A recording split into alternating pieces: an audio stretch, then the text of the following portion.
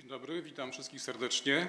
Otwieram 34. sesję Rady Miasta Górowo i Ławeckie, przewidzianą do odbycia 30 czerwca, jest to dzień dzisiejszy. E, Witam e, przybyłych na dzisiejszą e, sesję gości w postaci pana burmistrza, pana sekretarza, sekretarza pana Andrzeja Warobca, panią Edytę Jarmoluk. Witam dyrektorów poszczególnych, poszczególnych naszych tutaj instytucji, którzy łączą się z nami internetowo. Odbywa, informuję uprzejmie, że sesja odbywa się w sposób zdalny za pomocą programu Zoom oraz przy pomocy internetu. Witam również telewizję Bartsat, która przybyła na dzisiejszą sesję i, i transmituje dzisiejsze obrady. E, Ponadto informuję, że protokolantem dzisiejszych obrad jest pani Sylwia Staszewska. E, Wysoka Rado, informuję, że sesja została zwołanie, zwołana w trybie zwyczajnym na podstawie artykułu 20 ust. 1 ustawy o samorządzie gminnym oraz e, paragrafu 11 regul, regulaminu Rady Miasta Górowo i Ławeckie. Informuję ponadto, że wszystkim Państwu radnym zostało przesłane w trybie regulaminowym zawiadomienie o dzisiejszej sesji wraz z porządkiem obrad i projektami uchwał. E, Pragnę przypomnieć, że e, nasze obrady są transmitowane na żywo oraz rejestrowany jest obraz i dźwięk za pomocą kamery. Nagrania obrad e, są udostępnione w Biuletynie Informacji Publicznej Urzędu Miasta Górowo i Ławeckie oraz w internecie. Informuję wszystkich Państwa, szczególnie Państwa dyrektorów, którzy uczestniczą z nami zdalnie, że e, uczestnicz, uczestnicząc w obradach sesji Rady wyrażają Państwo zgodę na rozpowszechnianie swojego wizerunku, upublicznienie i przetwarzanie swoich danych osobowych. E, Ponadto pragnę przypomnieć, że na podstawie artykułu 14 ustawy o samorządzie gminnym głosowania nad uchwałami są jawne i odbywają się za pomocą urządzeń umożliwiających sporządzanie i utrwalanie imiennego wykazu głosowań. W przypadku, kiedy jest to niemożliwe z przyczyn technicznych, e, takie głosowanie odbędzie się imiennie. To tyle tytułem wstępu. E, Szanowni, szanowni radni, e, informuję, że na podstawie listy obecności, którą przedstawia tutaj pani Staszewska, w, dzisiejszym, w dzisiejszej sesji uczestniczy 13 radnych. Brakuje pani Antochów i pana Gajdamowicza. Informuję, że posiadamy kworum do zawierania prawomocnych e, uchwał. E, Na sam początek jeszcze naszej, e, naszego spotkania nastąpi teraz zaprzysiężenie nowo, nowo mianowanego pana i wy, wybranego pana radnego, pana Rafała Adama Narkiewicza. Także mm, po- poproszę wszystkich o powstanie.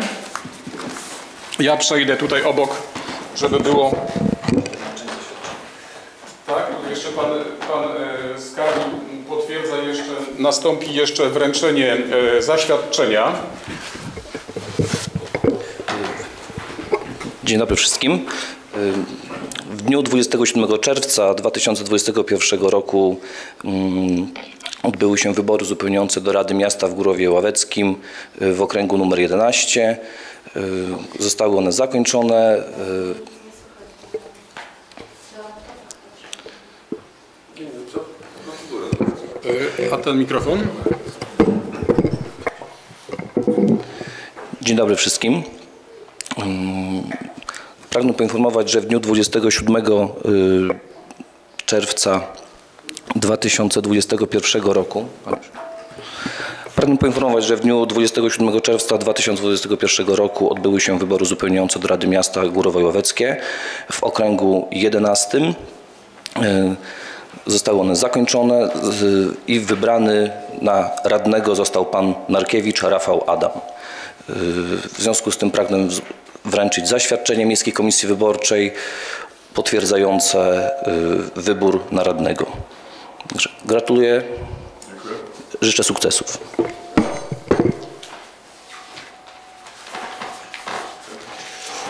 Aby w pełni pan radny mógł pełnić swoje obowiązki, wymagane jest również złożenie ślubowania.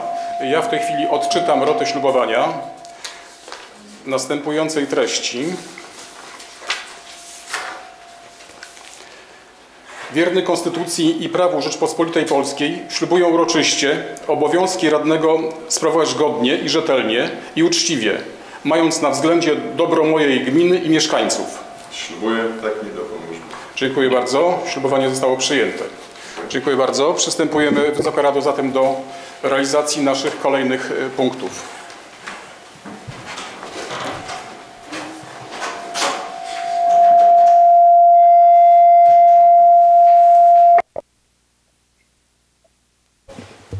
Mamy małe problemy techniczne związane ze sprzężeniem, ale już tutaj chyba będzie wszystko dobrze. I tym sposobem, e, Wysoka Rado, mamy już komplet radnych, jest nas ponownie znowu 14. Ja tylko przypomnę krótką historię, e, jak to wszystko było. E, Informuję uprzejmie, że na podstawie tutaj postanowienia komisarza wyborczego w Elblągu z dnia 2 listopada e, st- została stwierdzona wygaśnięcie mandatu z 1 listopada e, naszego radnego, pana Łukasza Złotuchy, który pisemnym, pisemnie zrzekł się mandatu. Później było zarządzenie pana wojewody warmińsko-mazurskiego i odbyły się wybory 27 czerwca. Wybory się odbyły, tak jak mówię, 26 czerwca. W, w wyborach brało udział dwóch e, radnych. Był to radny Tobisz Arkadiusz i Narkowicz Rafał. Tak jak powiedzieliśmy, najwięcej głosów zdobył pan Narkowicz Rafał i dlatego przed chwilą odbyło się e, ślubowanie. Także wita- witamy pana radnego i życzymy mu sukcesów w pracy e, na rzecz miasta. E, Szanowna Rado, przechodzimy teraz już do naszego dzisiejszego toku naszej Rady. Chcę powiedzieć, że doszedł do dzisiejszego porządku obrad jeden punkt, który będzie realizowany na końcu. W związku z powyższym, e, że e, miesiąc e, lipiec jest miesiącem wakacyjnym, nie przewidujemy tutaj spotkań w miesiącu lipcu, chyba że, że jakieś będą wymagające tego sytuacje i dlatego chcemy wszystkie sprawy zakończyć i tutaj doszedł dodatkowy punkt pod, na, pod nazwą rozpatrzenie petycji w sprawie wynajmowania lokali wchodzących w skład mieszkaniowego zasobów gminy. E, Pan przewodniczący Komisji Skarg, Wniosków i Petycji już tutaj e, spotkał się i ten punkt jest e, rozpatrzony, dlatego bardzo proszę o przyjęcie go przez Wysoką Radę. E, Dzisiejszy porządek obrad będzie przedstawiał się następująco. Jest długi i obszerny i jest bardzo znaczący, bo dzisiejsza sesja to jest sesja absolutoryjna. Również wotum zau- zaufania dla pana burmistrza będzie na tej sesji dzisiaj omawiane, głosowane, będą podejmowane uchwały. I dzisiejszy porządek obrad, przedstawia się następująco. E, przyjęcie protokołu z 32 i 33 sesji Rady Miasta Górowo-Łoweckie. Informacja z prac burmistrza między sesjami o realizacji, oraz realizacji uchwał Rady Miasta. E, Duży punkt rozpatrzenia raportu o stanie gminy, sprawozdania finansowego i sprawozdania z wykonania budżetu za rok 2020 oraz udzielenie absolutorium burmistrzowi miasta. Z tego tytułu będzie przedstawiony e, raport o stanie gminy Górowa i Łoweckie za rok 2020. Tutaj przedstawi go e, zapewne pan, pan burmistrz. Przewidziana jest również do tego punktu debata. E, zabranie głosów przez radnych, zabranie również głosów przez mieszkańców, ale na, razie do mnie się nie zgłosił, więc tego punktu nie będzie. E, Kolejna sprawa, jak, jaką będziemy dzisiaj procedowali, jest to podjęcie uchwały w sprawie wotum zaufania dla burmistrza miasta Górowo i Łoweckie za rok 2020. E, Przedstawienie sprawozdania z, z wykonania budżetu miasta za rok 2020. Przedstawienie sprawozdania finansowego za rok 2020. Przedstawienie informacji o stanie mienia komunalnego Gminy Miejskiej Górowo i Łoweckie za rok 2020. Przedstawienie treści uchwały składu orzekającego Regionalnej Izby Obrachunkowej w sprawie wykonania opinii o przedłożonym przez burmistrza miasta Górowo i Łoweckie sprawozdania z wykonania budżetu miasta Górowo i Łoweckie za rok 2020. Przedstawienie wniosku Komisji Rewizyjnej w sprawie udzielenia absolutorium burmistrzowi miasta za rok 2020. Przedstawienie treści uchwały składu orzekającego Regionalnej Izby Obrachunkowej w sprawie zaopiniowania wniosku Komisji Rewizyjnej Rady Miasta Górowo i Łoweckie w sprawie udzielenia absolutorium burmistrzowi miasta Górowo i Łoweckie za rok 2020. Przewidziana w tym punkcie jest dyskusja. Kolejny punkt naszych dzisiejszych obrad jest to podjęcie uchwały w sprawie zatwierdzenia sprawozdania finansowego oraz sprawozdania z wykonania budżetu miasta Górowo i Łoweckie za rok 2020. Podjęcie uchwały w sprawie udzielenia absolutorium burmistrzowi miasta Górowo i Łoweckie za rok 2020. E, Również mamy tutaj do podjęcia e, kilka uchwał. Będziemy podejmowali uchwałę w sprawie oceny zasobów pomocy społecznej miasta Górowe i Łoweckie. Wzoru wniosku o przyznanie dodatku mieszkaniowego oraz wzoru deklaracji o dochodach gospodarstwa domowego. To wszystko będzie przedstawione zapewne przez panią dyrektor Miejskiego Ośrodka Pomocy Społecznej w Górowie. E, Kolejny e, punkt dzisiejszego spotkania jest to przyjęcie sprawozdania z działalności, z działalności Miejskiego Ośrodka Pomocy Społecznej w Górowie Ławeckim za rok 2020, wyrażenia zgody na zawarcie porozumienia z Gminą Miejską Bartoszyce dotyczącego zapewnienia posiłku osobom oraz potrzebujących, a objętych pomocą Miejskiego Ośrodka Pomocy Społecznej w Górowie Ławeckim przystąpienia do strategii rozwoju społeczno-gospodarczego gminy miejskiej Górowo-Łoweckiej do roku 2030 oraz określenia szczegółowego trybu i harmonogramu opracowania projektu strategii, w tym e, konsultacji. I punkt, który będzie e, tutaj dodatkowo procedowany w dniu dzisiejszym, jest to rozpatrzenie petycji w sprawie zasad wynajmowania lokali wchodzących w skład mieszkaniowego zasobu gminy. Tak jak przedstawiłem Wysokiej Radzie, dzisiejszy punkt naszych obrad jest bardzo rozbudowany, dlatego zaczynamy o godzinie 9, żeby przed kolacją pewnie to wszystko skończyć. E, Dlatego bardzo proszę o e, tutaj rzeczowe e, zabieranie głosu, a jednocześnie siebie zobowiązuję do sprawnego przeprowadzenia sesji po to, żeby to szybko, sprawnie się odbyło. Szanowna Rado, tak wygląda dzisiejszy porządek naszych obrad. E, Czy ktoś miałby uwagi do zaprezentowanego porządku obrad? Bardzo proszę. Jeżeli nie widzę i nie słyszę, y, przystępujemy do przegłosowania y, porządku obrad. Kto z Pań i Panów Radnych jest za przyjęciem porządku obrad przedstawionego przeze mnie po zmianach z dodatkowym punktem odnośnie petycji? Zechce zagłosować?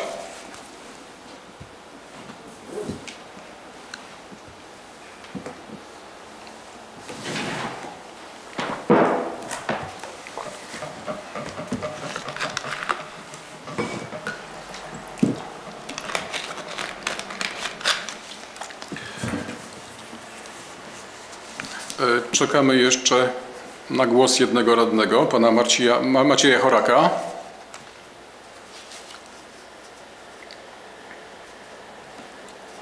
Dziękuję bardzo. Mm, Tak jak widać na tablicy głosowań, w głosowaniu wzięło udział 13 radnych. E, Porządek dzisiejszych obrad został przyjęty jednogłośnie. Dziękuję bardzo. E, Przechodzimy zatem do kolejnego e, porządku naszych dzisiejszych obrad. Jest to przyjęcie protokołu z 32 i z 33 sesji Rady Miasta. E, Chcę uprzejmie poinformować, że protokół był przesłany Państwu na skrzynki mailowe. Ponadto był do wglądu w biurze Rady. Czy ktoś z Państwa radnych miałby uwagi do protokołu 32 i 33 sesji Rady Miasta? Bardzo proszę.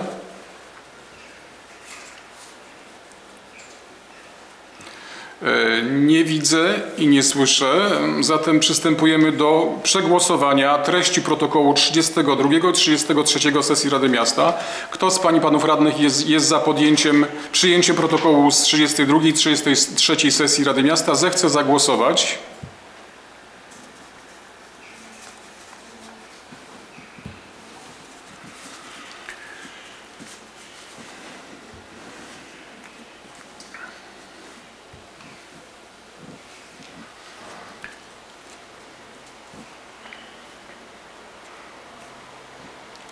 Tak, dziękuję bardzo. Tak jak widać na tablicy y, naszych tutaj wyników, w głosowaniu wzięło udział 13 radnych. Y, Protokół z 32 i 33 sesji Rady Miasta został przyjęty jednogłośnie. Dziękuję bardzo. E, Przechodzimy e, do kolejnego punktu naszej dzisiejszej sesji. Jest to informacja z prac burmistrza między sesjami oraz realizacji uchwał Rady Miasta. Bardzo proszę pana burmistrza o przedstawienie, co się działo między sesjami i jak są realizowane uchwały Rady Miasta. Proszę bardzo, panie burmistrzu. Próbuję ze swojego mikrofonu, jeżeli... Raz, Raz, a teraz, teraz... Nie. No dobrze, Nies- niestety ze względu na charakter sesji, nie wiem czy słychać mnie z mikrofonu pana przewodniczącego. Bardzo proszę panu, panu państwa radnych, żeby pomachać do mnie jak słychać. Wi- Widzę Kamila i Łukasza Łukianowicza. Słyszycie mnie? Słyszycie, tak? Czyli mogę mówić. Dobra, dzięki wielkie.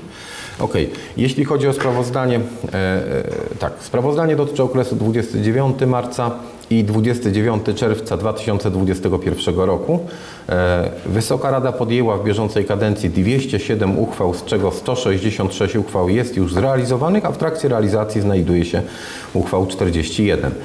I tak, żeby nie przeciągać, postaram się w skrócie przybliżyć najważniejsze zajęcia, które no, były realizowane w naszym urzędzie w tym okresie.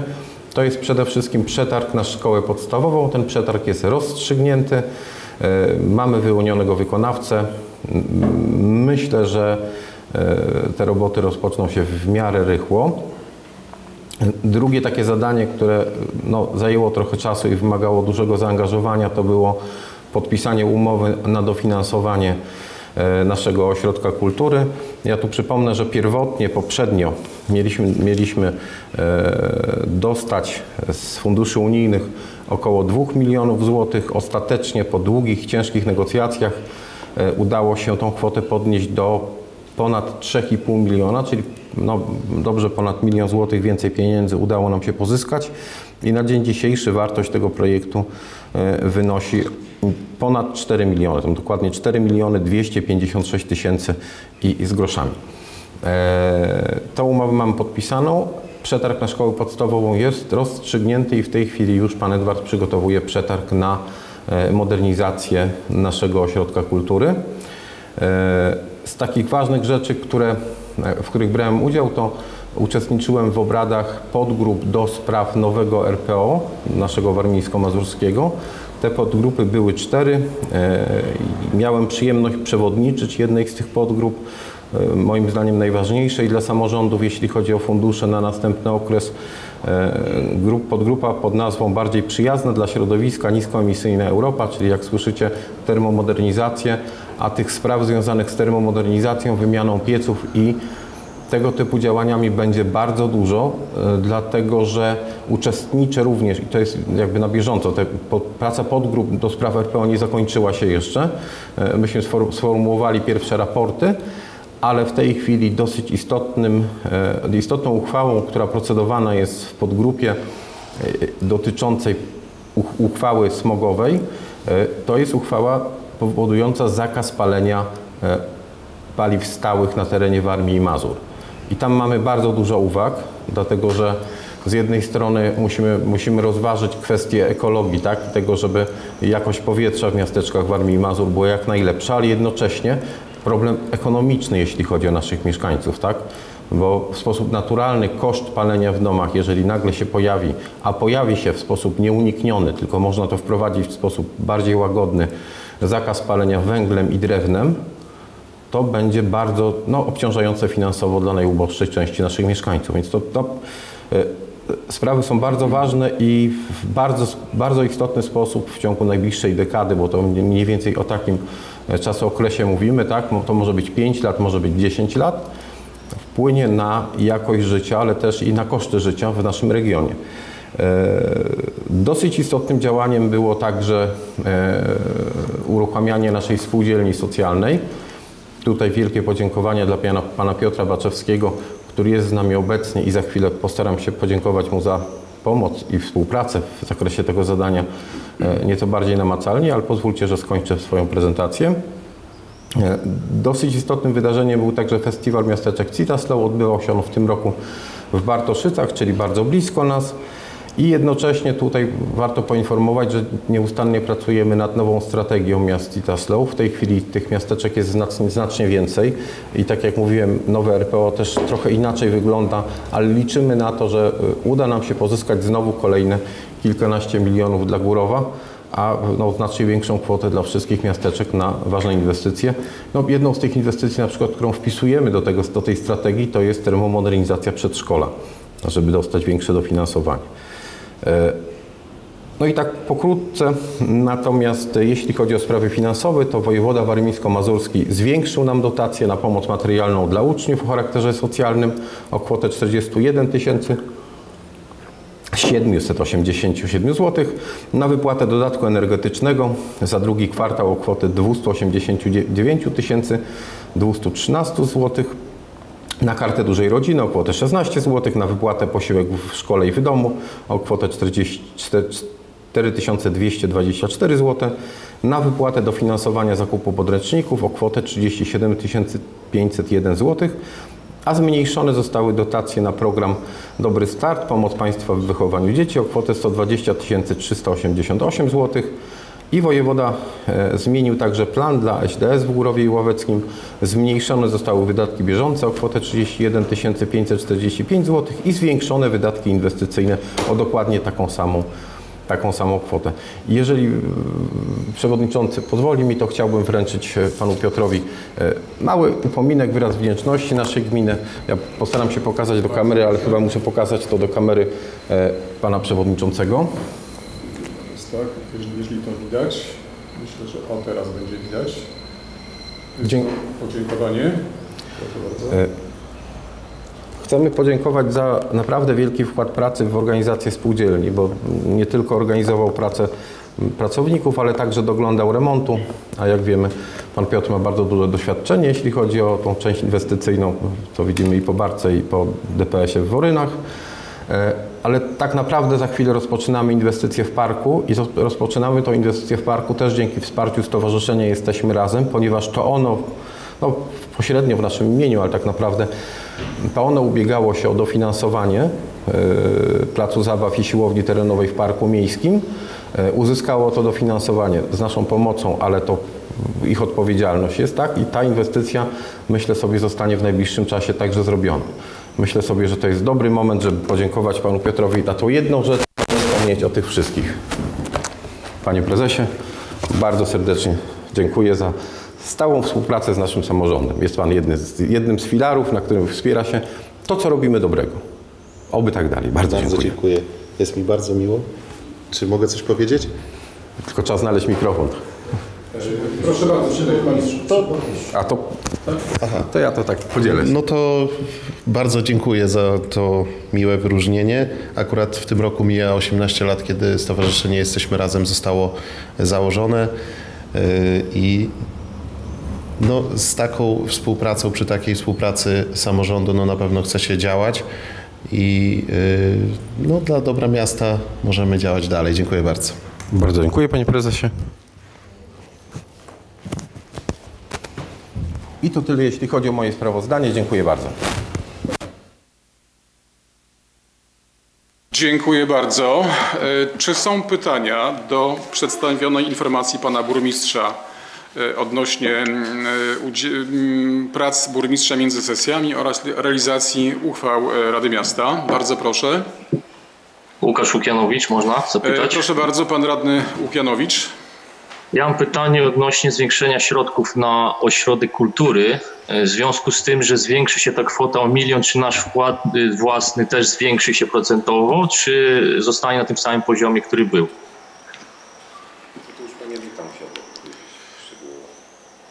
E, Tutaj poprosimy panią skarbnik, jeżeli nas pani skarbnik słyszy, bardzo prosimy panią skarbnik o udzielenie odpowiedzi.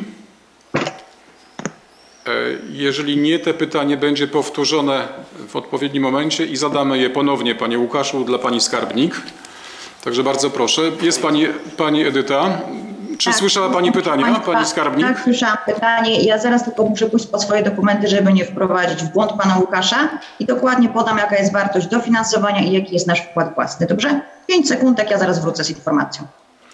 Dobrze, dziękuję. Jeszcze jedno pytanie odnośnie spotkań pana burmistrza. Czy z nich już coś wynika w chwili obecnej, czy na razie są to tylko jeszcze rozmowy, z których, y, no nie wiem, wstępne takie, z których na razie ta górowa jeszcze nic nie wynika? Trudno powiedzieć w sposób zupełnie merytoryczny, dlatego że jak nie będzie tych spotkań... panie burmistrzu, nie A słychać. teraz, panie przewodniczący, a teraz słychać? Tak, teraz słychać. Okej. E, trudno jest odpowiedzieć w sposób bardzo tak zupełnie jednoznaczny, tak? E, Po pierwsze, e, gdyby nie było tych spotkań, to nie byłoby tych pieniędzy, które mamy teraz, tych kilkunastu milionów w poprzedniej perspektywie. W tej perspektywie uczestniczymy znacznie mocniej w tworzeniu nowego regionalnego programu operacyjnego, bo mm, miasteczka Citaslow są podmiotem, który jest wpisany do strategii wojewódzkiej, to o to też zabiegaliśmy i to już jest konkret. Tak? Jesteśmy wpisani jako jedyni, jako obszar strategicznej interwencji, jeśli chodzi o stowarzyszenia miast na Warmii i Mazurach. Tak to możemy ująć. Jesteśmy tylko my, tak de facto, Wielkie Jeziora w jakiś sposób, Elbląg, Ełk i Olsztyn i koniec. Natomiast te spotkania, które się odbywają, są niezbędne do tego, żeby województwo w ogóle mogło rozpocząć procedowanie nowego programu operacyjnego. Czyli to powiem tak, na razie o kwotach nie mogę powiedzieć, bo te kwoty nie istnieją, tak? Bodajże w zeszłym tygodniu dopiero strona rządowa podpisała właściwe dokumenty z Brukselą i dopiero od tygodnia czy od półtora znamy wszystkie reguły gry, albo przynajmniej te najważniejsze, do których musimy się odnosić tworząc strategię. Strategia miast Citaslow jest w tej chwili już de facto gotowa. Robi ją nam profesor Dziemianowicz, to jeden z największych autorytetów, jeśli chodzi o tego typu działania. I pod koniec czerwca, bodajże 22, 23, tu jeszcze trwają rozmowy z panem marszałkiem Gustawem Brzezinem, kiedy on czas znajdzie. E, będziemy mieli duże spotkanie e, reprezentantów miast e, z profesorem Dziemianowiczem i będzie na tym spotkaniu również właściwie twórca reformy polskiego samorządu i tak filar profesor Szlachta, i tam pewnie zapadną już jakieś bardziej konkretne rzeczy. Natomiast jeżeli chodzi o projekty, które będziemy mogli realizować, to będziemy mogli o tym mówić moim zdaniem na początku przyszłego roku. Myśmy zgłosili wnioski projektowe z panem sekretarzem, bo razem to opracowywaliśmy. Bazowaliśmy tak naprawdę na wnioskach budżetowych, które spływały od radnych. No, generalnie co zrobić w mieście, to wszyscy wiedzą, tak? Żadnych odkrywczych rzeczy nie ma. E, na dzień dzisiejszy wiemy, że najwięcej pieniędzy będzie na e, bezrobocie, co jest kłopotem dla nas, tak, bo te projekty wyłączenia bez, osób bezrobotnych wiemy, że są generalnie mało efektywne, ale taki jest wymóg unijny, są miękkie programy, a z twardych pieniędzy najwięcej pieniędzy będzie na termomodernizację, na, no, na tą grupę, której przewodniczyłem obradom. I tu byśmy chcieli stermomodernizować wszystkie budynki publiczne w mieście, co do sztuki. Każdy do tego dołożyć fotowoltaikę, żeby obniżyć koszty i taka jest, taki jest kompleksowy pomysł. I on jest zgłoszony i proceduje się. Więc no, nie wiem, co mogę bardziej szczegółowo w tej chwili powiedzieć. Nie? Jeszcze mam pytanie odnośnie projektów, o których Pan mówi, że będą złożone być może na, na początku przyszłego roku. Czy będzie to jeszcze konsultowane z radnymi? Bo powiedział Pan, że to są złożone wnioski przez radnych, no ale byśmy chcieli jeszcze przed złożeniem tych wniosków też jako radni byśmy chcieli zobaczyć, tak, te wnioski jeszcze. Ja Może dojdą jakieś nowe, jakieś propozycje ja z myślę, radnych. Mhm, ja myślę, że pan radny e, czytał uważnie dokumenty ostatniej sesji i tam podejmowaliście uchwałę odnośnie procedury uchwalania strategii e, miasta na kolejne lata, nie? I tam są wpisane, w tych procedurach jest wpisana również e, procedura konsultacji społecznych, i rzeczywiście myślę, że to jest najlepsza odpowiedź, czyli warto by odwołać się do uchwały, którą Pan Radny uchwalał na poprzedniej bodajże sesji. I tam jakby odpowiedź na wszystkie pytania jest.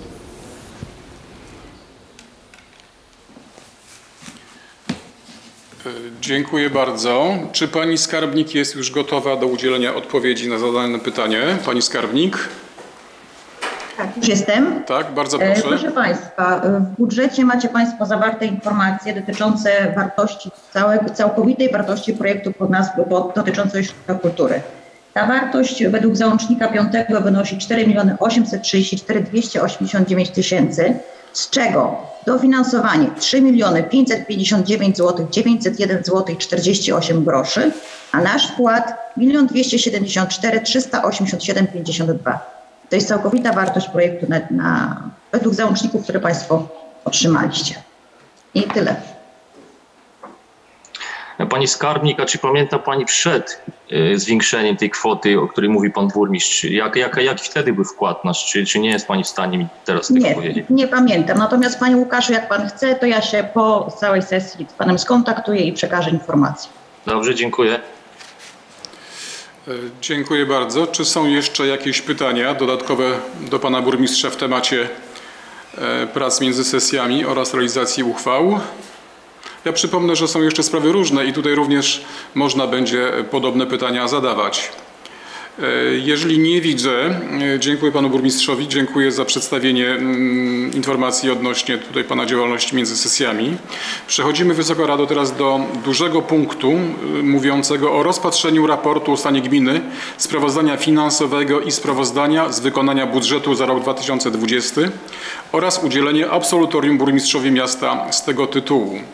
E, Chcę powiedzieć, że e, nowy obowiązek nałożyła nowelizacja ustawy o samorządzie gminnym odnośnie przedstawienia raportu o stanie gminy. Bowiem zgodnie z artykułem 28aa co roku do 31 maja pan burmistrz musi przedstawić Radzie raport o stanie gminy.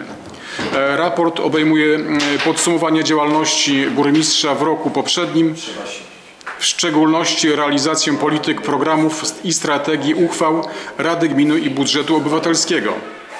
E, Raport o stanie gminy, na którym będziemy za chwilę debatowali, ma charakter publiczny i jest prezentowany na sesji ab- absolutoryjnej Rady Gminy, jest to w dniu dzisiejszym. W debacie e, mogą brać również udział mieszkańcy. Po zakończeniu debaty nad raportem o stanie gminy Rada Gminy przeprowadza głosowanie nad udzieleniem wójtowi wotum zaufania. Uchwałę o udzieleniu burmistrzowi wotum zaufania Rada Gminy podejmuje bezwzględną większością głosów ustawowego składu gminy. W przypadku nieudzielenia burmistrzowi wotum zaufania w dwóch kolejnych ra- latach Rada Gminy może podjąć uchwałę o przeprowadzeniu referendum w sprawie odwołania burmistrza. E, Tyle mówią tutaj, Szanowna Rado, przepisy odnośnie tego właśnie raportu. Jest to bardzo poważny dokument. Ten rokum- dokument mam tutaj przed sobą. On zawiera mm, ponad 200 stron e, informacji e, różnych przedstawionych przez poszczególnych dyrektorów wchodzących tutaj w skład e, naszego, e, na- naszej rady, e, naszego miasta i e, ma charakter, no, tak jak powiedziałem, publiczny. A udzielenie wotum zaufania, Szanowna Rado, jest ustosunkowaniem się Rady do informacji przedstawionych przez burmistrza w raporcie e, Rady Gminy i obejmuje podsumowanie działalności w roku poprzednim. Czyli wotum zaufania jest akceptacją e, dla pana burmistrza odnośnie realizacji e, tego raportu. W związku z powyższym bardzo proszę teraz pana burmistrza do przedstawienia raportu o stanie gminy. E, Pan burmistrz przedstawi to w formie multimedialnej. Będzie to zapewne interesujące i w sposób syntetyczny przybliży nam naszą gminę, jak to wszystko wyglądało. Także bardzo proszę Panie Burmistrzu o przedstawienie informacji o stanie gminy Górowo i Łoweckie za rok 2020. E, Nie wiem, czy mnie słychać. Słychać mnie. Jeżeli możemy mieć kłopot, jeśli chodzi o sprzęganie, ale spróbujemy. E, I y, zakładam, że slajdy Państwo widzą wszyscy. Ok, raport o stanie gminy miejskiej za rok 2020. Jeśli chodzi o dochody, to jak widzicie w sumie mieliśmy dochody na poziomie 24 milionów 612 tysięcy 807 zł i 70 groszy. I z tego jak widzicie ta niebieska część to są subwencje. No jest to głównie subwencja związana, związana z e, działalnością oświatową naszej gminy. E, Mamy też dochody, które pozostałe to 3 miliony 600. Do tego otrzymaliśmy e, z podatków i opłat lokalnych 1 795 tysięcy. E, Podatek od nieruchomości przyniósł nam dochód w wysokości 1 669 tysięcy 766 zł i 74 groszy.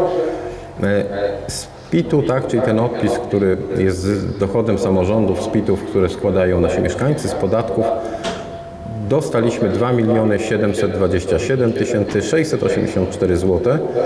E, I te zapowiedzi, które mamy w tak zwanym Nowym Polskim Ładzie, e, gdzie się mówi o dużej kwocie zwolnionej od podatków albo zwolnieniu od podatków osób najniżej zarabiających, spowoduje, że tu będziemy mieli ogromną stratę.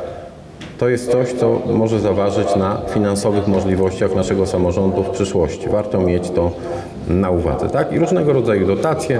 Tu w największej części będą to dotacje związane z działalnością naszego ośrodka pomocy społecznej. To 8 milionów 142 931 zł 30 groszy. Także tak, tak prezentują się nasze, e, nasze dochody. Dosyć istotnym no, częścią i przyglądaliśmy się wszyscy jak to wyglądało, to były opłaty za gospodarowanie odpadami. Te koszty rosną w całym kraju lawinowo.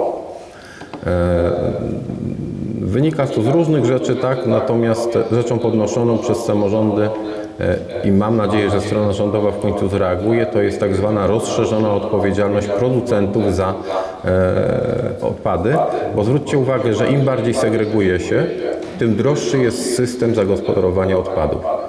I to pozornie jest paradoks, ale tak rzeczywiście jest, tak? Bo zarówno koszty wywozu wzrastają, koszty magazynowania tych odpadów wzrastają. Po prostu ten mechanizm, który mnie zastanawiał, jest naturalny. Natomiast sposobem na obniżenie kosztów jest wprowadzenie w końcu ustawy rządowej, tak? Przez Sejm, no, jakby procedura jest tu nieistotna, która przerzucałaby część kosztów, którą ponosimy dzisiaj my jako samorząd, a potem przerzucamy to na mieszkańców, to y, ponosiłyby, ponosiliby producenci, wytwórcy towarów. No bo nie jest winą e, mieszkańca Górowa sposób pakowania mleka, tak, e, czy przesyłki, które docierają do nas owinięte w tony kartonu. Dobrze by było, żeby firmy, które wytwarzają wprowadzają na rynek, szczególnie plastik, ale wiele innych surowców, po prostu płaciły za ich utylizację. I myślę sobie, że w tym kierunku docelowo to musi pójść. Dziwi mnie, że tak długo zajmuje to stronie rządowej, tak? Bo to nie jest tak, że my jako samorządy e, chcemy obciążać mieszkańców wysokimi opłatami, e, ale fajnie jakby e, premier Mateusz Morawiecki e, zatroszczył się o to, żeby te koszty ponosili ci, którzy te odpady naprawdę wytwarzają, czyli producenci. No tak, wraca, wracając jakby na nasze podwórko, to jak widzicie e, zebraliśmy od mieszkańców opłat za zagospodarowanie odpadów na kwotę 856 611 zł 39 groszy, a wydaliśmy e, ponad 100 tysięcy więcej, czyli 964 259 zł i 70 groszy. Mimo tego, że staramy się bardzo racjonalnie tym wszystkim gospodarować, tak? E, czyli i kompostowniki miejskie, i zbieranie popiołów, i bardzo wiele innych działań, te koszty rosną lawinowo, po prostu coraz droższe jest zagospodarowanie odpadów. To jest uwarunkowane wieloma rzeczami, ale jakby wskazałem radnym, że najistotniejszej oszczędności należy szukać dla mieszkańców w działaniach rządu. I bardzo pilnie na te działania czekam.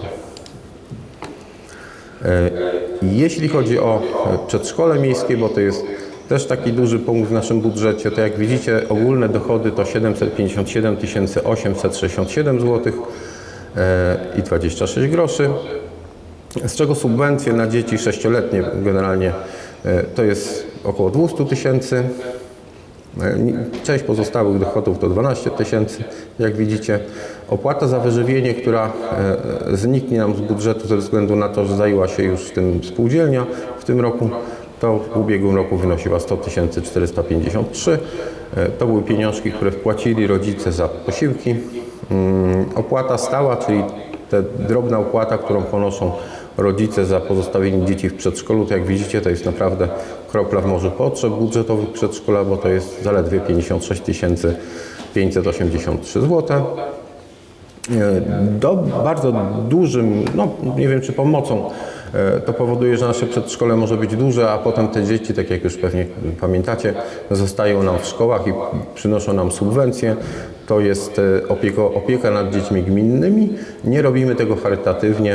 E, Dosyć duża pozycja w budżecie, tyle płaci nam pani wójt za pobyt dzieci e, w przedszkolu miejskim.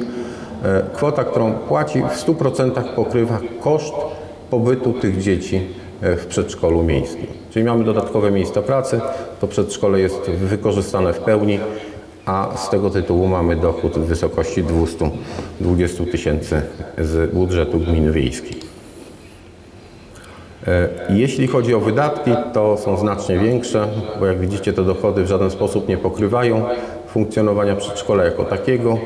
E, 1 600 tysięcy i 4 4441 zł 84 e, grosze. Tyle kosztuje nas e, utrzymanie przedszkola, a jak widzicie dochody, tak jak na poprzednim slajdzie widzieliście, to jest e, 757 867 zł, czyli jak widzicie z budżetu miejskiego dopłacamy do przedszkola, no, wykładamy na utrzymanie przedszkola 846 574 zł i 58 groszy. Taniej się nie da, ale tak jak mówiłem, e, myślę sobie, że to jest ważny element działalności samorządu, żeby ta opieka przedszkolna była dobrze przygotowana i dobrze funkcjonowała e, w mieście. Myślę, że w naszym wypadku tak się dzieje, e, a że kosztuje. No, mało jest rzeczy dobrych, które kosztują tanio. Szkoła podstawowa.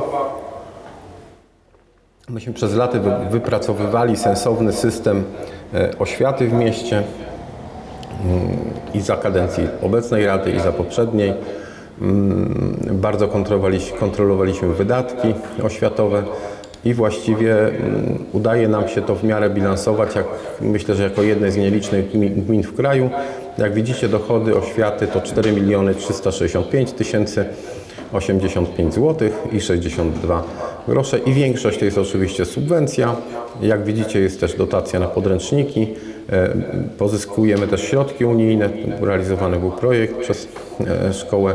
No i drobne dodatkowe zachody, ale generalnie jak widzicie większość dochodów oświaty naszej to jest subwencja oświatowa ponad 4 miliony złotych.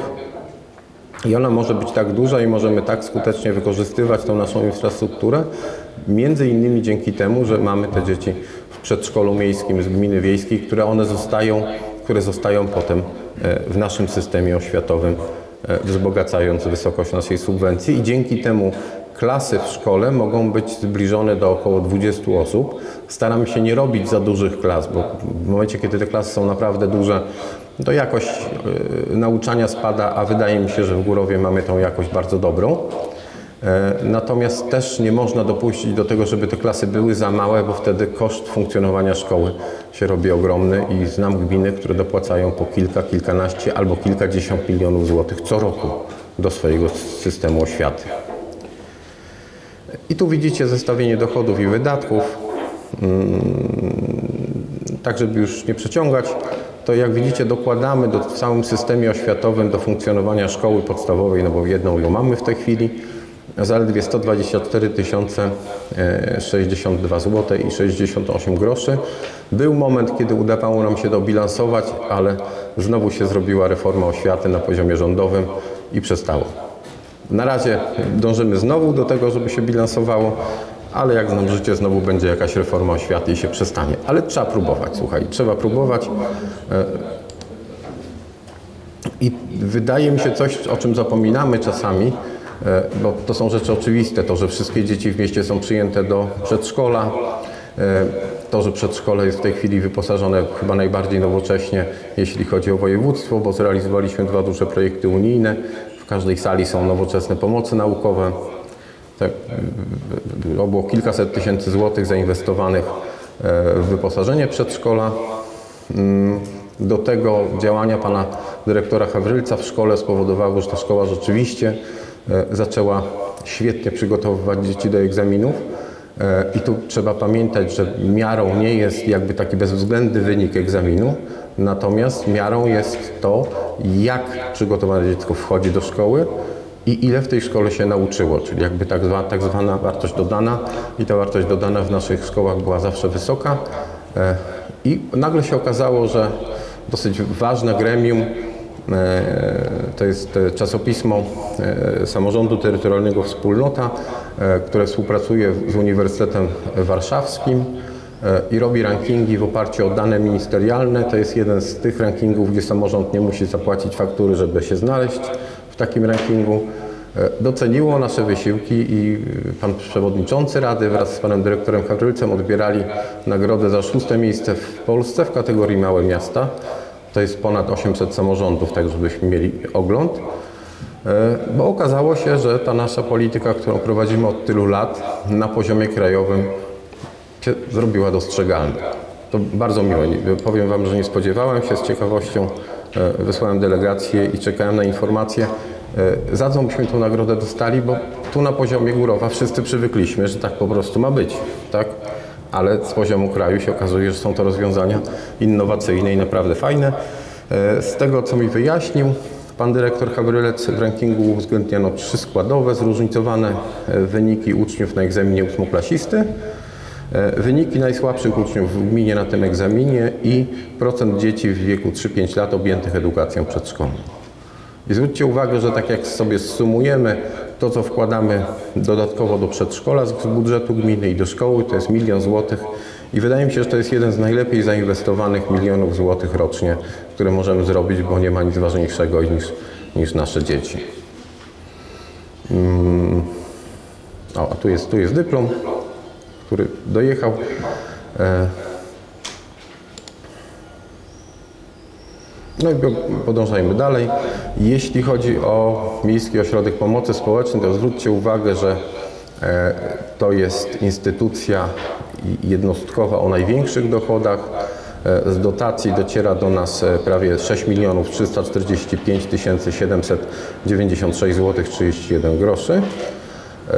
Był realizowany projekt unijny. E, są też pozostałe dochody, ale one jak widzicie tak naprawdę stanowią ułamek tego, co e, wpływa do MOPS-u z zewnątrz.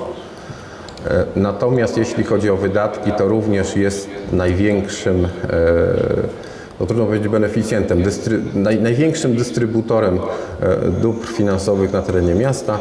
To jest ponad 8 milionów. Jeżeli popatrzycie na to, że na utrzymanie całego miasta tak naprawdę, jeżeli odejmiemy oświatę, i MOPS mamy 5 milionów, no to e, e, widzicie jakby skalę, tak?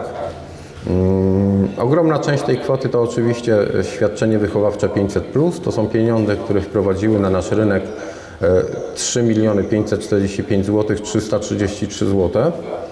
I to, jest, I to już widać, bo w tej chwili mamy wysyp sklepów, które chcą się budować w mieście. Po prostu wygląda na to, że duża ilość pieniędzy na rynku powoduje, że no, wzrost siły nabywczej w sposób oczywisty społeczności lokalnej. Tak?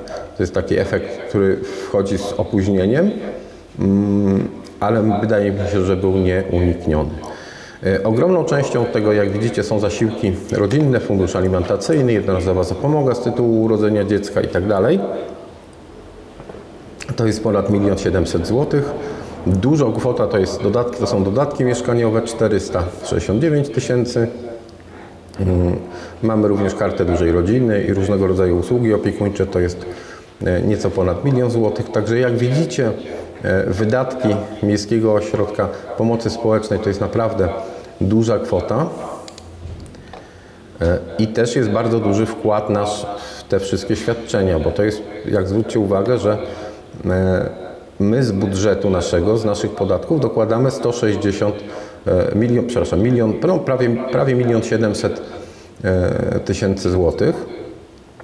I to troszkę nie jest tak, że możemy sobie nie dokładać, dlatego że ogromna część tej kwoty to jest obowiązkowy 20% udział samorządu w różnego rodzaju e, świadczeniach dla mieszkańców. Myśmy jeszcze z poprzednią panią skarbnik się buntowali przeciwko temu, bo z jakiej racji mamy dopłacać E, z budżetu miasta do zadań rządowych, które powinny być pokryte e, w 100%, ale załatwiono nas ustawą. Migaliśmy się, skończyło się tym, że pani Tereska była na tak zwanej dyscyplinie finansów. Pogrożono nam palcem, no i nie było wyjścia, wszyscy płacili, ale ja do dzisiaj się sprzeciwiam temu. To nie tak powinno wyglądać, tak?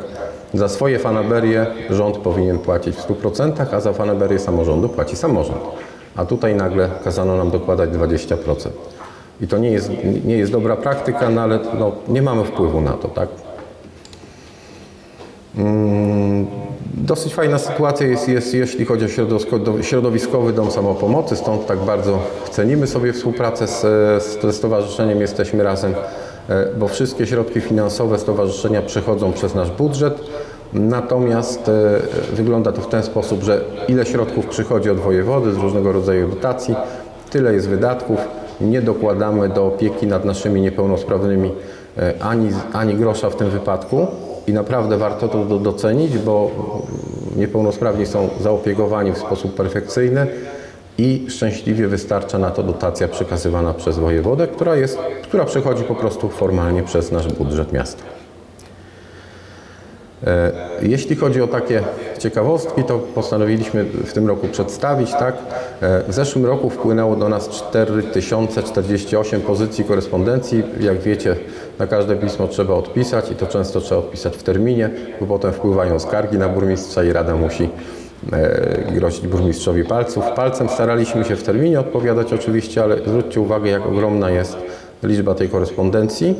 A na dzień koniec, na koniec roku, na 31 grudnia w urzędzie zatrudnionych było 16 pracowników, to jest już trochę więcej niż było wcześniej E, i oni muszą temu wszystkiemu podołać od wniosków unijnych przez rozliczanie inwestycji, dbanie o e, czystość w mieście, mm, Urząd Stanu Cywilnego i tego naprawdę, naprawdę jest sporo.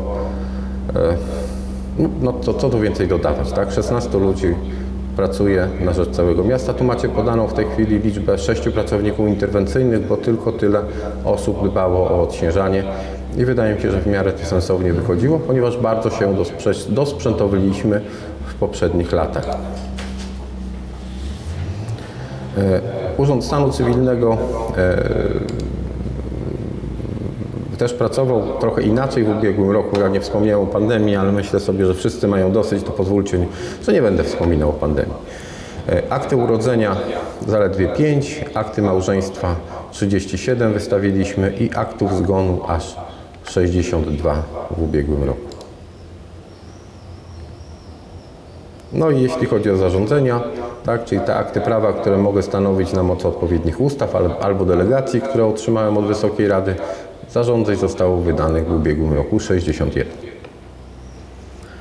E, I to jest coś, co często jakby nam umykało, ale ta ekipa, która dba o miasto, e, dba o nie cało, w całokształcie i czasami złościmy się, że coś jest później albo na coś trzeba poczekać, ale tak naprawdę tego jest bardzo dużo. I tak myślę sobie, że wcale nie, nie od rzeczy będzie pokazać, jak wiele zadań realizują nasi pracownicy interwencyjni. Jesteśmy w tej chwili na etapie reformy e, tej, jakby tej, tej formy pracy, dlatego że kończą nam się bezrobotni, którzy chcą naprawdę pracować i zaczynamy zatrudniać już ludzi normalnie na etacie, nie zawsze korzystając ze wsparcia Powiatowego Urzędu Pracy. Tym bardziej, że często osoby, które trafiają do nas stamtąd, pracować tak naprawdę nie chcą i się rozstajemy bardzo szybko. E, Najbardziej potrzebowaliśmy operatorów ciągników, tak, to kwestia koszenia miasta. W tej chwili już dzisiaj była chyba kolejna osoba, już tych osób będziemy więcej. Myślę, że to pójdzie szybciej. E, Nie, nie ukrywam, będzie drożej troszkę, ale po prostu już nie da się e, realizować tych zadań tak tanio. E, Tak, żeby pokazać mniej więcej skalę, to w zeszłym roku kosztowała nas samozatrudnianie ludzi, jeśli chodzi o prace interwencyjne, około pół miliona złotych. Myśmy rozmawiali, nie wiem czy pamiętacie o tym, że chcielibyśmy eksperymentalnie zrobić przetarg, ale jak zaczął robić e, jakby wycenę tego przetargu pan Edward, to wyszło nam, że trzeba by było w budżecie miasta przeznaczyć na taki przetarg około 1,5 miliona złotych. A nie można ogłosić przetargu, który nie ma zabezpieczenia w budżecie. No to stwierdziliśmy, że chyba nie ma sensu fikcyjnie przesuwać e, pieniędzy z e, in, innych zadań, żeby się dowiedzieć, że nie stać nas na to, żeby robiła to firma. Bo pamiętajcie, że firma robiłaby też tylko i wyłącznie to, co jest w przetargu, czyli odśnieżanie, zamiatanie i e, koszenie, a sami wiecie i sami dzwonicie do pana Janka Sadowskiego czy do pana Edwarda Drymucha, żeby podesłać ciągniczek tu, zrobić jakąś inną rzecz i dzięki temu, że to są nasi pracownicy, możemy działać bardziej elastycznie, ale no niestety nie da się robić wszystkich rzeczy naraz, tak? Bo tych ludzi docelowo myślę, że będzie z 7-8 osób pracujących na etacie. Mm, No bo sami widzieliście, albo będziemy wspierać oświatę, albo dotrudniać ludzi na roboty interwencyjne. To takie, no, jakby sprawowanie, e, b- zarządzanie budżetem to jest sztuka wyboru. Dobra, to tak pokrótce te najważniejsze zadania. Pamiętajcie, że ci ludzie po pierwsze malują pasy na przejściach dla pieszych. Słuchajcie, mamy aż 40 przejść, to też trwa. Do tego e, nie wynajmujemy firmy do łatania. Dzięki temu jest taniej. Kupujemy taką no, ba- naprawdę dobrą masę do łatania i w zeszłym roku poszły 24 tony tej masy.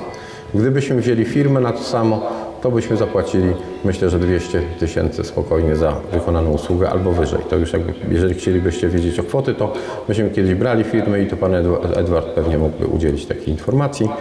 E, Jeśli chodzi o koszenie traw, ja wiem, że zawsze jest za późno i nie ma czasu, ale słuchajcie, mamy 30 hektarów do wykoszenia. I teraz jeżeli oni łatają dziury, no to nie koszą. Jeżeli y, przygotowują solankę do tężni, albo jak koszą, to nie przygotowują solanki do tężni. Staramy się działać sprawnie, ale czasami się nie da tych ludzi rozmnożyć, tym bardziej, że mieliśmy kryzys, jeśli chodzi o osoby chętne do pracy. Po prostu nie ma ludzi chętnych do pracy, naprawdę. A my płacimy, i to jest dobrze, będzie leciało w telewizji, a my, drodzy Państwo, i tu zwracam się do górowiaków, którzy chcieliby zmienić miejsce zatrudnienia, to płacimy zasadniczo lepiej od prywatnych, dlatego że u nas jest jeszcze dodatek stażowy. Jak ktoś 20 lat pracy ma, to ekstra dostaje jeszcze 20% do pensji. Także jesteśmy całkiem niezłym pracodawcą, tak się zareklamuję przy okazji. E, Robimy też takie rzeczy, jak zbieramy śmieci zalegające na terenach zielonych, chodnikach i jezdniach i to sygnały mieszkańców i sygnały państwa radnych i to staram się robić w miarę na bieżąco. E, Sprzątamy i naprawiamy wiaty, które znajdują się na terenie miasta i także przy szlaku Greenwello, targowisko. No, tych, tych, tych wiat też troszeczkę jest. E, Moi drodzy, dużo czasu zajmuje też e, wymiana uszkodzonych ławek, koszy na śmieci, znaków drogowych, studzienek, studni. Tego naprawdę jest codziennie bardzo, bardzo dużo. E, Koszenie trawy już wspominałem, przycinanie żywopłotów to też robią nasi ludzie. Tego sprzętu kupujemy coraz więcej, bo dzięki temu ta praca jest bardziej efektywna, ale ty, jakby, ogrom pracy jest duży. Nasadzenia kwiatów, drzew, krzewów, pielęgnacja, e, to też zajmuje trochę czasu. Do tego konserwujemy instalacje burzowe i udrażniamy sieci. Czasami to są naprawdę duże roboty, e, tak jak widzieliście na ulicy Przemysłowej, gdzie trzeba było dokonać kilkumetrowego wykopu, żeby udrożnić sieć. Odbieramy także popioły od mieszkańców miasta, żeby obniżyć koszty wywozu śmieci i to jest naprawdę bardzo duża, e, bardzo duża kwota pieniędzy nie, nie kosztuje nas w tym zakresie, tak? Zagospodarowanie e, odpadów. Warto o tym pamiętać to jest dużo pracy i też zajmuje dużo czasu. Opróżni- Opróżniamy także kompostowniki osiedlowe w okresie wiosenno-letnim. Moglibyśmy z tego zrezygnować, ale automatycznie cena śmieci pójdzie 2 zł do góry. I teraz pytanie, tak? Czy mają kosić i wtedy będzie szybciej? A wszystko niech sobie jedzie tam firmą i po prostu podniesiemy cenę śmieci. W okresie zimowym także odśnieżamy chodniki, schody, likwidujemy śliskość na chodnikach i wydaje mi się, że w miarę sprawnie to przebiega. E, Mniej uwag mamy, jeśli chodzi o odśnieżanie chodników niż odśnieżanie dróg, ale sami wiecie o tym, że odśnieżanie dróg też e, wiąże się z ogromnymi kosztami za maszyny, za, za, za wysypywanie soli, stąd jest to dysponowany sprzęt i sól w miarę rozważnie, żeby tego budżetu, bo można cały budżet wydać i, i tak ludzie będą niezadowoleni, więc staramy się znaleźć balans pomiędzy e, e, uśmiechem na twarzy pani skarbnik, a e, irytacją mieszkańców. To nie jest tak, że złośliwie nie wysyłamy e, ciągników i nie sypiemy piasku z solą. Natomiast no, możemy to robić w, w, w ramach ograniczonych środków. Staramy się robić to jak najbardziej racjonalnie. E, No oczywiście e, ci nasi pracownicy są nieustannie potrzebni w szkołach, w MOPS-ie, w ośrodku kultury, w przedszkolu, w ZGM, e, bo ostatecznie jak ktoś ma jakiś kłopot, to się zwraca do nas i staramy się pomagać w miarę możliwości. Pomagamy także mieszkańcom, tak, jeżeli potrzebują oddać jakieś śmieci wielkogabarytowe. Nie robimy tak jak inne gminy, że każdy sobie musi zawieźć sam Wystarczy telefon i też, też to robimy. Zresztą często Państwo radni się też zwracają do nas z prośbą o takie działania. No, zbieranie, to, zbieranie gabarytów to właśnie wspomniałem. E, Tych naprawiamy mostki i konserwujemy je. Też robimy to sami, bo to jest znacznie taniej niż zlecenie e, e, tego fi- firmie. Odbiór gruzu po remontach. No też tak robimy, chociaż można by zmuszać mieszkańców do tego, żeby płacili za osobne koleby, ale praktyka pokazuje, że lepiej jest odebrać, e, szczególnie przy drobnych remontach, bo i tak każdy to wyrzuci pod śmietnik, mamy większy kłopot. Więc spokojnie odbieramy. Ale to też powoduje angażowanie naszych mieszkańców. Przycinanie gałęzi, wycinanie drzew. Zwykle wycinamy uszkodzone drzewa albo takie, które zagrażają mieszkańcom, bardzo często na ich wniosek. Nie mamy na mieście tak zwanych wycinek, bo z widzimisię. Każda, każda wycinka jest przemyślana, e, przechodzi przez odpowiednie zgody organów. Nam tą zgodę wydaje starostwo. E, No i tak, tak, żeby tutaj była wiedza. Jeśli chodzi o, o wykorzystanie tego drzewa, e, to przekazujemy większość do osób wskazanych przez Miejski Ośrodek Pomocy Społecznej, żeby obniżyć im koszty ogrzewania. Stąd to jest to, co mówiłem przy okazji sprawozdania, że gdy wejdzie ustawa i uchwała naszego województwa odnośnie zakazu palenia drzewem, to tego nie będziemy mogli robić. I szczerze mówiąc, nie bardzo sobie wyobrażam, jak to rozwiązać na dzisiaj. Stąd bardzo pilnie uczestniczę w tych pracach. Bo po pierwsze potrzebne jest wydłużenie tego czasu trochę, a po drugie potrzebne są jakieś systemowe rozwiązania, bo wymienienie wszystkim na piece gazowe z dofinansowaniem, no potencjalnie jest to możliwe, ale wyobraźcie sobie, że przy- no, znacie wielu mieszkańców, którzy nie będą w stanie, powiem kolokwialnie, jakby ogarnąć tego tematu, trzeba będzie im pomóc, a do tego potem trzeba jeszcze zapłacić rachunki za gaz, a gazu już z miasta e, interwencja nie przywiezie. Trzeba będzie płacić faktury i będzie to duży problem społeczny. Zresztą nie tylko w Górowie, tak? Nie tylko w mieście Górowo, i w gminie, i w Bartoszycach. E, Pracujemy nad tym. E, Oczyszczamy oczywiście też rzekę Młynów, Młynówkę i dopływy stawu gancarskiego z gałęzi i innych odpadów. E, No place zabaw to wiadomo, tak? To nasze zadanie jest. E, Wyrównujemy pobocze. W zeszłym roku było wyrównywanie na ulicy Podleś- Podleśnej. Wykorzystaliśmy tam fres asfaltowy z budowy 512. No i prace gospodarcze na naszych dwóch cmentarzach komunalnych. Ustawienie betonowych donic. Starałem się wypisać te wszystkie prace, które gdzieś tam utkwiły w pamięci, bo ich było znacznie więcej, słuchajcie. E, Konserwacja tamy na terenie kąpieliska, czyszczenie, uzupełnianie ubytków ziemnych w tanie, malowanie, przełożenie, przekładanie polbruku, bo to trzeba było wykonać. E, Naprawiliśmy także siatkę ogrodzeniową przy orlikach na stadionie i na cmentarzach. E, Uzupełniana była brakująca trylinka na skrzyżowaniu przy ulicy Przemysłowej i ulicy Mickiewicza. No i tak naprawdę te wszystkie interwencje, które i radni, i mieszkańcy kierują do nas, to prosimy o pomoc naszych, naszą interwencję. W zeszłym roku największym zadaniem było przygotowywanie inwestycji, które rozpoczną się w tym roku. Natomiast przy okazji wykonaliśmy sporo takich drobnych rzeczy, które trzeba było wykonać. Drobna przebudowa ulicy Słowackiego, przebudowa sieci kablowej przy ulicy Wojska Polskiego. E, Musieliśmy dokonać modernizacji zapór ziemnych na Zalewie Miejskim. E, Mieliśmy kontrolę pięcioletnią tamy. Ona była dosyć kosztowna.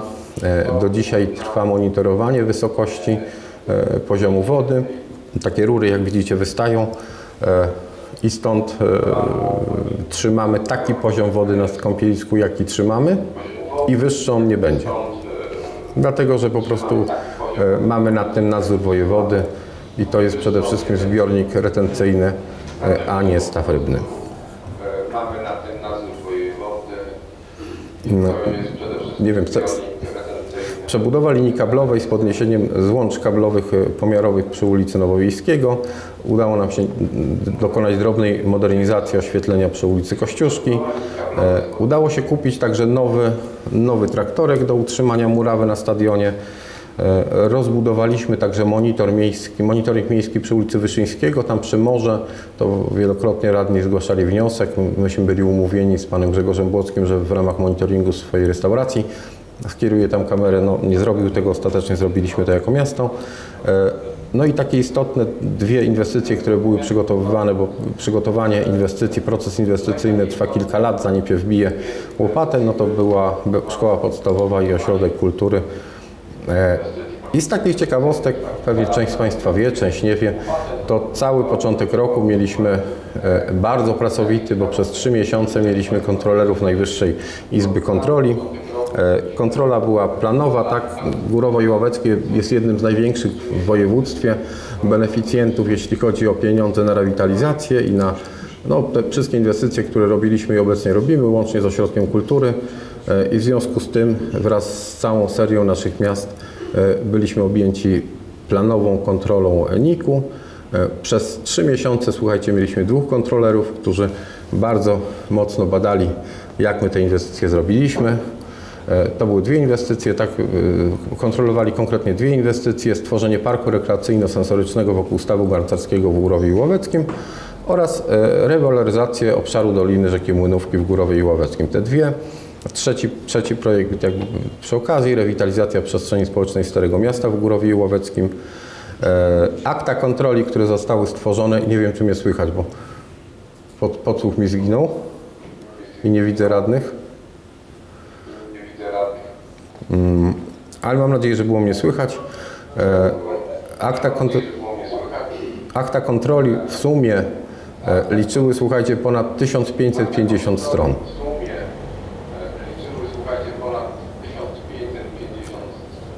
a kontrolowana, kontrolowana kwota inwestycji to było prawie 10 milionów złotych. Bardzo nas cieszyło, bo ostatecznie e, Najwyższa Izba Kontroli nie sformułowała żadnych uwag ani wniosków, czyli oceniła naszą działalność e, pozytywnie. E, Takie zaskoczenie dla kontrolerów Regionalnej Izby, Najwyższej Izby Kontroli był fakt, że w naszym urzędzie wówczas pracowało 14 pracowników, teraz jak wiecie o dwie osoby więcej jest, a państwa radnych jest 15. To tak w ramach anegdoty.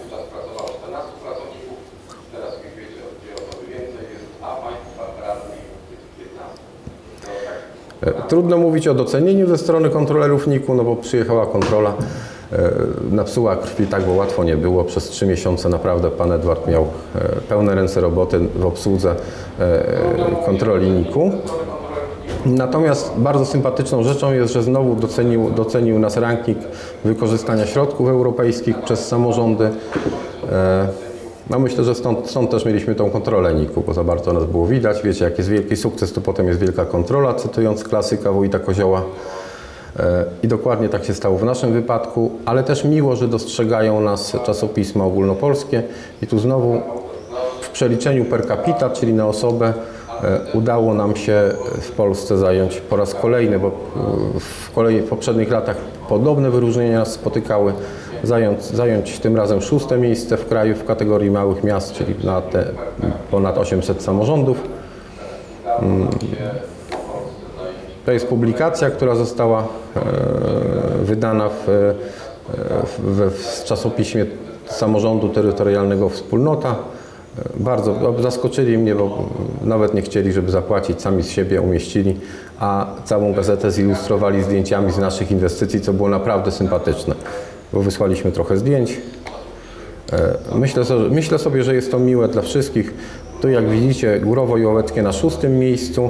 E, Na osobę pozyskane środki unijne to jest 4245 zł 45 groszy. To jak widzicie nad nami jest Uniejów, Świeradów Zdrów, pod nami Szczucin, Wieleń, e, Nowy Korczyn, Zagórz to są duże zamożne gminy. My jesteśmy w tym gronie najmniejszą gminą na pewno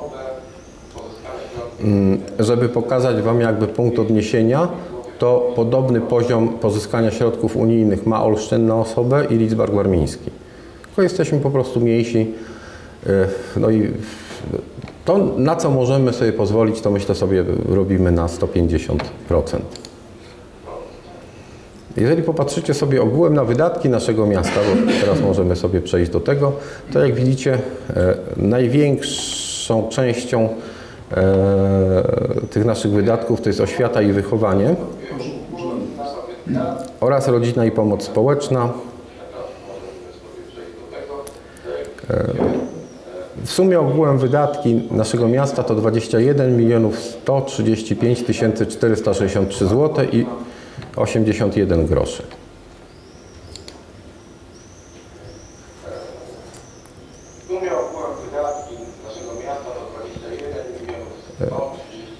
W zeszłym roku inwestycje robiliśmy bardzo skromne, natomiast e, jeżeli popatrzycie sobie, to tak naprawdę została nam nadwyżka budżetowa w wysokości prawie 3,5 miliona złotych.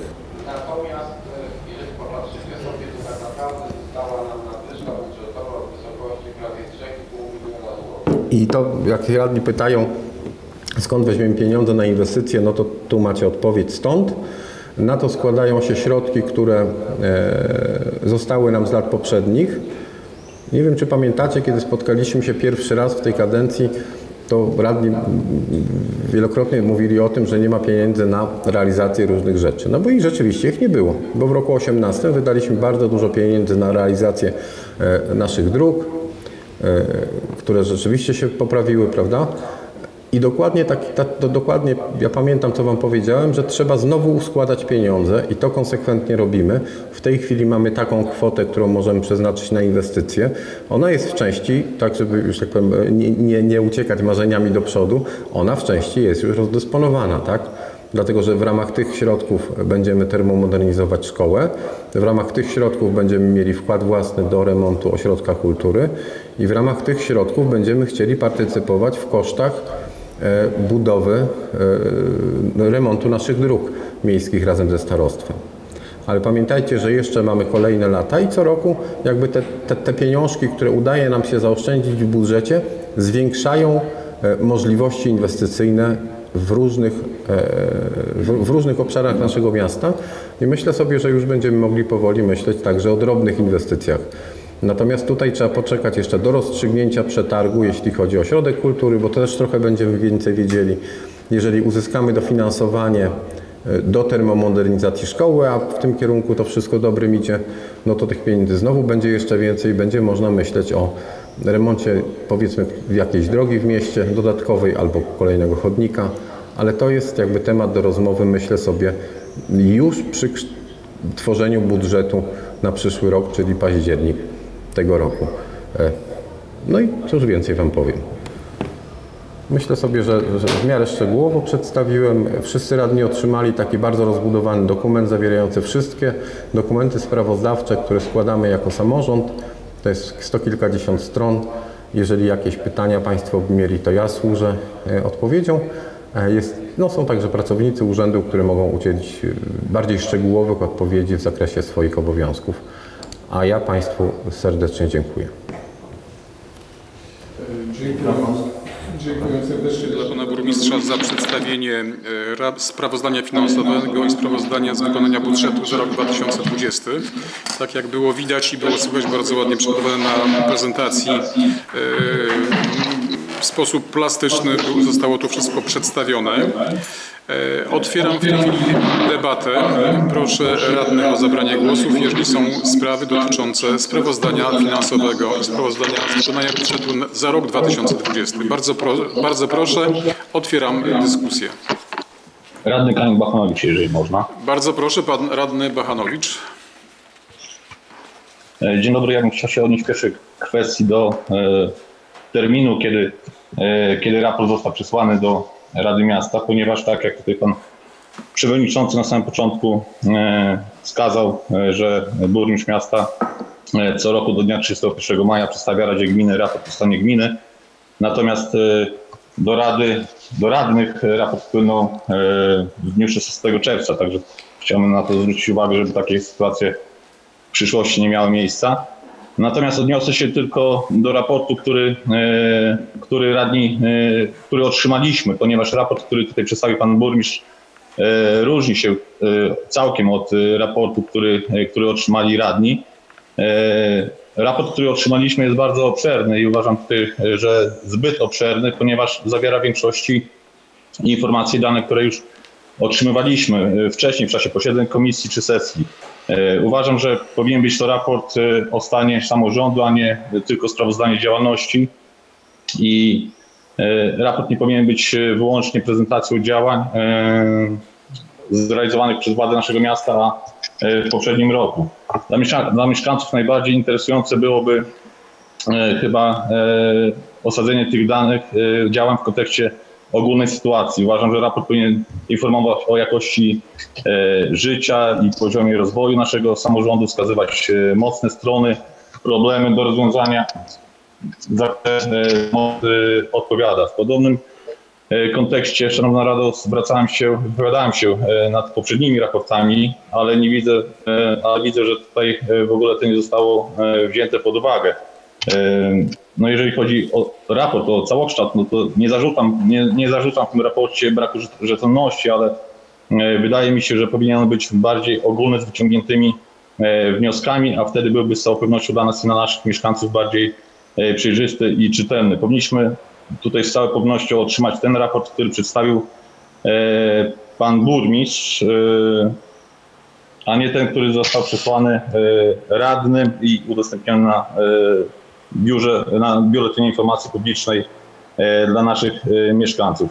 To tyle, jeżeli chodzi o część techniczną, natomiast do tego raportu, który przedstawił pan burmistrz, tutaj nie ma większych uwag. E, Dziękuję bardzo. Dziękuję bardzo. Bardzo proszę o zadawanie pytań, zajmowanie stanowiska. Łukasz Łukianowicz, jeżeli można. E, Proszę bardzo, łączy się pan radny Łukianowicz. Proszę mówić. Nie widać pana Ja jeszcze. zgadzam. Zgadzam się z radnym Kamilem Bachanowiczem. Otrzymaliśmy zupełnie inny raport i ten, który przedstawił pan burmistrz jest bardziej zwięzły, na pewno bardziej czytelny i dla radnych, i dla mieszkańców. Myślę, że w taki sposób powinniśmy bardziej otrzymywać te raporty. Natomiast ten, który otrzymaliśmy, no, no jest to zlepek różnego rodzaju sprawozdań, które już radni widzieli, głosowali nad nimi. Y, Mam wrażenie też, że y, no, trochę nierzetelnie ten, który my otrzymaliśmy, jest przygotowany, bo jak czytam na wstępie, jest list do mieszkańców, gdzie pisze się, przedkładam pierwszy raport. Oznacza to, że nie, nie została dokonana jakaś aktualizacja poprzedniego raportu, tylko na zasadzie wytnij wklej zostało to zrobione. E, Również, e, no, tak jak mówił wcześniej pan radny Bochanowicz, e, raport jest bardzo obszerny, zawiera 176 stron, natomiast spis treści, który jest tam robiony, no, nie zawiera nawet numeracji, tak? Także trzeba po całym tym dokumencie jakby, że tak powiem, latać i szukać poszczególnych punktów. Nie wiem, mówię, jak ten raport został przygotowany, że, że, że nie posiada tej numeracji. Sprawdziłem w poprzednich latach, również nie posiada tej numeracji. Może to są błahe rzeczy, no ale jeżeli mieszkańcy otrzymują tak duży raport, no, no, no trudno, żeby po tych tabelkach tam skakać i, i, i szukać i szukać czegokolwiek, tak, bo jest mało czytelny, tak, trudno wyciągnąć jakieś wnioski, y, jaki mamy plan działania na, na, na przyszłe lata, tak, także mówię, że tak jest za bardzo obszerny i mam wrażenie, że na zasadzie wytnij wklej zrobiony y, z poprzednich lat. Y, Co jeszcze, jako uwaga, tak jak powiedział pan ra- radny Bachanowicz, y, moim zdaniem za późno otrzymaliśmy g- jako radni ten raport i również uważam, że mieszkańcy też mieli pewnie późno, nie wiem kiedy on tam na BIP-ie został umieszczony, bo sprawdzałem, jest już na BIP-ie, tak? Ale mi się wydaje, że to jest zbyt późno. Nie wiem, jaki, jaki to jest problem dać ten raport na przykład nawet w połowie maja, tak? Yy, mieszkańcy i radni byli mi możliwość zapoznania się wcześniej z tym raportem, tym bardziej, że tak jak powiedziałem, jest bardzo obszerny i nie byłoby żadnego problemu, nie, nie musielibyśmy o tym wspominać, tak? Myślę, że zabrakło też yy, jakby zachęcenia mieszkańców do udziału w, w, w debacie dzisiejszej, zachęcenia do, do przeczytania tego raportu, tak? Bo no, no nie było takich informacji chociażby na BIP-ie, tak? Myślę, że warto to umieścić, żeby mieszkańcy mogli zapoznać się z tym raportem. No i nie tak obszernym, tak? Bo jeżeli się zobaczy tyle wykresów księgowych, raportów, także mieszkańcy na pewno się zniechęcą, bo, bo i część radnych, między innymi ja się zniechęciłem do, do, do przeglądania tego, tak? To jest, y, jeżeli chodzi o sam dokument, natomiast co do debaty nad stanem gminy, Trochę jestem rozczarowany, że nawet i sami radni dosyć słabo uczestniczą w tej debacie. Nie wiem, czy w tej gminie jest tak dobrze, jak pan burmistrz przedstawił, że, że nie ma o czym rozmawiać i nie ma nad czym debatować. No ja śmiem twierdzić, że jest trochę inaczej. E, Inwestycje, owszem, które pan pokazywał, burmistrz, e, one właściwie tam było pokazane w poprzedniej kadencji były wykonane, tak? Bo w poprzedniej kadencji nie ukrywam, sporo zostało zrobione. Natomiast ja przypominam, że raport, na którym debatujemy, jest, dotyczy roku 2020, tak? I tak się zastanawiam, co zostało zrobione w ogóle nawet w tej kadencji, już nie tylko w 2020 roku, no to śmiem twierdzić, że, że niewiele, tak? Y, Chodzi mi po głowie za zeszły rok y, zakup tego nieszczęsnego już samochodu służbowego, w który nie wiem do czego ma służyć. W dobie pandemii my kupujemy samochód, nie wiem, pewnie większość mieszkańców nawet nie wie o tym, że taki samochód został zakupiony. Y, Miało być to jakaś oszczędność, y, y, bo mieliśmy już wcześniej samochód tak starszego typu, teraz jeżdżą dwa samochody, także nie wiem jaka jest tego oszczędność, musieliśmy aż ten tak samochód teraz kupywać w dobie pandemii. Nie rozumiem tego zakupu i, i chyba nie zrozumie do, do, do, do końca kadencji, i nawet dłużej. Druga rzecz, która mnie bulwersuje, to e, zieleń, czystość i estetyka miasta. No jeżeli pozostali radni są zadowoleni z estetyki miasta i z czystości, no, no to ja nie wiem, może tylko ja widzę, że, że coś jest nie tak, no nie wiem. Dla mnie ta estetyka to jest, to jest porażka. Y, Nieskoszona trawa. Ja rozumiem, że nie ma pracowników, no ale no, no to, to, to, to będziemy teraz 10-15 lat y, żyli jakby w takim stanie takiej nieczystości tego miasta, dlatego że nie ma pracowników. No musimy coś zrobić. No, no nie mam, no, no to brak mi słów na to wszystko jest. Mamy sześciu pracowników, tak, nam się mówi, może teraz już więcej, nie dajemy rady, no, no i taka jest rozmowa w chwili obecnej, tak. A mieszkańcy się skarżą, ja sam zresztą jak idę y, miastem, to widzę. Trawa, jeżeli już skoszona, mówię teraz na przykład o stawie garncarskim, jeżeli już skoszona, niezagrabiona, wala się, że tak powiem, to siano po chodnikach, przy drzewkach niepodokaszane. Yy, Także no i co z tej inwestycji? Jest inwestycja bardzo dobra, nieraz ją chwaliłem, tylko co z tego, jak jest niezadbana? Także myślę, że te inwestycje, które zrobiliśmy, powinniśmy też o nie zadbać, tak? Zadbać o tą zieleń. W innych miastach, jak się przejeżdża, czy jakieś klomby, są kwiaty. U nas postawiliśmy klomby, czy tam jakieś dojnice koło na przykład yy, o Jezu, mm, piekarni, tak, stoją tam dojnice, ale co z tego, jak, jak są zaniedbane, tak. Troszeczkę tam kwiatów się posadziło wokół y, placu ratuszowego, a co z, z miastem, y, z dalszym obszarem miasta, tak. Klomby, które były jeszcze bodajże róże posadzone za czasów jeszcze y, bodajże poprzedniego burmistrza pana Bubeły do dnia dzisiejszego rosną, nic z tym nie zostało zrobione. Chodniki pozarastane, nie wiem, mieszkańcy wspominali też o wiacie na dworcu. Ja rozumiem, że to nie jest nasz teren, to bo już tam było to wspominane, tylko teren y, dworca, y, teren PKP. No ale to znaczy, że co? Że teraz 15 lat będziemy z tym jednym, z tą jedną wiatą, ona tam będzie stała i, i już nie postawimy nowych. No nawet jeżeli na, nie nasz teren, powinniśmy podyskutować jako radni, czy, czy z panem burmistrzem i, i, i, i tą wiatę postawić nawet nie na naszym terenie, tak? Monitoring miejski, następna sprawa. No jeżeli się słyszy co chwilę, że, że młodzież wnosi ławki, młodzież gdzieś tam brudzi, czy no może nie tylko młodzież, może źle powiedziałem. I nikt tego nie widzi, no to do czego ten monitoring jest? Kto to kontroluje w ogóle? Czy nie można jakiegoś pracownika, nie wiem, wziąć nawet i za to, co my płacimy teraz ratę za leasing samochodu, wziąć i na przykład zatrudnić na te 2-3 godziny jakiegoś pracownika, który by to przejrzał. A my cieszymy się tak, że kiedyś tam zrobiliśmy, no dobrze, że zrobiliśmy, na pewno nikt tego nie neguje, zrobiliśmy stadion, zrobiliśmy y, staw garncarski, zrobimy pewnie jeszcze kilka tych, tych inwestycji. O, na przykład na ulicy Zwycięstwa też zostały, nie powiem, w poprzedniej kadencji zrobione, zrobione inwestycje, tylko my mówmy o, o tej kadencji, o tych latach ostatnich. Co my zrobiliśmy oprócz, nie wiem, mówiłem już, trzech, czterech podwyżek y, za wywóz śmieci, tak? Wspomnę jeszcze też o, o uchwałach na bezczynność burmistrza, która była w zeszłym roku. Z tego co mi wiadomo, była jedna. W tym roku była kolejna. I co z tego? Tylko tyle, że, że, że podjęliśmy taką uchwałę, żadnych konsekwencji, nikt na to nie zwraca uwagi. I co z tego wynika? Nic. Także ja jestem porażony estetyką miasta. Do tego y, były różne pomysły, chociażby i moje, zasłyszane od mieszkańców, żeby tę estetykę poprawiać. Y, Na przykład y, fontanna na stawie garncarskim. Nie byłby to, myślę, duży koszt. Napowietrzyłaby się woda, nie trzeba by było tych strażaków wysyłać w celu napowietrzenia tej wody. Był pomysł podświetlenia wyspy na stawie garncarskim. To oczywiście też wszyscy zniechęceni, bo trzeba kable ciągnąć, co jest nieprawdą, bo można przecież zrobić lampy solarne, tak?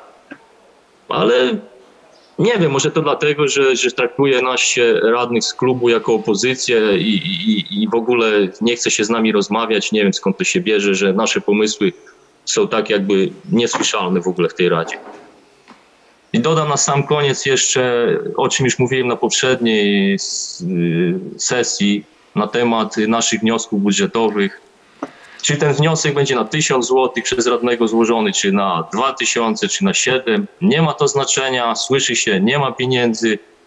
Yy, Albo ewentualnie, jak ja usłyszałem, niech pan radny wskaże, skąd wziąć pieniądze na inwestycję pana, czyli moją, którą tam złożyłem, powiedzmy, drobną, dodam, tak, na 7 tysięcy złotych. Natomiast jeżeli trzeba pół miliona, na co ostatnio były dane pieniądze na, na, na chodnik na obrzeżach miasta, nie ma problemu, znajdują się, nie wiadomo skąd, cudownym chyba rozmnożeniem. Także ja jestem nie tylko zeszłym rokiem, ale i w ogóle tą kadencją porażony. Także dziękuję, tyle miałem do powiedzenia na temat raportu i stanu gmin. Dziękuję. Dziękuję bardzo. Kto jeszcze chciałby zabrać głos? Radna Alina Wierzbowska, mogę?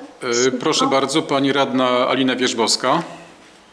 E, Panie radny Łukianowicz, nie zgadzam się z panem, że pozostali y, radni są zadowoleni ze stanu, jaki obecnie y, panuje w naszym mieście.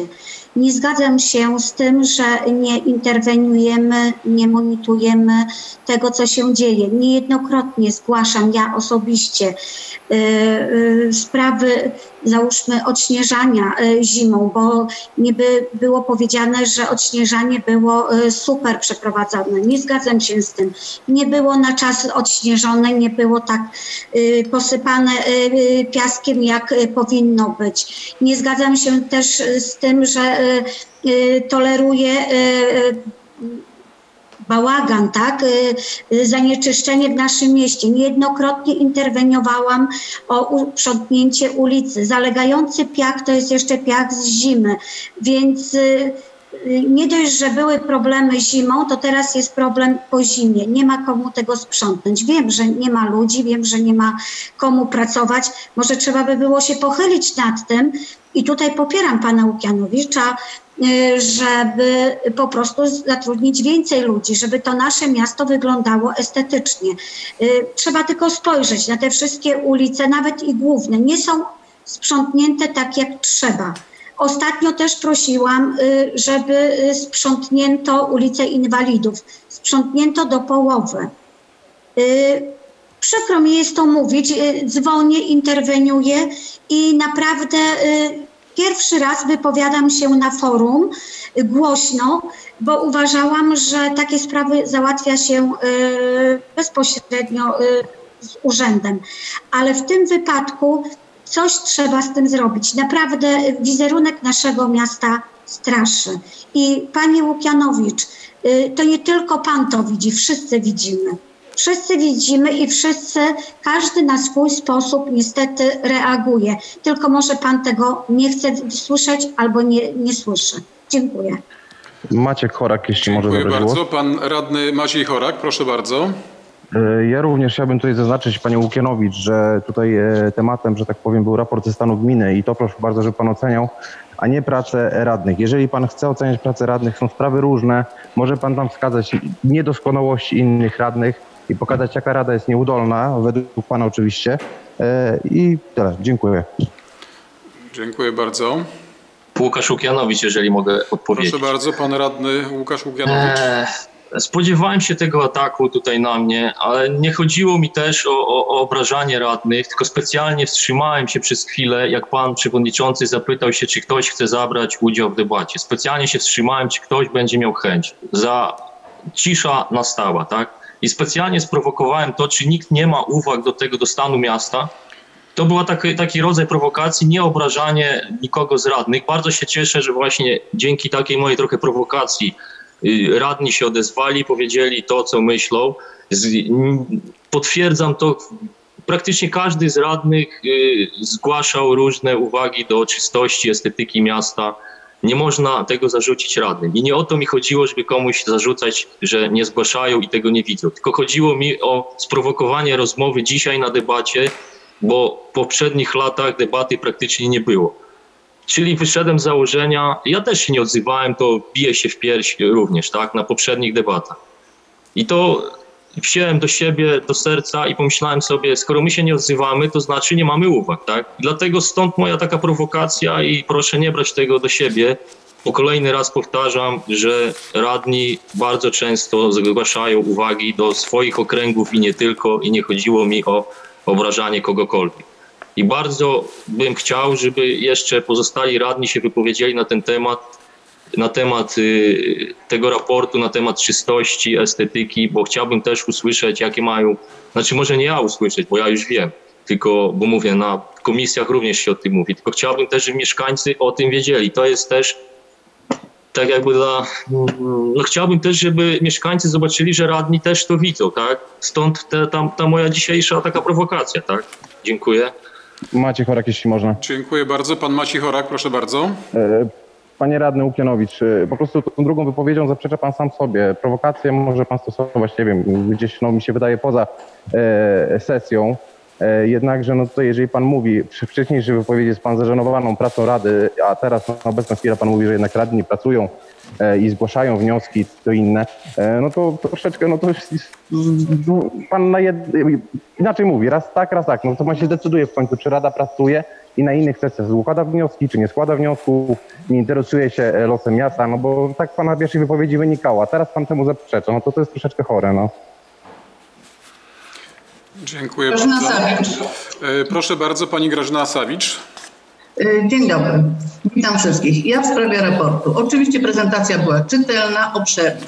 Ważne jest to, że wydatki były realizowane zgodnie z planem finansowym. Budżet się zamknął z nadwyżką i to trzeba wszystkim oczywiście mieszkańcom powiedzieć. Natomiast porządki to już na y, wnioski ostateczne. Tak? Na koniec y, spotkania. O tak, dziękuję. Dziękuję bardzo. E, Jeszcze ja może zabiorę tutaj głos odnoś, też w sprawie raportu. Przeglądając te materiały, e, natknąłem się tutaj na informacje o stanie mienia komunalnego gminy miejskiej. I tutaj jest bardzo szczegółowa tabelka. Mamy obszar miasta, to jest 330 hektarów. E, Ale tutaj nie o tym chcę powiedzieć. W tej tabelce są tereny kolejowe. Tych terenów kolejowych jest 7 hektarów i do miasta nic nie należy. Wiadomo, że są to tereny kolejowe, więc należą do kolei. Kolej na pewno już do nas już nie wróci, bo tory są już zdjęte. Mało tego, zerwany jest most, rozebrany jest most, który, który tutaj łączył jeszcze nie, nieda- niedawno nasz nasyp kolejowy z dalszą częścią Polski.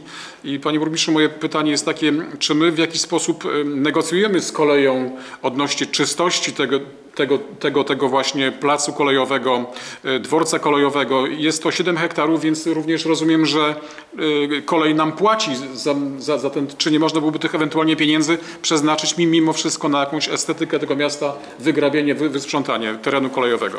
Dziękuję. Proszę bardzo, pan burmistrz. Przewodniczący wezwał mnie do głosu. E, To nie jest tak, szanowni państwo radni, że my... No, o. Dobra. Będę, będę mówił do komputera pana przewodniczącego. To nie jest, moi drodzy, tak, że my nie widzimy na poziomie urzędu, że mamy kłopot, jeśli chodzi o tempo wykonywania prac gospodarczych. To jest problem, który się pojawił trochę w zeszłym roku mocniej. W tym roku widzimy go bardzo mocno. A teraz? A teraz? Ale w ogóle mnie nie słychać? Może słabo. A, no to po prostu się... Nie mogę, dlatego że na moim komputerze się sprzęga. Muszę korzystać z komputera pana... Czy teraz dobrze słychać? Tak, teraz Okej. E, To nie jest tak, że my nie widzimy tego problemu i tak nie przypadkiem w raporcie gminy mieliście zakres prac, którą wykonują ci ludzie. Zwiększamy w tej chwili zatrudnienie, ale zwróćcie uwagę, że nadwyżka budżetowa, którą mamy na inwestycje, nie wzięła się znikąd. Jeżeli dotrudnimy kolejnych pracowników, to po prostu ta nadwyżka będzie mniejsza. I tak zdajemy sobie sprawę z tego, że trzeba to zrobić. Mówię, dzisiaj przyjęliśmy kolejną osobę do pracy, po prostu. Z uprawnieniami na ciągnik, także te prace ruszą szybciej. Dotychczas staraliśmy się te zadania realizować jak najtaniej.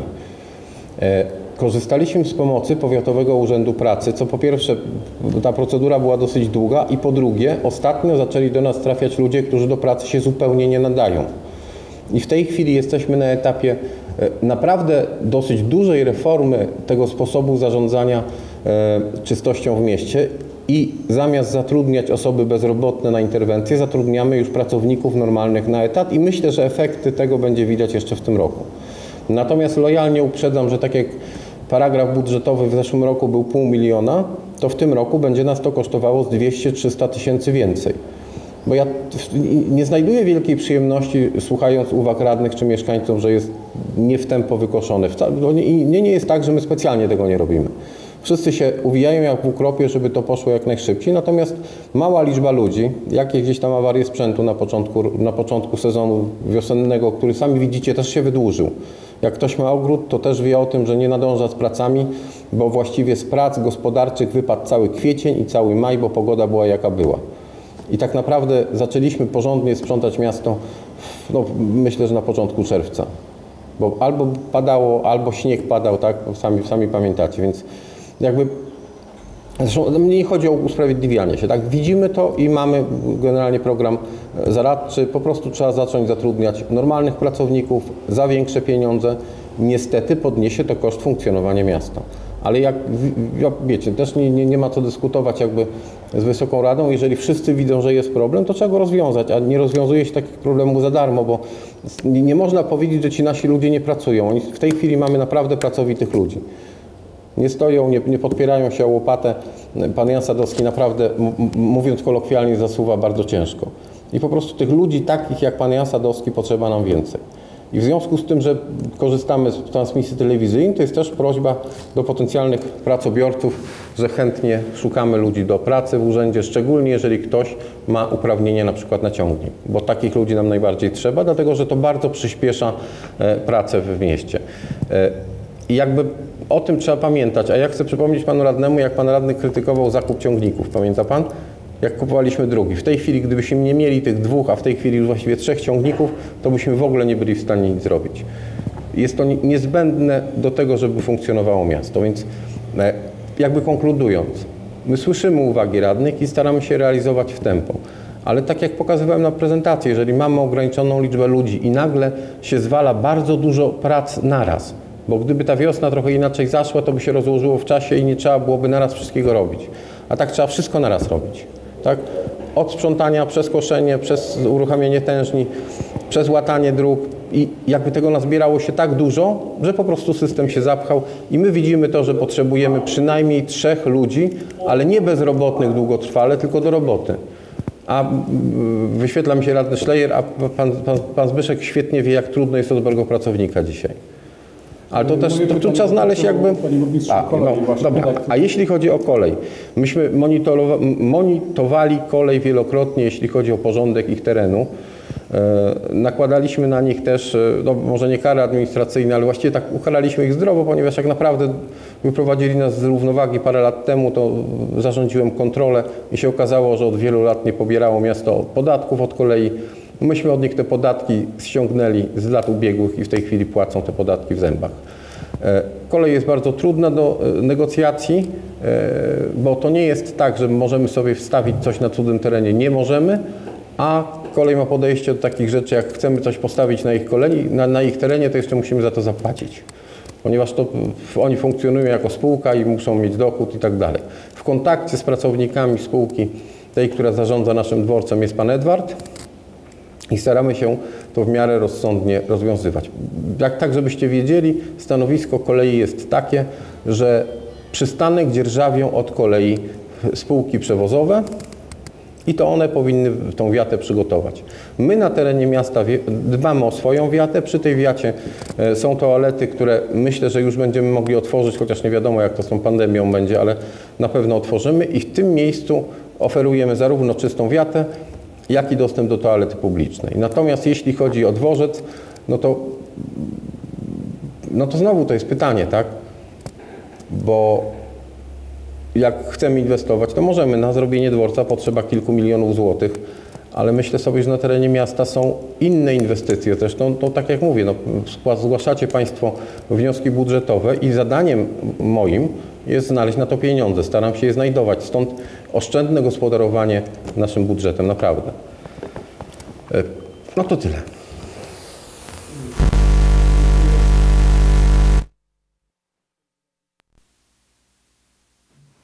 Radny Narkiewicz chciałbym. E, Bardzo proszę, pan radny Narkiewicz, bardzo proszę. Momencik, tylko kamerkę uruchomię. Proszę mówić. E, Ja chciałbym na początku przywitać całą Radę, e, życzyć nam owocnej współpracy, e, myślę nawet takiej ponad podziałami, takiej, która będzie, która będzie ukierunkowana na, na, na polepszenie warunków życia w naszym mieście. Chciałbym już podziękować tym wyborcom, którzy mi zaufali i oddali na mnie głosy, dzięki czemu mogę tutaj dzisiaj z Państwem być. Mm, Kwestia tych wszystkich e, projektów, które pan burmistrz był e, łaskaw nam e, pokazać w tym, w, tym, mm, w tym biuletynie, który nas umieścił bardzo wysoko w Polsce. Myślę, że trzeba się cieszyć z tej, że tak powiem, z tego miejsca. Problem mam tylko z taki, mówię, ja dzisiaj jestem pierwszy raz, więc ja dużo mogę powiedzieć z poziomu mieszkańca, z poziomu kogoś, kto chodził ulicami miasta, kto widział to wszystko. Inwestycje fajne, mm, ładnie wyglądają na zdjęciach, tym, tym bardziej takich z lotu ptaka, z drona. tylko że wystarczy zejść na poziom właśnie tej inwestycji i mam tak, taki problem, taką uwagę, że nasze inwestycje są fajne, ale ciągle brakuje im takiej perfekcyjnej, perfekcyjnego wy- wykonania. Y, Na każdej inwestycji można znaleźć coś, co nie działa, co nie zostało do końca zrobione, co się zepsuło.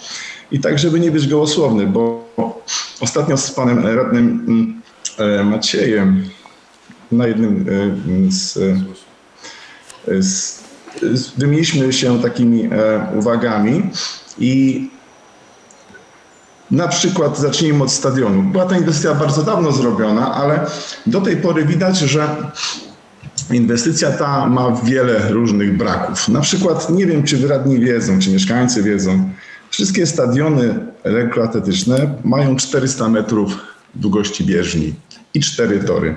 Nie wiem dlaczego, kto zaplanował, kto wymyślił, żeby nasz stadion miał trzy tory i tylko 375 metrów długości. Mówię to teraz z poziomu nauczyciela wychowania fizycznego. E, Na tym stadionie w naszym mieście można by co roku sprowadzić kilkadziesiąt szkół na y, finały trójboju, czwórboju czy zawodów lekkoatletycznych wojewódzkich. Niestety nie jest to możliwe, ze względu na to, że nasz stadion nie, nie ma warunków do tego. Nowa inwestycja, fajna inwestycja, potrzebna jak najbardziej. Niestety się nie da. Już ze, ze świętej pamięci prezesem y, y, Warmińsko-Polskiego y, Związku Sportowego, panem Wacławem Wasielą, był taki temat i on chciał tu zrobić tak, taką imprezę. Niestety no, nie dało się, więc nie wiem, kto zaplanował tak krótką bieżnię. E, Dalej, e, jakość. e, Zieleń wokół, wokół, e, e, wokół stadionu. No, ta trawa wygląda tak, jakbyśmy żyli w jakimś ultratropikalnym e, miejscu na Ziemi. M, Więcej piasku niż zieleni. E, Kolejna inwestycja, fajna, jak najbardziej potrzebna, e, staw nasz miejski. Te ścieżki dookoła bardzo potrzebne, sam korzystam. Tylko dlaczego nie zaczniemy, nie zaczęliśmy inwestycji od wody? Już teraz widać, że woda jest zielona, za chwilę będzie brzydko pachnieć i nawet jeśli, jeśli uruchomimy tą tężnię, to myślę, że słabo będzie posiedzieć i wdychać raczej zapach do, do, z wody niż e, z tej solanki, która będzie przez tą tężnię przepływać. Nie wspominam już o rybach, e, które mają tam słabe warunki do, do, do, życia i znowu skończy się tym, że będziemy workami te ryby ze stawu e, wywozić. Wiem, na pewno padnie taki argument, że żeby zmienić warunki e, wody, trzeba kilka milionów, żeby tą wodę e, wymienić, e, wybrać muł. Tylko, że zrobiliśmy piękne inwestycje dookoła teraz nikt jej już nie zniszczy, żeby wjechać maszynami i spuścić tą wodę i, i, i zrobić porządek. Py- Pytanie brzmi, dlaczego nie robimy inwestycji od początku do końca, tylko robimy je tak, to jest moje zdanie, moje wrażenie, żeby wyglądało. Wjeżdżamy do miasta, inwestycja piękna, tak? E, Staw dookoła, pięknie. S- y, Temat fontanny. Temat fontanny był poruszany, bo śledzę na bieżąco e, e, komisję i sesję. Był już, e, była nawet chyba obietnica ze strony tutaj urzędu, że taka fontanna powstanie. Nie jest to okrutny koszt. W Badroszczycach taki staw również istnieje i fontanna spełnia e, bardzo ważną rolę estetyczną, jak również e, jeśli chodzi o, o życie w wodzie. E, Kolejny problem, jaki widzę przy, przy stawie garncarskim, e, kanalizacja. Przy bardzo dużych, przy bardzo dużych opadach studzienki się przepełniają i wylewają się nieczystości z tych studzienek. Czy nikt nie potrafił przewidzieć, że w naszym mieście mogą się zdarzyć ulewy i taki problem będzie? Mówię, inwestycje fajne, inwestycje potrzebne, tylko dlaczego ciągle coś jest nie tak z nimi? E, Ostatnio zwróciłem uwagę na ulicy Sikorskiego, e, awaria jakiejś tam rury, nie wiem, nie, nie, nie znam szczegółów, a ta inwestycja chyba ma dwa lata dopiero. Tam były nowe rury kładzione, więc znowu coś zostało źle zrobione, czy jakiś przypadek, nie wiem, nie, nie, nie, nie znam szczegółów. I e, odnośnie inwestycji kolejnej, którą pan e, burmistrz tutaj zapowiedział, budowę placu zabaw i siłowni terenowej e, w parku. Czy taka, ten projekt, czy będzie konsultowany właśnie z Radą, czy będzie do wyglądu zanim powstanie, czy to będzie znowu pomysł po prostu tutaj urzędu i mm, będziemy musieli się cieszyć z tego, że on powstał, bez, e, bez względu na to, jak on będzie wyglądał. Moje pytanie również, co z tortem i tenisowym i skateparkiem? Czy on będzie również, e, czy projekt będzie również e, rozszerzony o te dwa miejsca, ponieważ no, na korcie to już trawa rośnie, nie da się w ogóle grać, a na skatepark chyba już zupełnie, że tak powiem, e, podupadł. Także mówię, no, nie sztuką jest, nie sztuką jest e, narzekać, tak? Trzeba się cieszyć e, z inwestycji, one są potrzebne i nasze miasto ma wiele jeszcze potrzeb inwestycyjnych. Tylko moja taka uwaga, niech to będą inwestycje zrobione z głową od początku do końca, żeby cieszyły, a nie tak jak teraz rozmawiamy, że zamiast cieszyć się e, stawem i ścieżką, to narzekamy, że jest brudno, tak? Już nie wspomnę o wiacie nad stawem, która służy tam do picia alkoholu niestety i czasami dzieci boją się tędy przychodzić. Mamy kamery dookoła, nie wiem dlaczego nie jest to w sposób kontrolowany. Także raz jeszcze mówię, ważne inwestycje, potrzebne inwestycje, musimy się rozwijać ale mówię, niech to będą inwestycje takie z głową robione. I jeszcze jedna moja taka uwaga odnośnie tężni. Tam na poprzedniej sesji pan Drymuch powiedział, że 20 tysięcy potrzeba na solankę, że jest to duży koszt na razie. Moje pytanie brzmi, po co na inwestycja, skoro nie, nie, nie stać nas na jej utrzymanie? Stworzyć coś, żeby tylko było, no skoro nas nie stać, nie twórzmy danej inwestycji, tak? Te pieniążki możemy prze, przeznaczyć na inne potrzeby, których w mieście jest bardzo dużo. Także raz jeszcze um, fajne inwestycje, tylko mówię, mam uwagi co do ich e, jakości wykonania. I dziękuję bardzo. E, dziękuję bardzo. Chciałby się ustosunkować do wypowiedzi pan burmistrz. Bardzo proszę. Dobra, nie wiem czy mnie słychać, mam nadzieję, że tak. E, postaram się po kolei. Pan radny poruszył dużo spraw. Jeśli chodzi o bieżnię e, lekkoatletyczną na stadionie, e, to projekt powstawał jeszcze bodajże w roku 2008, kiedy nie byłem burmistrzem.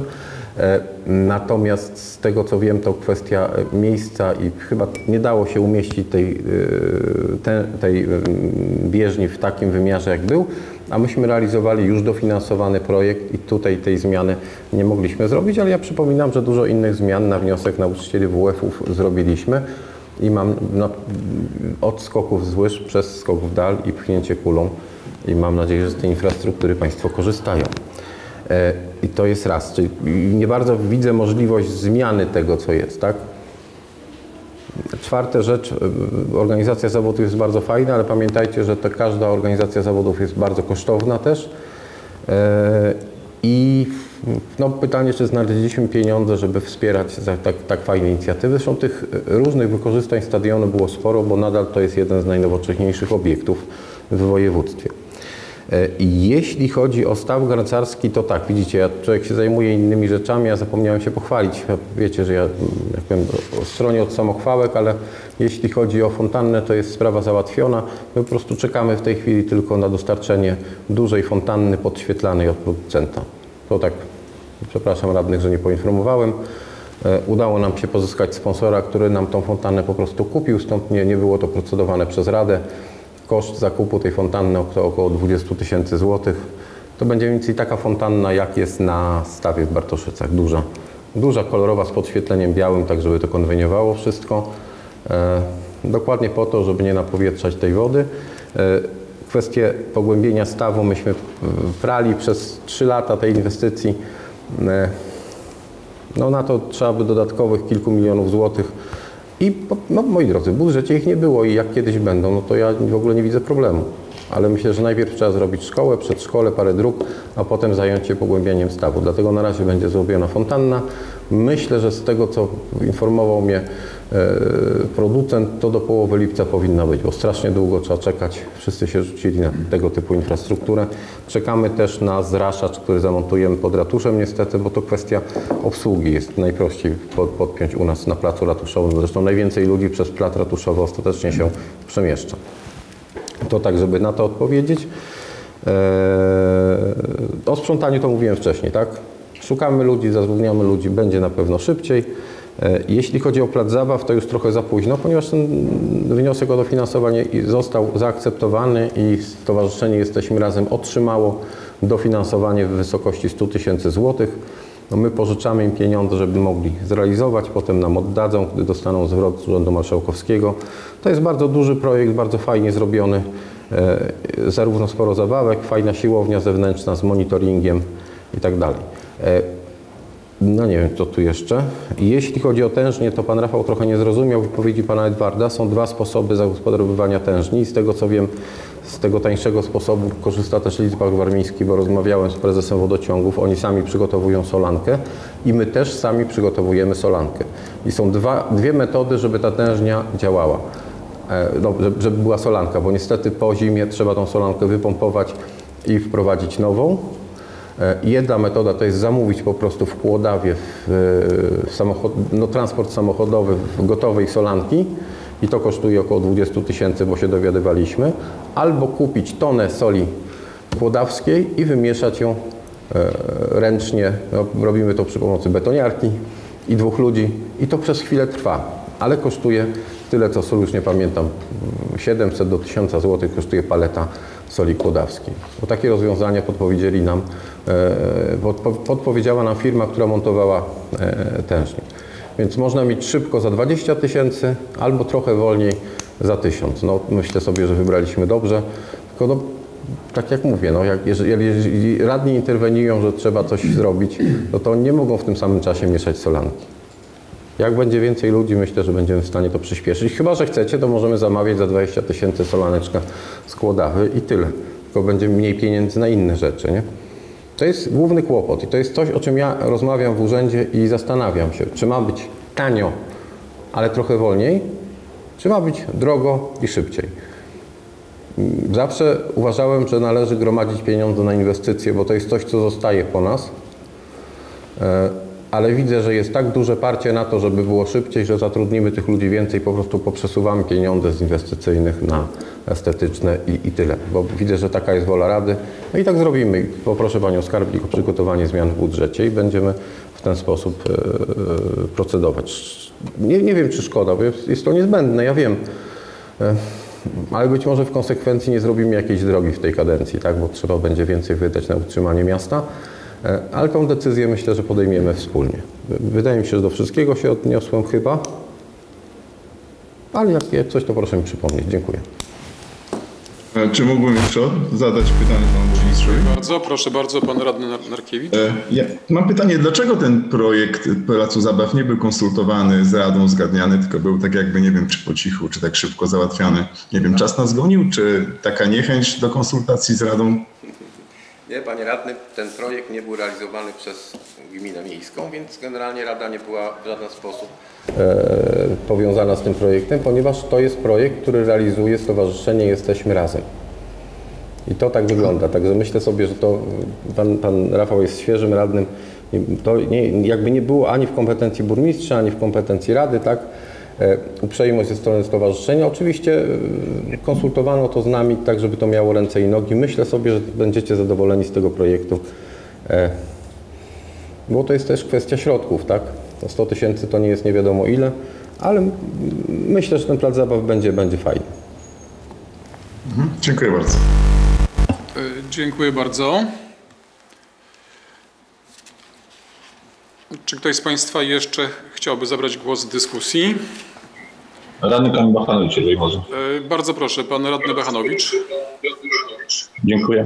E, Ja myślę, że tutaj te nasze uwagi, które żeśmy omawiali, trafiły do pana burmistrza i na pewno uwzględni to przy e, następne, na kolejne lata, czy przy następnym raporcie. Natomiast chciałbym tutaj zaapelować do radnych, którzy odbierają kolegi tutaj Łukasza wystąpienie jako atak na ich, żeby, żebyśmy siebie tutaj nawzajem nie wytykali, bo jest to troszkę nieeleganckie, żeby, e, bo nie jesteśmy tutaj między sobą stroną, no stroną jest pan burmistrz i, i powinniśmy się tutaj skupić na, na, na raporcie, natomiast nie atakować osoby, która wyraża swoje, swoją opinię i gdzieś tam wywołuje kogoś do, do tablicy. To tylko tyle. Bardzo. E, Dziękuję bardzo. Ym, Chciałbym jeszcze nawiązać do tego sprawozdania. Ja mimo wszystko znajduję również pozytywne elementy w tym sprawozdaniu. Wiem, że na łączach widziałem panią ym, prezes ZGM-u. Czy jest pani na łączach? Pani prezes Decyk? Była tutaj, widziałem ją wcześniej, nie ma tutaj, więc e, tutaj chcę powiedzieć, że pani, e, z, że ZGM e, bardzo dba o nasze miasto i tutaj mm, przeprowadzonych jest szereg, szereg modernizacji miasta, są nowe elewacje, chociażby na ulicy Okrężnej i innej tutaj jeszcze. E, Także pani e, jest, jest pani prezes, bardzo proszę.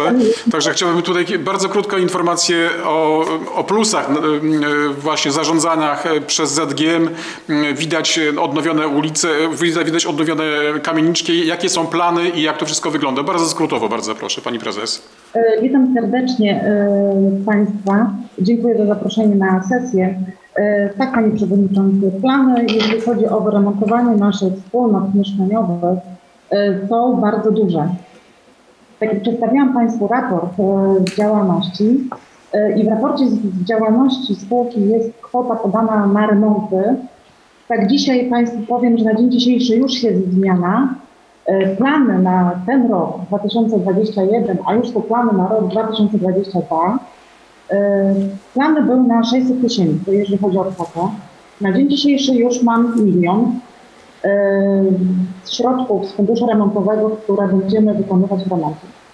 E, Tak jak Państwo przejeżdżają e, ulicą Krasickiego, wyremontujemy dachy. To jest najważniejsza część tych budynków. Również robimy też i pozwolenia, bo tutaj nie możemy ominąć starostwa powiatowego w Patrzyczycach. Ulica Okrężna, Krótka, już trwają remonty. Cieszę się bardzo, że wspólnoty mieszkaniowe podejmują takie decyzje o zaciągnięciu nawet ró- również e, kredytów na wyremontowanie danych wspólnot. E, Współpraca z bankami, czy PKO czy BS, czy Bank Paribas są na tyle bardzo fajna ta współpraca z, tym bank, z tymi bankami, że dostajemy fajne warunki kredytowe. Więc uważam i bardzo się cieszę z tego, że 5 lat wstecz jeszcze my jako administrator nie podejmowaliśmy żadnej decyzji o kredytach, a na dzień dzisiejszy nasza praca się bardzo zmieniła e, i w kredytach jesteśmy, podpisujemy umowy. E, Cały czas są rozmowy ze wspólnotami mieszkaniowymi o wyremontowaniu naszych wspólnot. E, Przyszły plan jest też taki, może już niebawem wykonamy elewację plac ratuszowej 13. Piękna elewacja, piękna wspólnota, piękne, e, piękna kamienica, e, gdzie już mamy zrobiony projekt, gdzie mamy wykonane już e, wszystko u konserwatora zabytków, cała dokumentacja. Tylko czekamy na decyzję wykonawcy. No taki powiem szczerze, że tak już wchodzą dzisiaj, więc jak zobaczymy rusztowania przy placu ratuszowym 13, to znaczy, że praca nasza jest w dobrym kierunku i już zaczniemy remontować naszą piękną starówkę. E, Dziękuję pani prezes i tutaj oczekujemy dalszej estetyzacji miasta. Wiem, że nie jest to łatwe, bo to wiąże się wszystko z kredytami, ale pomału, pomału jeszcze parę kamiczek uda się pewnie uratować i upiększyć nas- nasze miasto. Tu jeszcze takim plusem jest na pewno jeszcze firma, która podlega jeszcze po tutaj e, ratusz, firma Ewix tutaj, tak trochę lansuje te firmy tutaj. Nie wiem, czy pan prezes Leszek Łębucki również tutaj jest. Nie bardzo widzę, ale z tego raportu, który tutaj jest przedstawiony przez spółkę EWIX, no też tutaj mm, są plusy. Tak jak tutaj pisze pan prezes, od 9 lat nie były podnoszone mm, koszty związane z ogrzewaniem. Jest to naprawdę ogromny sukces. 9 lat, 10 lat nie były po- podnoszone koszty, więc to jest też również ten plus. I tutaj również pan prezes pisze o oddaniu e, nowego budynku i nowych pieców tutaj, które będą zasilały naszego miasta. I tutaj również też w ramach, w ramach promocji e, WIX-u dodam jeszcze, że wszystkie przyłącza budynków, które chciałyby się podłączyć do e, e, kotłowni miejskiej są za darmo, pisze pan prezes, więc warto z tego skorzystać i to są te plusy, o których trzeba powiedzieć w tym, w tym sprawozdaniu z działalności burmistrza, bo to również jest nadzorowane prze, przez miasto. To tyle jeszcze. Czy ktoś chciałby jeszcze? Pani Anna Piszczek, bardzo proszę. E, W nawiązaniu e, do, e, do pani administrator z GM-u, ja jako też administrator, jako radna, Oczywiście, tak. przede wszystkim powiedzieć o tym, że my mówimy o swoim zaangażowaniu jako radni. Ale pamiętajmy też, przynajmniej ze swojego podwórka, z podwórka wszystkich wspólnot, które są w administrowaniu naszym, widać zaangażowanie mieszkańców. I jak to kiedyś ktoś powiedział, e, nie mów, e, co ktoś ci dał, ale też doceń to, co inni dają. Jeżeli chodzi o mieszkańców y, Bema, naszego rejonu, e, jak dużo widać, ile jest terenów o których pan burmistrz mówił, ile jest terenów, a ile z tych terenów administrują też y, mieszkańcy. I to te, nie tylko na Bema, to jest też na, y, na, na Kościuszki, to są też inne tereny, gdzie ktoś nie patrzy. Czy to jest gminy, chcą ładne otoczenie. Więc ja myślę, że też y, bardziej słuchajmy mieszkańców. Pewnie, że nie wszystko się da y, zrobić. Sami nie nadążamy jako wspólnoty z odśnieżaniem swoich terenów.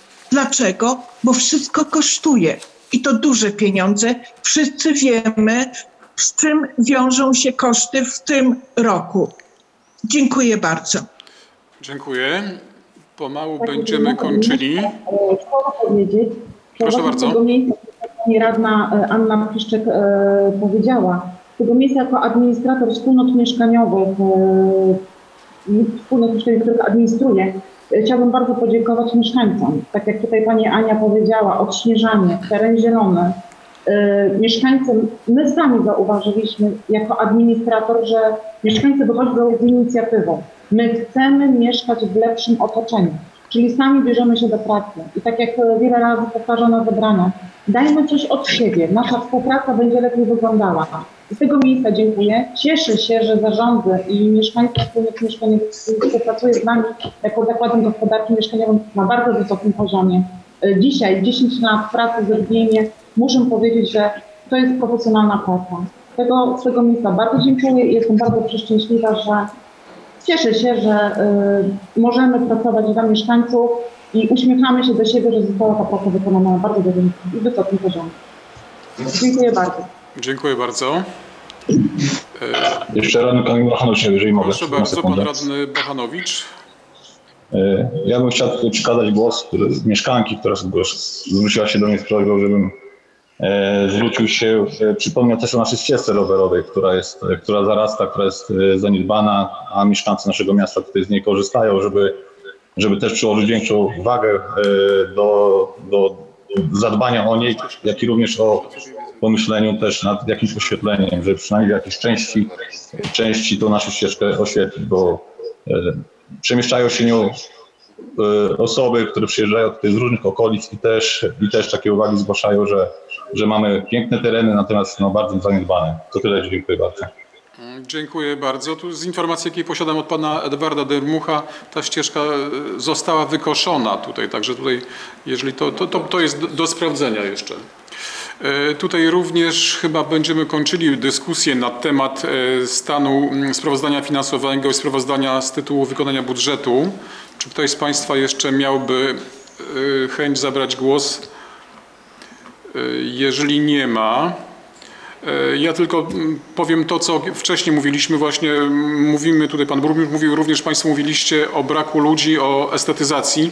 Ja po raz kolejny składam wniosek o możliwość zakupu mechanicznego oczyszczania miasta. Tu z Panem Edwardem oglądaliśmy, Taki, taka przystawka do naszego traktorka kosztuje 6 tysięcy.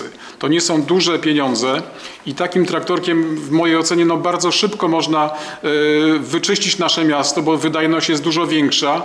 Jest dużo ulic, które są, są długie, proste, chociażby tu, tutaj e, Sikorskiego i inne ulice, e, gdzie, gdzie można e, przejechać i ta wydajność jest o wiele większa. No, wydaje się, że 6 tysięcy dużo, niedużo, ale to, to jest zakup na lata i można byłoby zdecydowanie po zimie oczyścić nasze miasto z tego piachu. Tak jak mówiliśmy wcześniej, wysypaliśmy 140 ton piachu na odśnieżanie i ten piach zalega na, na ulicach naszego miasta. Trzeba zebrać tutaj pewnie połowę tego piachu.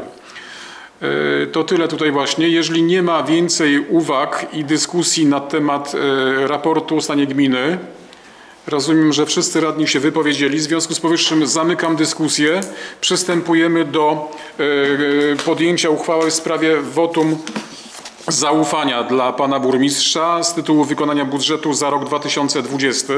Ja tylko przypomnę, że wotum zaufania jest e, ustosunkowaniem się e, Rady Gminy do informacji przedstawionych przez burmistrza o stanie gminy i obejmuje podsumowanie działalności burmistrza w roku poprzednim, w szczególności realizację polityk, programów, strategii, uchwał Rady Gminy i mm, projektu obywatelskiego.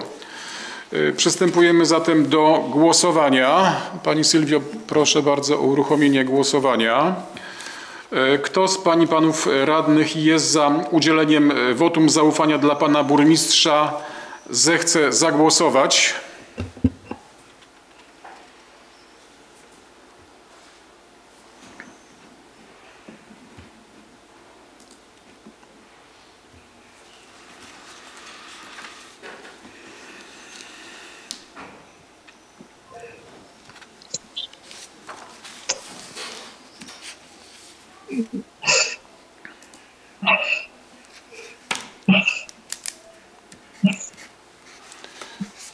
Czekamy jeszcze na dwa głosy.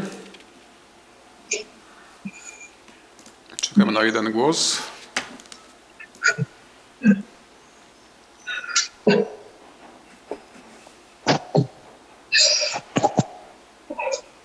Dobrze. I 12, 14. Brakuje mi jeszcze, mm, Pani Sylwia, brakuje nam jeszcze głosów? Dwóch jest nieobecnych, to jest... y, Dobrze, jest, jest 15, dobrze. Tak jak widać na tabeli wyników, w głosowaniu wzięło udział 14 radnych.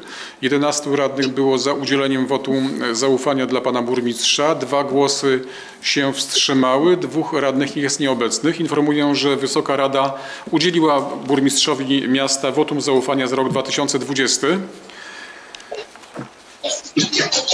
W związku z powyższym przeczytam uchwałę w tej sprawie. Uchwała nr 34 Rady Miasta z dnia 30 czerwca w sprawie udzielenia wotum zaufania dla burmistrza za rok 2020. Na podstawie artykułów e, stosownych o samorządzie gminnym Rada Miasta Górowo i Łoweckie po rozpatrzeniu raportu e, o stanie gminy miejskiej e, Górowo i Łoweckie uchwala co następuje. Udziela się burmistrzowi miasta Górowo i Łoweckie wotum zaufania za rok 2020. Uchwała wchodzi w życie z dniem podjęcia. Dziękuję bardzo. Przechodzimy zatem do kolejnego naszego e, mm, punktu dzisiejszego, dzisiejszej Rady. E, Przedstawienie sprawozdania z wykonania budżetu miasta za rok 2020. Poprosimy panią skarbnik o przedstawienie tego sprawozdania. Pani skarbnik jest z nami na łączach. Bardzo proszę pani skarbnik o przedstawienie sprawozdania z wykonania budżetu za rok 2020. Proszę Państwa, y, ja pragnę tylko nadmienić, że Pan Burmistrz dość szczegółowo to sprawozdanie z wykonania y, budżetu przedstawił Państwu w poszczególnych kategoriach. Ja ze swojej strony mogę dodać jedynie tyle, że ogólna planowana wartość budżetu miasta po zmianach wprowadzanych uchwałami Rady Miasta e, Górowo i Ławeckie w ciągu 2020 roku przedstawia się następująco. Dochody ogółem na plan 27 milionów 875 tysięcy 642 zł 30 groszy. Wykonaliśmy 24 miliony 612 tysięcy 807 zł 78 groszy. To jest 88,3% e, do planu. Wiecie Państwo, że nasze dochody składają się z takich dwóch kategorii, z dochodów bieżących i z dochodów majątkowych. Dochody bieżące wykonaliśmy w stosunku do planu w wysokości ponad 96%, co jest naprawdę bardzo fajnym wynikiem. Natomiast dochody majątkowe wykonaliśmy w wysokości 55% ze względu na to, że no przede wszystkim nie wykonywaliśmy inwestycji i nie e, składaliśmy wniosków o płatność, czyli nie odzyskiwaliśmy tych pieniążków. Tak przedstawiają się dochody, natomiast wydatki na kwotę ogółem 27 milionów 164 tysiące 859 zł 30 groszy wykonaliśmy 21 milionów 135 tysięcy 463 zł i 81 groszy, co stanowi 77,8%. E, Również nasze wydatki składają się z wydatków bieżących i majątkowych. Tu wydatki majątkowe na plan 4 miliony 612 618 zł wykonaliśmy jedynie na kwotę 175 tysięcy 901 zł i 83 groszy. To jest 3,81%. Oczywiście związane jest to przede wszystkim z tym, proszę Państwa, że nie realizowaliśmy tych dużych projektów, dużych, dużych e, naszych e, zadań. Wydatki bieżące na plan 22 miliony 552 tysiące 241 zł i 30 groszy. Wykonaliśmy 20, tysię- 20 milionów 959 tysięcy 561 zł i 98 groszy to jest 92 i 94% e, w stosunku do planu. E, Tak w ogólnych liczbach, ponieważ szczegółowo pan burmistrz przedstawił Państwu w raporcie e, na samym początku prezentacji, ja ze swojej strony mogę podziękować, bardzo bym chciała podziękować jednostkom naszym podległym, które no, w tym 2020 roku i we wszystkich po, poprzednich, ale ten 20 rok był szczególny, tak jak wiecie Państwo, ze względu na pandemię, o której już nie chcemy pamiętać. E, ta ścisła współpraca między jednostkami i tym, że te wydatki bieżące były naprawdę ograniczone w wielu kwestiach, w wielu dziedzinach, między dochodami bieżącymi a wydatkami zostały zaoszczędzone kwota 742 tysiące. I tylko i wyłącznie dlatego, że ta współpraca była tak ścisła i to, że z tyłu głowy mieliśmy, że może być sytuacja kryzysowa, tak, że może nas spotkać coś, co będziemy musieli szybko podjąć decyzję i wydać dużo pieniędzy. Dlatego tak ta e, współpraca na bardzo fajnie przebieg, przebiegała, za co bardzo dziękuję kierownikom jednostek i, i księgowym oczywiście, bo to wszystko jakby jest było e, pod naszą opieką finansową. I z mojej strony tak naprawdę to wszystko, bo tak jak wspomniałam, pan burmistrz przedstawił Państwu w szczegółach e, te moje cyferki z mojego sprawozdania e, z budżetu. E, Dziękuję. Dziękuję Pani Skarbnik. Ja tylko na marginesie dodam, że sprawozdanie roczne z wykonania budżetu zostało również przesłane e, Regionalnej, Izbie Obrachunkowej w Olsztynie. E, Czy ktoś z Państwa chciałby zabrać głos w tym, w tym temacie? Mm, Nie widzę. Pani Sylwio, przegłosowujemy to? Panie Przewodniczący, ja tylko sekundę. E, To jest punkt, tak? Bardzo proszę Pan Radny Bachanowicz. Ja tylko jedną uwagę tutaj do ilości naszych radnych, bo Pan tutaj cały czas mówi, że 14 radnych, a nas jest chyba 13 radnych, bo jest dwóch nieobecnych, a stan radnych mam 15. Y, Obecnych jest 13 radnych. Tak, tylko że Pan cały czas właśnie powtarzał, że 14 radnych powinno być. Czy możemy wrócić Jest- do, do tablicy jeszcze z Nie. wyników? Czy już nie bardzo? Wszystko, wszystko w porządku z wynikami, tylko taka informacja techniczna. E, jest przepraszam, 15, to było, 13 moje, obecnych. to było moje przejęzyczenie. Oczywiście, że e, radnych jest 15, a obecnych jest 13 radnych. Dobrze, dziękuję. Dziękuję bardzo. W tej chwili to była informacja przedstawiająca, którą przedstawiła nam pani e, skarbnik. Było to wykonanie budżetu miasta. E, W tej chwili również poprosimy panią skarbnik o przed- przedstawienie sprawozdania finansowego za rok 2020. Panie Przewodniczący, to właśnie było sprawozdanie z wykonania budżetu za 2020 rok. E, Dobrze, bo mam tutaj troszeczkę inaczej napisane, ale pani ma rację, ab- absolutnie pani, pani skarbnik. E, Przedstawię, przechodzimy teraz do kolejnego punktu. Przedstawienie informacji o stanie mienia komunalnego za rok 2020. I tutaj pan Edward na pewno będzie specjalistą, żeby nam o tym powiedzieć. Panie Edwardzie, jest pan na łączach? Pan Edward Rymuch.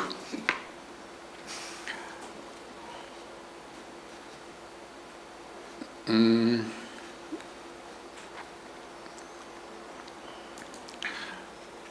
Tak, już jestem.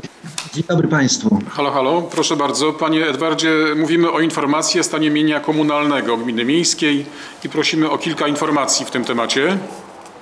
Proszę Państwa, e, ta informacja, ona się zmienia z roku na rok, ale e, uszczupla przede wszystkim e, zasoby miasta. Czy to grunty, czy to lokale, czy budynki. E, Państwo dostaliście taką informację, e, dostajecie zresztą zawsze każdego roku e, to, co posiadamy, to, co posiada miasto. To jest dobre porównanie, że obszar ogółem miasta to jest 332 hektary. W tym mienie komunalne to jest 168. I z tego wynika, prawda, że połowa praktycznie e, tych terenów należy do miasta. Jest trochę tam gruntów rolnych i, i powiedzmy łąk i innych tam, ale ogólnie rolnych. E, mamy trochę lasu, jak wiecie. E, mamy wody stojące, czyli 8 hektarów. Mamy drogi no już prawie wszystkie, bo jest 24 hektary na 35, czyli pomijając wojewódzkie drogi, pomijając e, drogi powiatowe. No, większość stanowią tereny mieszkaniowe, y, powiedzmy tereny też e, inne zabudowane. No i tereny e, rekreacyjno-wypoczynkowe to jest 10, 9 hektarów. To jest przede wszystkim kąpielisko wliczone do tych terenów. E,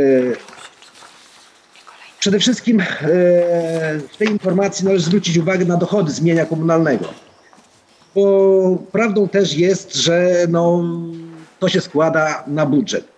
W- Za ubiegły rok dochody z, ze sprzedaży e, służebności, dzierżawy, e, zajęcia pasa drogowego wyniosły milion piętnaście tysięcy. To jest myślę, że dość duża prawda, kwota przy naszych dochodach własnych, które wynoszą, w tej chwili nie odpowiem, może pani skarbnik dokładnie powiedziała, ale myślę, że około 5 milionów złotych.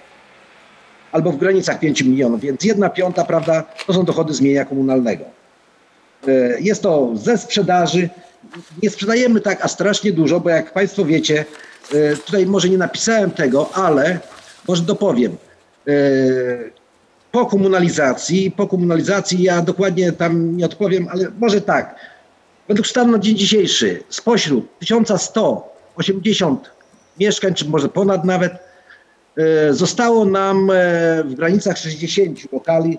Gdzieś tutaj macie Państwo zapisane, ile lokali 64 widzę, bo to są przede wszystkim e, stanowiące własność gminy e, we wspólnotach. Do tego mamy tam cztery lokale jeszcze samozarządzających się, więc jest 68. Plus oczywiście lokale e, jeszcze, prawda, socjalne. No tak, może z grubsza, ja mogę wszystko przedstawić, no ale myślę, że nie ma takiej potrzeby, ponieważ e, Państwo też otrzymali e, tą informację e, w różnych postaciach. To, co nam zostało, może ja tak i czym administrujemy, bo to jest chyba ważne dla wszystkich. Administrujemy przede wszystkim tym budynkiem, w którym się znajdujemy, czyli e, po prostu budynkiem administracyjnym. Budujemy, e, administrujemy budynkiem ośrodka, przedszkole miejskie, stadion miejski, dwa cmentarze, nieruchomości, które zostały oddane w użyczenie dla powiatu, to jest tam powiedzmy przy Warmińskiej 17. Dla Ewiksu to są e, wodociągi, prawda, e, oczyszczalnia, e, to są pomieszczenia kotłowni, osiem przepompowni ścieków, sieci wodociągowe, czyli całość związana z siecią, prawda, ciepłowniczą i sie, siecią wodociągową. Targowisko miejskie, dwie szkoły i kąpielisko miejskie, jak Państwo tutaj powiedzieli.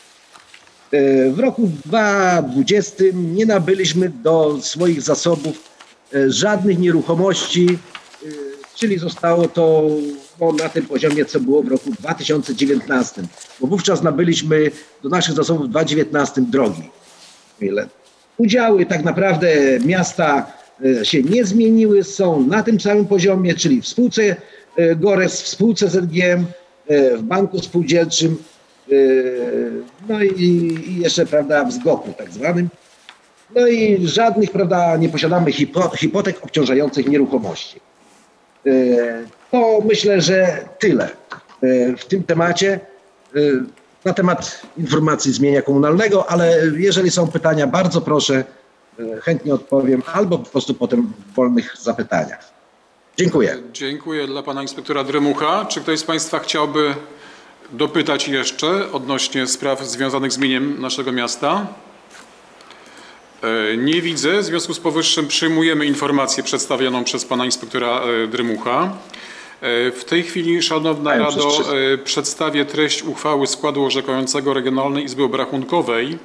Tak jak po- powiedziałem, e, treść, sprawozdanie roczne z wykonania budżetu miasta przeka- przekazywane jest Regionalnej Izbie Obrachunkowej do Olsztyna. Izba Obrachunkowa sprawdza to pod, pod kątem prawnym, wydatkowania, zasadności i tak. I w tej chwili odczytam Państwu uchwałę Regionalnej Izby Obrachunkowej składu orzekającego e, z dnia 1 kwietnia 2021 roku. W sprawie wydania opinii o przedłożonym przez burmistrza miasta Górowo i Ławeckie sprawozdaniu z wykonania budżetu miasta za rok 2020. Skład orzekający Regionalnej Izby Obrachunkowej w Olsztynie w osobach przewodniczący pan Krzysztof Mościbrocki, członkowie Anna Michalak, Janusz e, Facon, działając na podstawie ustawy o regionalnych izbach obrachunkowych, pozytywnie opiniuje przedłożone przez burmistrza miasta Górowo Łoweckie sprawozdanie roczne z wykonania budżetu miasta za rok 2020. E, Tutaj jest uzasadnienie e, całej uchwały, biorąc pod uwagę całość materiałów podlegających zaopiniowaniu, skład orzekający postanowił jak w sentencji. Podpisał przewodniczący składu orzekającego, członek Kolegium Regionalnej Izby Obrachunkowej w Olsztynie, pan Krzysztof Mościbrocki. E, Także mamy pewność, że e, sprawozdanie przedstawione przez pana burmistrza zostało sprawdzone i jest poprawne, na co jest pozytywne, co, co potwierdziła Regionalna Izba Obrachunkowa w Olsztynie. W tej chwili, Szanowna Rado, przechodzimy do kolejnego, naszego punktu dzisiejszych obrad. Jest to przedstawienie wniosku Komisji Rewizyjnej w sprawie udzielenia absolutorium burmistrzowi miasta e, Górowo Łoweckie za rok 2020. I w tym momencie poproszę pana przewodniczącego Komisji Rewizyjnej, pana radnego Macieja Choraka o przedstawienie e, wniosku Komisji Rewizyjnej. Bardzo proszę pana radnego Chorak. Witam serdecznie wszystkich. Już chwilkę, przedstawiamy wniosek.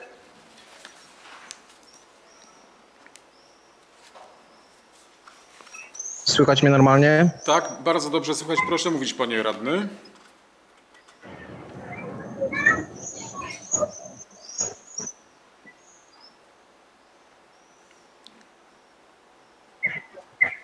Więc tak, w dniu e, 10 czerwca 2021 roku e, odbyła się komisja rewizyjna Rady Miasta Górowo-Łoweckie, która rozpatrzyła e, w pierwszym punkcie sprawozdanie z wykonania budżetu miasta Górowo-Łoweckie za 2020 rok, w drugim punkcie sprawozdanie finansowe miasta Górowo-Łoweckie za 2020 rok, w trzecim punkcie informacje o stanie komunalnego Gminy Miejskiej Górowo-Łoweckie według stanu na dzień 31 grudnia 2020 roku i uchwałę numer RIO e, 8 myślnik e, 0120 myślnik 144 łamane na 21 składu orzekającego Regionalnej Izby Obrachunkowej w Olsztynie z dnia 1 kwietnia 2021 roku w sprawie wydania opinii o przedłużonym przez burmistrza miasta Górowo-Łoweckie sprawozdaniu z wykonania budżetu miasta Górowo-Łoweckie za 2020 rok. E, Następnie e, komisja rewizyjna stwierdziła, co następuje. W pierwszym punkcie uchwalony przez Radę Miasta Górowo budżet po uwzględnieniu e, zmian w ciągu roku przewidywał realizację dochodów w kwocie 27 milionów 875 642 zł 30 groszy. E, Dochody wykonano w kwocie 24 milionów 612 800 zł 78 groszy, co stanowiło 88,3% 30, e, set- 30% planu. Tym e, dochody bieżące na plan 22 miliony 593 zł 518 groszy i 30 groszy. E, Wykonano w kwocie 21 milionów 701 887 zł i 70 groszy, co stanowi 96,5%. Dochody majątkowe na plan 5 milionów 282 124 tysięcy wykonano w kwocie 2 milionów 2 910 920 zł i 8 groszy, co stanowi 55 0,11%. W drugim punkcie uchwalony przez Radę Miasta e, plan wydatków budżetowych po zmianach wykonanych w ciągu roku przewidywał kwotę 27 milionów 164 tysięcy 859 zł i 30 groszy. Wydatki zrealizowano w kwocie 21 milionów 135 tysięcy 463 zł i 81 groszy, co stanowi 77,8% ogółu planu. W trzecim punkcie wydatki bieżące budżetu zaplanowano na kwotę 22 milionów 552 241 zł i 30 groszy. groszy. Zrealizowano wydatki w kwocie 20 milionów 959 561 zł i 98 groszy, co stanowi 92,94% ogółu planu. E, Wydatki w czwartym punkcie, wydatki majątkowe na plan 4 milionów 612 618 zł wykonano w kwocie 175 901 zł i 83 grosze, to jest 3,81%. W punkcie piątym budżet miasta za 2020 rok e, zamknął się nadwyżką w wysokości 3 milionów 477 tysięcy 343 zł i 97 groszy.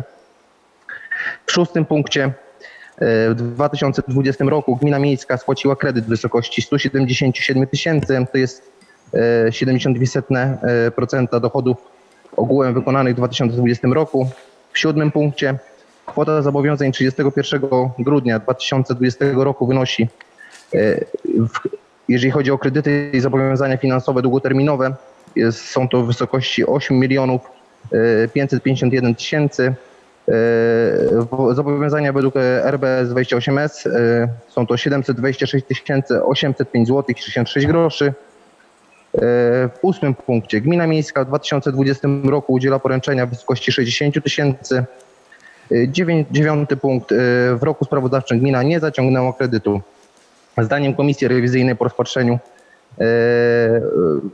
po rozpatrzeniu sprawozdań informacji tutaj wydała opinię, że uzasadnienie daje podstawy do pozytywnej opinii o realizacji budżetu miasta z 2020 roku i występuje do Rady Miasta z wnioskiem udzielenia absolutorium burmistrzowi miasta Kurowojowec. Dziękuję bardzo.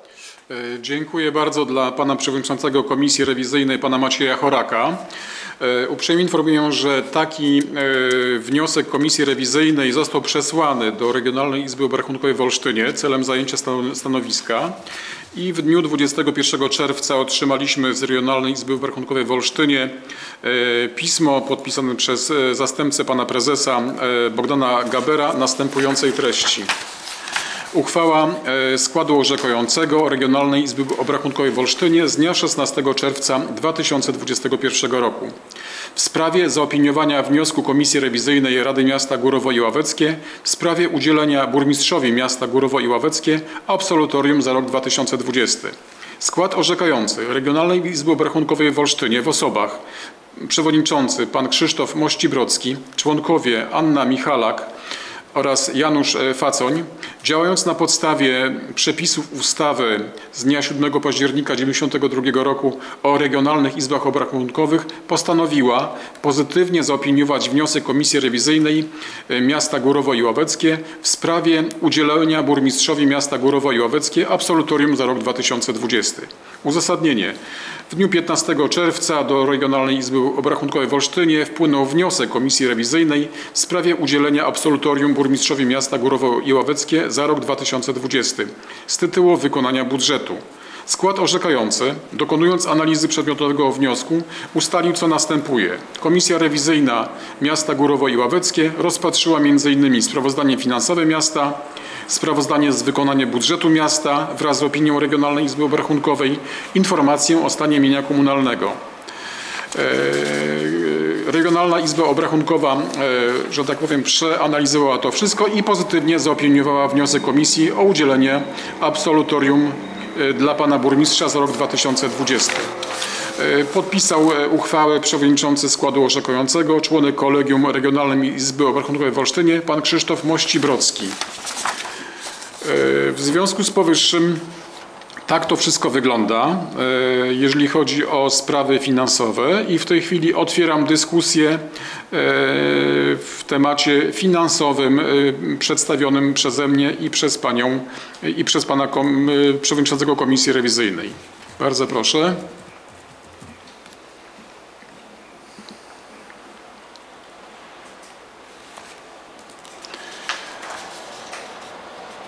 Nie widzę. W związku z, pod, z powyższym... Łukasz Łukianowicz, można? Proszę bardzo, pan Łukasz Łukianowicz.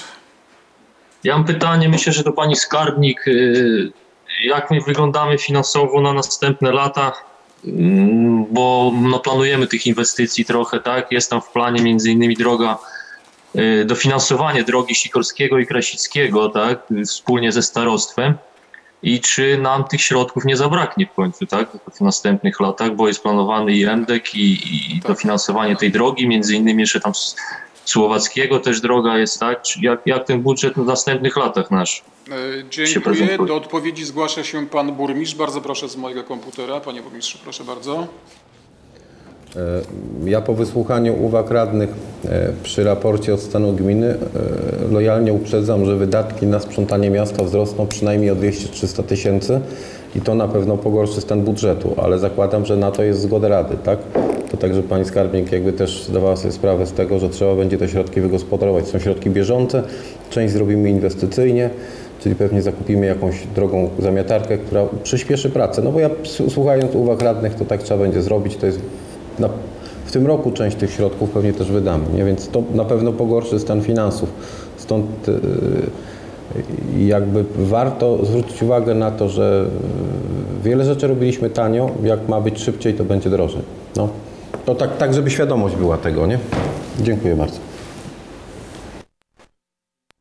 Pani Skarbnik chciałaby jeszcze słowo? To znaczy się ja tylko, wiecie Państwo, na przyszłe lata jest ciężko mi e, jakby wywróżyć cokolwiek, tak? Mamy ten plan teoretyczny, prognozę zawartą w wieloletniej prognozie finansowej na kolejne lata. Tam jakby zagrożenia na dzień dzisiejszy nie widać. E, powinniśmy wskaźniki spełniać. Natomiast tak jak Pan Burmistrz powiedział, jeżeli podniesiemy nasze wydatki bieżące, gdzie zauważcie, że w tym roku już mamy zrównane w planie dochody do wydatków bieżących. My nie mamy jakiegoś specjalnego zapasu. Dlatego biorąc pod uwagę wszystkie zmiany, które trzeba będzie wprowadzić w budżecie, czy w tym roku i w planie na przyszły rok, no to wtedy to się będzie wszystko rozstrzygać. Ja nie jestem w stanie jakby wywróżyć w sposób, co będzie dalej, tak? My robimy wszystko, żeby się to wszystko spinało. Jeżeli trzeba będzie, trzeba będzie wziąć kredyt na tyle, na ile będzie nas stać, oczywiście biorąc pod uwagę spłatę już zaciągniętych. Dlatego to wszystko jest tak płynne, Panie Łukaszu, że no, nie jestem w stanie przewidzieć. Zwyczajnie nie jestem w stanie. Macie wieloletnią prognozę finansową, tam orientacyjnie są wpisywane wysokość planu dochodów, wydatków w podziale na dochody te bieżące i majątkowe. Ale to jest tylko prognoza. Na razie wszystko jest w porządku. No zobaczymy, jak będzie dalej. Na te inwestycje, które są rozpoczęte, pieniążki mamy zabezpieczone. No i myślę, że tak będziemy robić, żeby wszystko było dobrze, żebyśmy ten wskaźnik spełniali i nie musieli robić programu naprawczego. Tylko mówię, tu ja cały czas drżę, proszę Państwa, w budżecie nad tymi dochodami bieżącymi, które nie są jakoś specjalnie wydmuchane i nad wydatkami bieżącymi, bo ta relacja nas najbardziej ogranicza. Jeżeli tu przeholujemy w wydatkach bieżących, no to możemy się nie dźwignąć, tak? No ale oczywiście będziemy się starać, żeby wszystko było tak, jak e, Państwo chcecie, no i my też oczywiście, tak? Dziękuję bardzo. Czy ktoś z Państwa radnych chciałby zabrać jeszcze głos odnośnie e, sprawozdania finansowego? E, nie, widzę. Ja, Łukasz Łukianowicz. Bardzo Może proszę, nie, pan radny Łukianowicz. nie wiem, czy to w tym miejscu akurat, y, ale się dopytam, y, kto u nas się zajmuje pozyskiwaniem środków? Bo wiem, że tam był konkurs ogłoszony między innymi na to stanowisko, na pozyskiwanie środków. I kto u nas jest od pozyskiwania tych środków, tak, zewnętrznych? Mm, Proszę bardzo, odpowiedzi udzieli pan burmistrz. Jak zawsze odpowiedź jest bardzo skomplikowana. dlatego że mając 16 pracowników, co w normalnym urzędzie to wydział ma tylu. Ja przypuszczam, że u Was w komunikacji to pracuje z 10 osób. Co Łukasz? Czy 15? A tu mamy cały urząd? To 10. tak naprawdę ile? 10? 10? No, no, Nie tak. mylić z Górowej, w Górowie dwie tylko, tak? No, no ja wiem, wiem. A w całym naszym urzędzie na dzisiaj pracuje 16 pracowników, z czego część z tych osób jest osobami młodymi i tak naprawdę się przyuczają przy, panie przy panu Edwardzie. To tak, żeby powiedzieć prawdę, to pozyskiwaniem środków zajmuję się ja i pan sekretarz. Młodzież się przyucza. Myślę, że na razie nam to wychodzi, póki się ustarcza. Dziękuję bardzo. Rozumiem, że temat y, dyskusji został już wyczerpany. Dziękuję bardzo. Zamy- Zamykam dyskusję. Y, Szanowna Rado, mówiliśmy wcześniej o sprawozdaniu z wykonania budżetu miasta.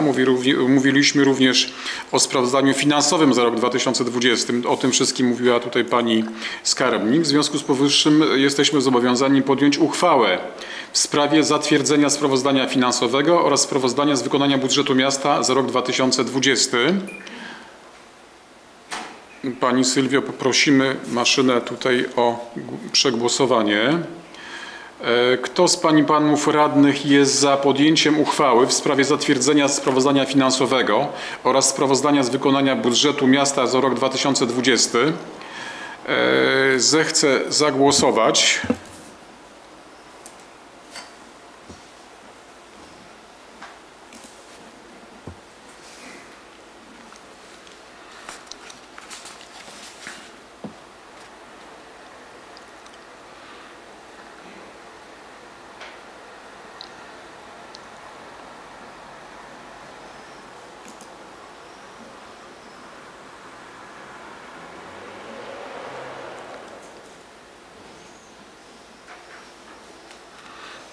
Czekamy na jeszcze głos pani radnej Anny Piszczek.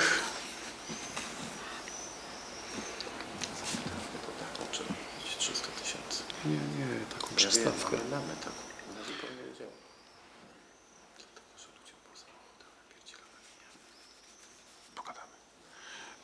Tak jak widać w głosowaniu e, wzięło udział 13 radnych, e, dwóch radnych jest nieobecnych, tak jak wcześniej mówiliśmy. Uchwała została podjęta jednogłośnie. Ja pozwolę sobie tylko od, odczytać tę uchwałę. Jest to uchwała e, Rady Miasta dnia 20, 30 czerwca w sprawie zatwierdzenia sprawozdania finansowego oraz sprawozdania z wykonania budżetu miasta Górowe Jełoweckie na za rok 2020 na podstawie stosownych przepisów o samorządzie gminnym oraz e, ustawy o finansach publicznych Rada Miasta uchwala co następuje. Po rozpatrzeniu sprawozdania finansowego Rady Miasta za rok 2020 wraz ze sprawozdaniem z wykonania budżetu za rok 2020 zatwierdza się wyżej wymienione sprawozdanie. Uchwała wchodzi w życie z dniem podjęcia i podlega ogłoszeniu w sposób zwyczajowo przyjęty. Dziękuję bardzo. E, W tej chwili przystępujemy do podjęcia uchwały w sprawie udzielenia absolutorium dla pana burmistrza za rok 2020. Ja tylko przypomnę, że absolutorium jest wyrazem akceptacji Rady Gminy dla sposobu wykonania budżetu e, w poprzednim roku przez pana burmistrza. Wiąże się to z odpowiedzialnością, jaką ponosi burmistrz z tytułu prowadzenia gospodarki finansowej gminy. E, Przystępujemy zatem do e, przegło- przegłosowania e, uchwały w sprawie udzielenia absolutorium dla burmistrza miasta za rok 2020. E, Przystępujemy do głosowania. Kto z Pań i Panów Radnych jest za udzieleniem absolutorium burmistrzowi miasta Górowo Jeławeckie za rok 2020? Zechce zagłosować.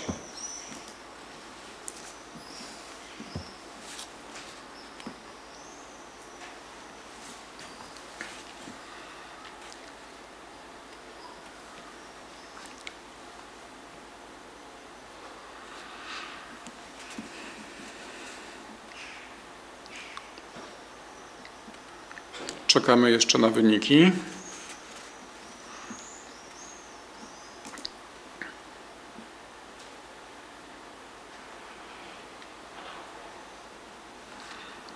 Dziękuję bardzo. Mamy już wyniki. W głosowaniu wzięło udział 13 radnych, 12 radnych jest za udzieleniem wotum e, zaufania dla, e, przepraszam, za udzielenie absolutorium burmistrzowi, jeden głos się wstrzymał.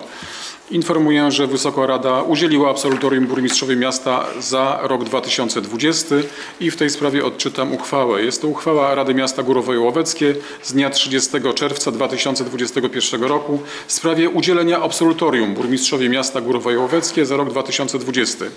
Na podstawie stosownych przepisów o samorządzie gminnym oraz ustawy o finansach publicznych Rada Miasta Górowo-Łoweckie uchwala co następuje.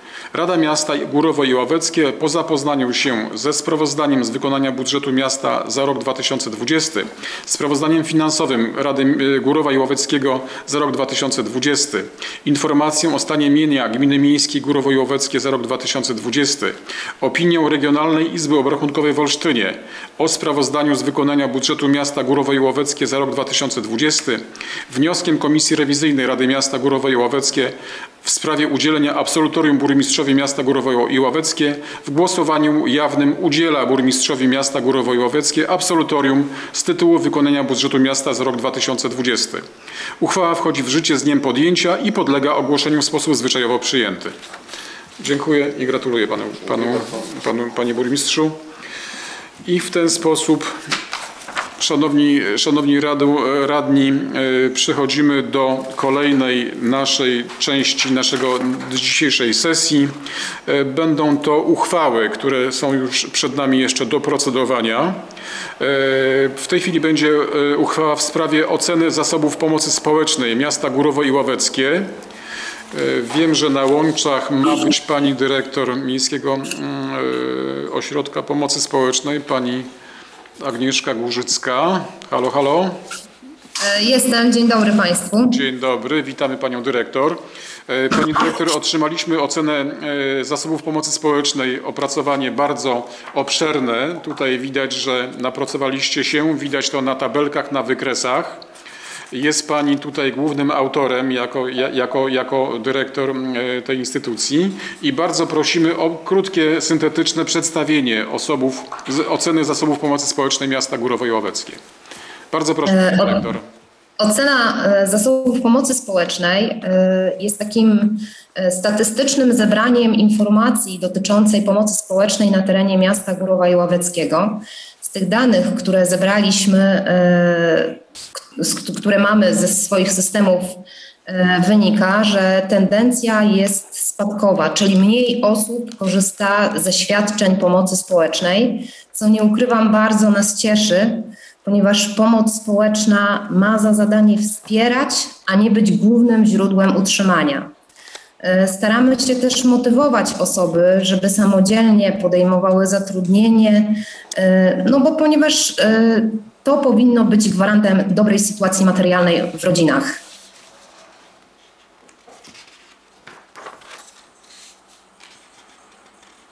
To tak ogólnie pokrótce. Jeśli mają Państwo jakieś pytania odnośnie tych danych, odnośnie sytuacji, to bardzo proszę, chętnie odpowiem.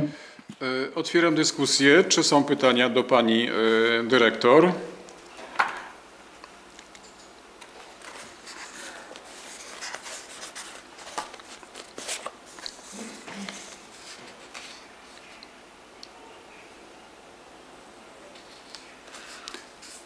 Nie widzę. W związku z powyższym przechodzimy do e, głosowania nad uchwałą Rady Miasta Górowo i Ławeckie w sprawie oceny zasobów pomocy społecznej miasta Górowo i Ławeckie.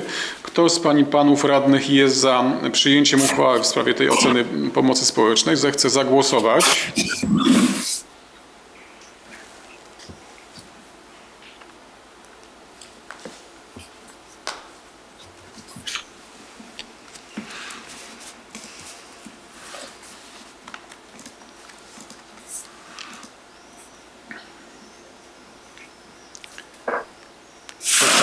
Na wyniki.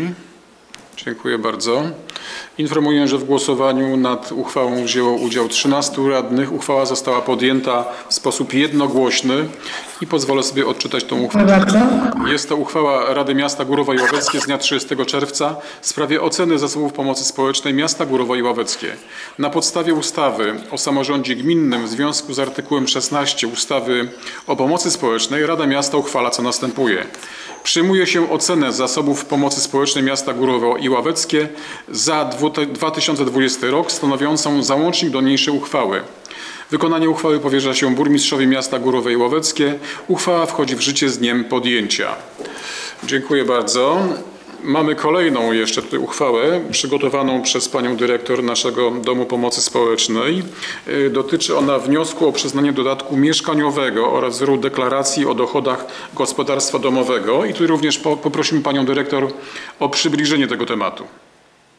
E, Z dniem 1 lipca 2021 roku e, zmieniła się ustawa dotycząca przyznawania dodatków mieszkaniowych i zmiana tych przepisów zobligowała wszystkie ośrodki pomocy społecznej e, w całej Polsce do przygotowania nowego wzoru e, druku, na którym osoby mogą ubiegać się o takie świadczenie. Stąd też przygotowanie takiej uchwały. Y, Dziękuję bardzo. Pani dyrektor, kilka informacji. Kto się może ubiegać o ten dodatek mieszkaniowy? Jakie są kryteria, żeby taki dodatek otrzymać? E, O ten dodatek mogą ubiegać się osoby, e, które mają ograniczone dochody finansowe, E, Też e, do rozpatrzenia takiego podania brany jest e, metraż, tak, bo musi być odpowiednia liczba osób, żeby mieścić się w kryterium e, metrażowym.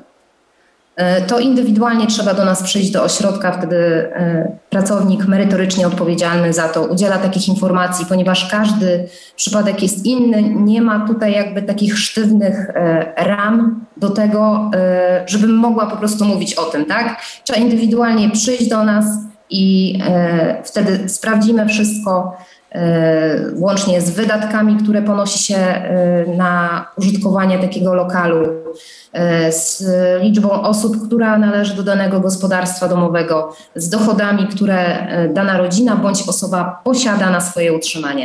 E, Czy macie Państwo mm, przybliżoną liczbę osób, które korzystają z takiego dodatku mieszkaniowego? Na tą chwilę to jest tak e, ponad 100 osób. Ponad 100 osób korzysta z tego dodatku. Tak. Dobrze. Czy ktoś z Państwa miałby jeszcze pytania do Pani Dyrektor w sprawie e, tego wniosku o przyznanie dodatku mieszkaniowego? E, Nie widzę. W związku z powyższym przystępujemy do głosowania w sprawie wzoru wniosku o przyznanie dodatku mieszkaniowego oraz wzoru deklaracji o dochodach gospodarstwa domowego. E, Proszę o zagłosowanie w tym temacie.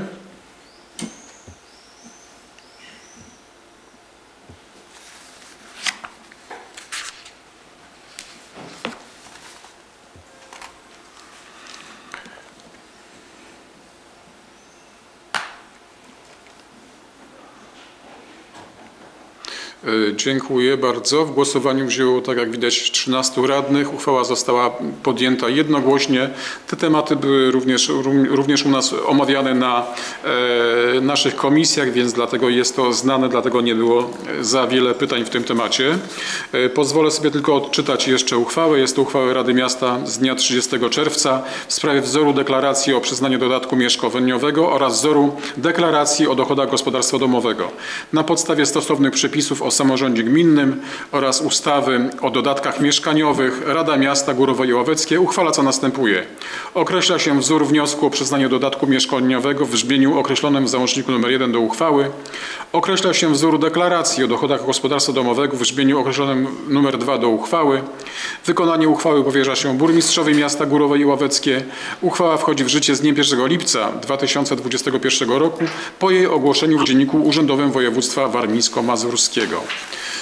Dziękuję bardzo. Także macie Państwo teraz nowe wzory deklaracji i możecie tutaj, e, mówię o naszym e, Ośrodku Pomocy Społecznej, działać zgodnie z przepisami. Dziękuję bardzo.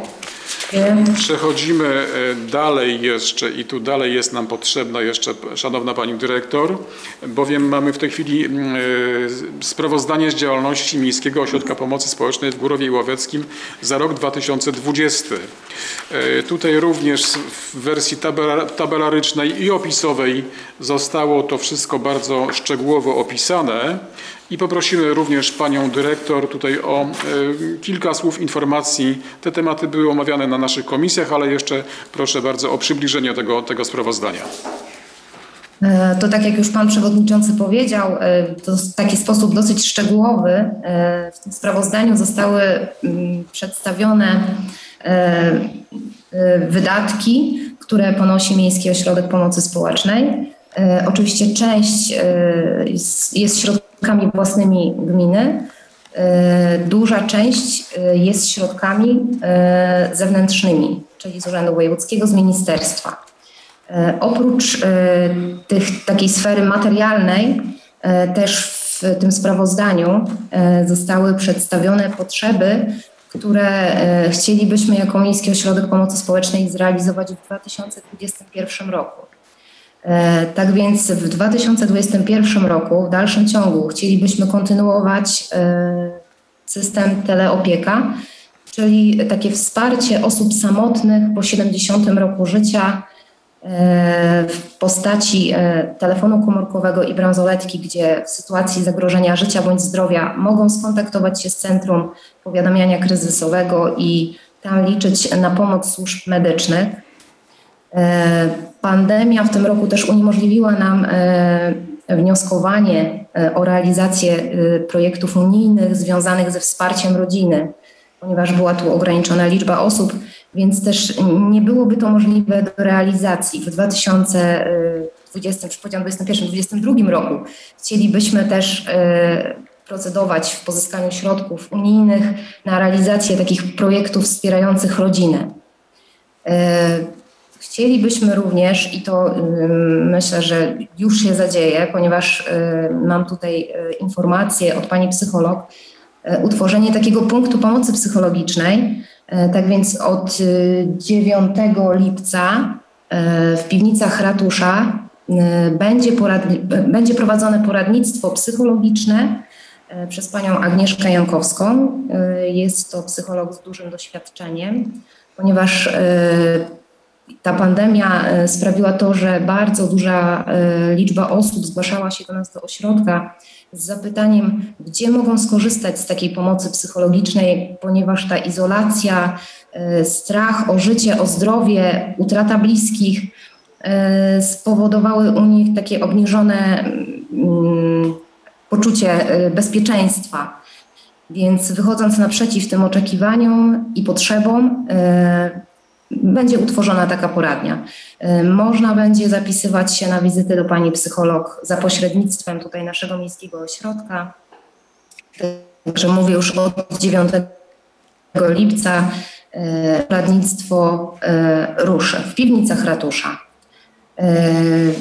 Co jeszcze? No oprócz tego oczywiście będziemy mobilizowali osoby, które długotrwale korzystają z pomocy społecznej żeby nie traktowali jako jednego źródła utrzymania tak, zasiłków z pomocy. Będziemy motywowali też ich do tego, aby podejmowali pracę, tak, aby samodzielnie też starali się dbać o swoje rodziny, e, poprawiając ich byt. E, chciałabym również, no ale to jest tylko takie moje, moje marzenie, aby na terenie Górowa i Ławeckiego e, pojawiły się e, zawodowe rodziny zastępcze, ponieważ na naszym terenie nie ma takich rodzin. E, w pieczy zastępczej mamy troje, czworo dzieci, tak? I fajnie by było, gdyby te dzieci były tutaj bliżej swojego środowiska naturalnego, żeby też można było mobilizować rodziców, którzy są niewydolni wychowawczo, żeby walczyli o te dzieci, żeby te dzieci trafiły do nich. I tutaj pani dyrektor też Powiatowego Centrum Pomocy Rodzinie e, mówi, że dobrze by było, gdyby e, na naszym terenie naszego miasta taka rodzina była. No jest to bardzo cenna i ciekawa inicjatywa. Czy ktoś z Państwa radnych miałby jeszcze jakieś zapytania odnośnie e, działalności Miejskiego Ośrodka Pomocy Społecznej za rok 2020? Jeżeli nie widać, nie słychać, przystąp, przystąpimy zatem do e, głosowania nad uchwałą w sprawie przyjęcia sprawozdania z działalności Miejskiego Ośrodka Pomocy Społecznej w Górowie Ławeckim za rok 2020. Kto jest za przyjęciem takiego sprawozdania, zechce zagłosować.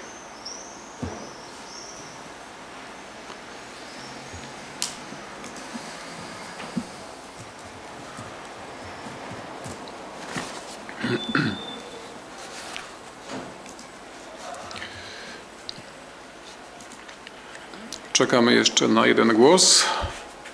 Dziękuję bardzo. Tak jak widać w głosowaniu wzięło udział 13 radnych. Uchwała e, pani dyrektor została podjęta jednogłośnie. Gratulujemy.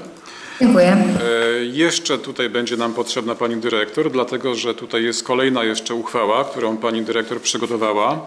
Dotyczy ona e, porozumienia zawartego, zawartego z Miną Miejską Bartoszyce dotyczącego e, tutaj pomocy naszym mieszkańcom i bardzo proszę panią dyrektor o przybliżenie do tego zagadnienia. Rozmawialiśmy na ten temat na naszych komisjach, ale jeszcze raz proszę o przybliżenie tego tematu.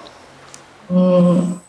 Tak, wyrażenie zgody na zawarcie takiego porozumienia jest niezbędne ze względu na to, iż osoby, które są kierowane przez Miejski Ośrodek e, do schroniska dla osób bezdomnych, będą mogły korzystać e, z posiłków, które przygotowuje tam e, Dzienny Dom Senior Plus. Gmina Miejska Bartoszyce podjęła już takie porozumienie. No i teraz ja proszę Państwa, żebyście przychylnie odnieśli się do tej uchwały. Mówiliśmy również, że dotyczy to dwóch, trzech osób, prawda? E, tak, e, mamy podpisane mm, porozumienie ze schroniskiem dla osób bezdomnych e, na rezerwację jednego miejsca. e, to miejsce przez cały rok było wykorzystywane. Tak? E, Były tam dwie osoby, ale to jedna przestała korzystać. E, Chwila była przerwy, później była kierowana inna osoba. I to schronisko zabezpiecza tylko takie potrzeby e, lokalowe, nie, nie żywnościowe, tak? Te osoby, mm, zazwyczaj są to osoby bez dochodów. W tym roku mieliśmy osobę, która miała tam swój dochód, tak? I która dopłacała do, do tego schroniska, ale tak, są to osoby, które korzystają ze świadczeń pomocy społecznej. Mm, Nie, nie są to duże świadczenia e, i zjedzenie ciepłego posiłku no, byłoby bardzo wskazane. A żeby wszystko było prawnie e, w porządku, także niezbędne jest podjęcie takiej uchwały. E, Dziękuję bardzo. Ja tylko dopowiem, bo rozmawialiśmy wcześniej. E, Taka osoba przebywająca w takim ośrodku musi zachować abstynencję, być trzeźwą i obiad taki kosztuje 5 zł dzienne wyżywienie, więc nie są to zbyt duże pieniądze, a z kolei obostrzenia, bycie trzeźwym jest, jest tutaj obowiązkiem i chyba e, no, je- jest właściwe, żeby, żeby takim osobom pomagać, które, które zachowują trzeźwość, tak? E, związku No, oczywiście. tak, i tutaj czy są pytania i jakieś uwagi odnośnie tej uchwały? E, Jeżeli nie ma, przystępujemy do gł- przegłosowania. Kto z Pań i Panów Radnych jest za podjęciem uchwały w sprawie wyrażenia zgody na zawarcie porozumienia z Gminą Miejską Bartoszyce dotyczącego zapewnienia posiłku osobom tego potrzebującym, a objętych pomocą Miejskiego Ośrodka Pomocy Społecznej w Górowie Ławeckim? E, Zechce zagłosować.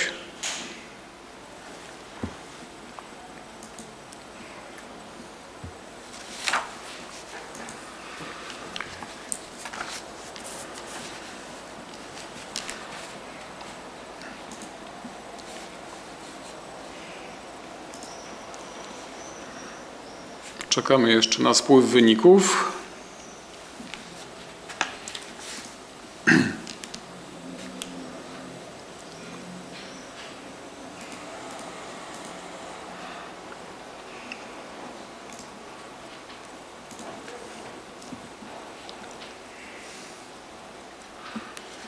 Czekamy jeszcze na panią radną.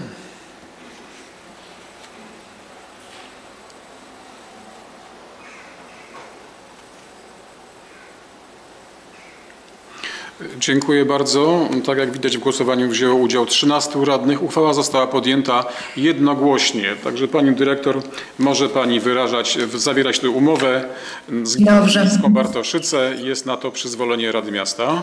Dziękuję bardzo. Dziękuję bardzo. Do widzenia. Dziękuję. E, I jeszcze jedno zagadnienie mamy tutaj do omówienia. E, Dotyczy ono przystąpienia do sporządzenia strategii rozwoju społeczno-gospodarczego Gminy Miejskiej Górowo-Ławeckie do roku 2030 oraz określenia szczegółowego trybu i harmonogramu opracowania projektu strategii, w tym konsultacji. E, I tutaj poprosimy o przybliżenie tego tematu pana sekretarza. Pan sekretarz Andrzej Worobiec jest pewnie w temacie tego wszystkiego.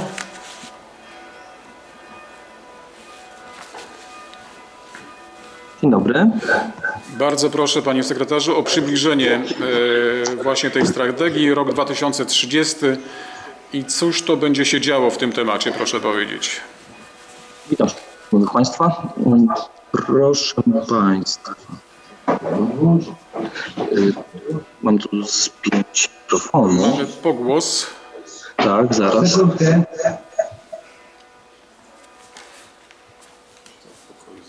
Już dobrze?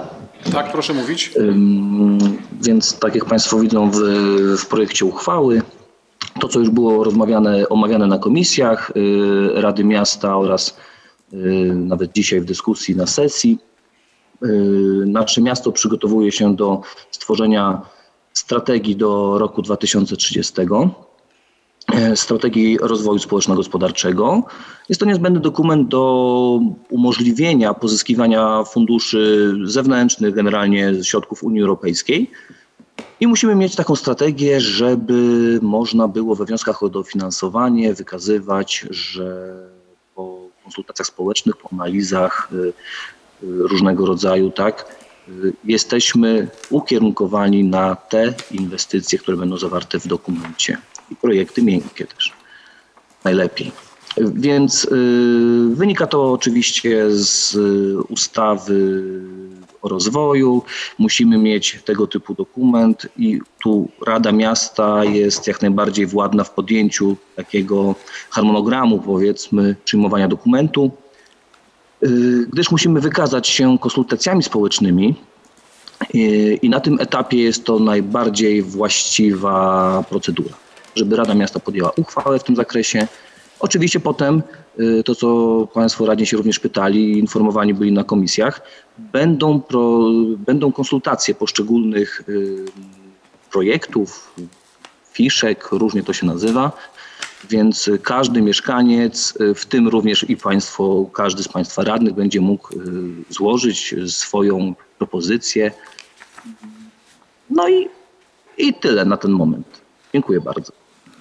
E, Dziękuję. Czy są e, pytania w tym temacie? E, Ja dopytam jeszcze, panie sekretarzu, w którą stronę będziemy się rozwijali? Jaki jest nasz cel? Co chcemy osiągnąć w tej strategii? Jak się rozwijamy? No, W którą stronę? To, co pan burmistrz powiedział wcześniej, tak, yy, jesteśmy ukierunkowani tą strategią, tak, na, na kierunek brukselski, tak. To, co, yy, to, co Unia Europejska por, podpisała z, yy, z polskim rządem, tak samo potem te wszystkie dokumenty, potem na, na tym poziomie schodzi regionalny program operacyjny, a my tą strategią wpisujemy się w regionalny program operacyjny. To wszystko jest zbieżne, tylko na różnych płaszczyznach, tak bym powiedział. Także, tak jak pan burmistrz mówił, y, najwięcej środków jest, tak można ogólnie powiedzieć, prze, przeznaczonych na ochronę środowiska, tak bym ogólnie powiedział bardzo. I, i, i to bezrobocie, więc y, no, te kierunki będą też tutaj u nas królować, tak. Tak, tak to widzę przynajmniej, bo jeszcze oczywiście y, dokument będzie powstawał, także zobaczymy ostateczną wersję jego za jakiś czas. Dziękuję bardzo. Czy ktoś z, pan, z Państwa radnych jeszcze chciałby w tym temacie? E, Nie widzę. W związku z powyższym przystępujemy do przegłosowania uchwały w sprawie przystąpienia do strategii rozwoju społeczno-gospodarczego Gminy Miejskiej Górowo Łoweckie do roku 2030 oraz określenia szczegółowego trybu i harmonogramu opracowania projektu strategii, w tym konsultacji. I kto jest za przyjęciem takiej, z takiego sprawozdania, proszę o zagłosowanie.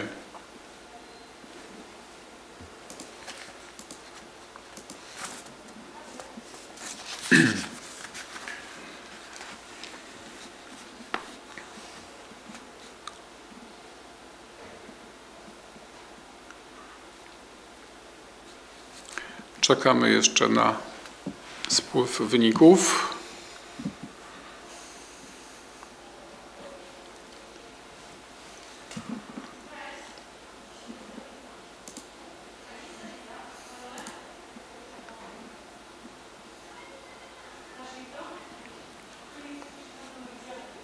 Dziękuję bardzo. Tak jak było widać, w głosowaniu wzięło udział 13 radnych.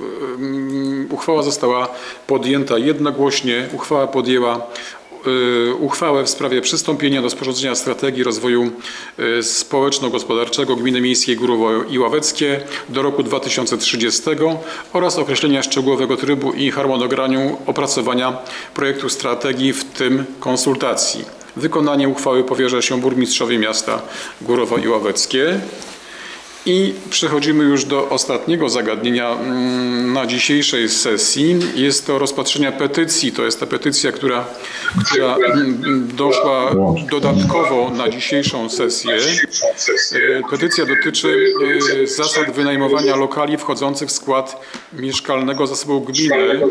I bardzo proszę pana przewodniczącego komisji, pana Kamila Bachanowicza o przybliżenie tego tematu.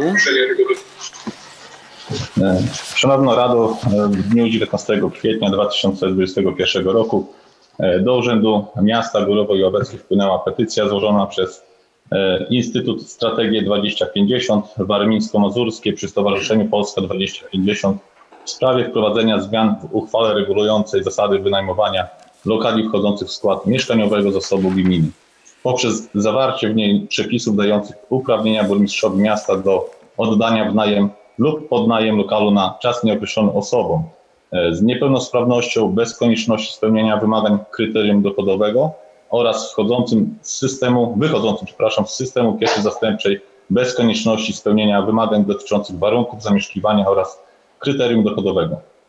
E, Petycja e, została rozpatrzona przez Komisję Skarg, Wniosków i Petycji na posiedzeniu zdalnym w dniu e, 15 czerwca 2021 roku, która po wysłuchaniu stanowiska e, przewodniczącego Komisji Mieszkaniowej pana inspektora Edwarda Drymucha stwierdziła, e, że e, co do celowości i sensu treści petycji komisja uznała, że znajduje ona swoje uzasadnienie, ale w większych miastach. Natomiast w naszym mieście nigdy nie było takiego przypadku i potrzeby, aby wynajmować mieszkania w przypadkach, w których wnioskuje podmiot wnoszący petycję. E, Dodatkowo zamieszczając e, w uchwale takie zapisy, nasze miasto e, zobowiązane byłoby stworzyć odpowiednie warunki dla osób z niepełnosprawnością, co wiąże się z e, poniesieniem dość dużych kosztów, a lokale te e, mogą nie być e, w ogóle wykorzystywane przez te osoby. E, Natomiast e, do chwili obecnej podczas e, rozpatrywania wniosków e, dotyczących lokali wchodzących w skład mieszkaniowego e, zasoby, zasobu gminy, e, burmistrz miasta ka- każdorazowo opiera się na e, opinii komisji mieszkaniowej, która e, każdy wniosek rozpatruje w sposób indywidualny i może e, przyjąć stanowisko, o które wnioskuje podmiot wnoszący e, petycję. E, Zgodnie z artykułem 21 ustawy, ustęp pierwszy ustawy e, z dnia 21 czerwca 2001 roku o ochronie praw lokatorów, e, mieszkaniowym zasobie gminy i o zmianie kodeksu cywilnego ustawodawca e, zobowiązał organ stanowiący gminy do ustalenia zasad wynajmowania lokali wchodzących w skład mieszkaniowego zasobu gminy, w szczególności do określenia kryteriów wyboru osób, którym przysługuje pierwszeństwo zawarcia umowy najmu lokalu na czas nieoznaczony i umowy najmu socjalnego lokalu oraz wysokości dochodu e, gospodarstwa domowego uzasadniającego oddanie e, w najem lub podnajem lokalu. Wieloletni program gospodarowania mieszkaniowym zasobem gminy miejskiej Górowo i Ławeckie e, będzie zawierał e, niezbędne wymagane ustawą e, zagadnienia oraz stworzony będzie na podstawie roz, rozeznania potrzeb mieszkańców oraz realnych możliwości gminy miejskiej Górowo i Ławeckie.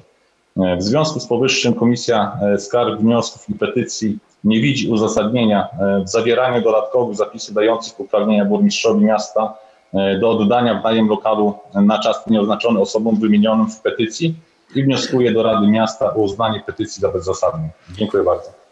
Dziękuję panu przewodniczącemu e, za przedstawienie bardzo szczegółowe e, sposobu rozpatrzenia tej petycji. W związku z powyższym e, petycja, petycja została załatwiona jako bezzasadna. W związku z powyższym przystępujemy w tej chwili do przegłosowania tej uchwały. Jest to uchwała Rady Miasta w sprawie rozpatrzenia petycji w sprawie zasad wynajmowania lokali wchodzących w skład mieszkan- mieszkaniowego zasobu gminy. Kto z, pani, z panów radnych jest za przyjęciem mm, takiej uchwały, zechce zagłosować.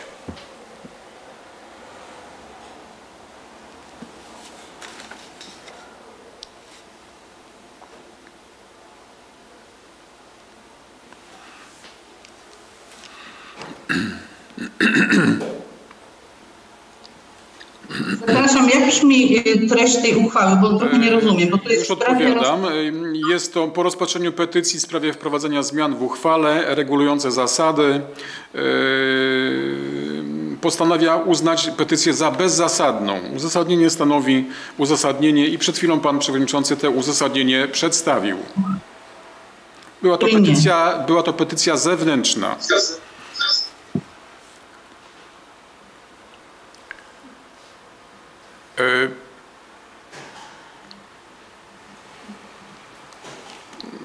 Pani Grażyna zagłosowała, rozumiem, tak? To znaczy tak, tylko że ja popieram, tylko to sformułowanie jakoś do mnie nie, nie bardzo przemawia, bo tutaj jest bezzasadna, a tu, zas- a tu jest napisane, że E, Czyli jest Pani za przyjęciem tej uchwały, rozumiem, tak? jestem za przyjęciem tak, tej uchwały. Dobrze, e, w związku z sformułowanie jest takie, że ja nie bardzo rozumiem.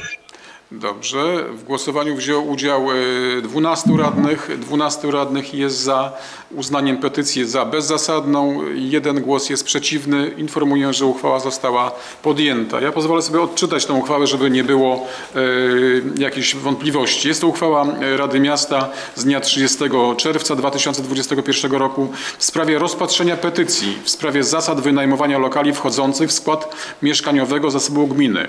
Na podstawie stosownych przepisów o petycjach w związku z ustawą o samorządzie gminnym Rada Miasta Górowo i Łoweckie uchwala co następuje. Po rozpatrzeniu petycji w sprawie wprowadzenia zmian w uchwale regulującej zasady wynajmowania lokali wchodzących w skład mieszkaniowego zasobu gminy postanawia uznać petycję za bezzasadną.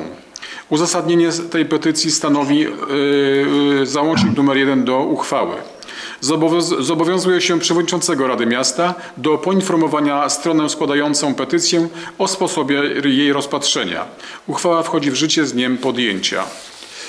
E, To tyle, Wysoka Rado, w sprawach e, bardzo ważnych, które, o których mówiliśmy dzisiaj na naszej sesji, albowiem mówiliśmy o wotum zaufania, wotum, e, wotum zaufania dla Pana Burmistrza, wotum i absolutorium dla Pana Burmistrza.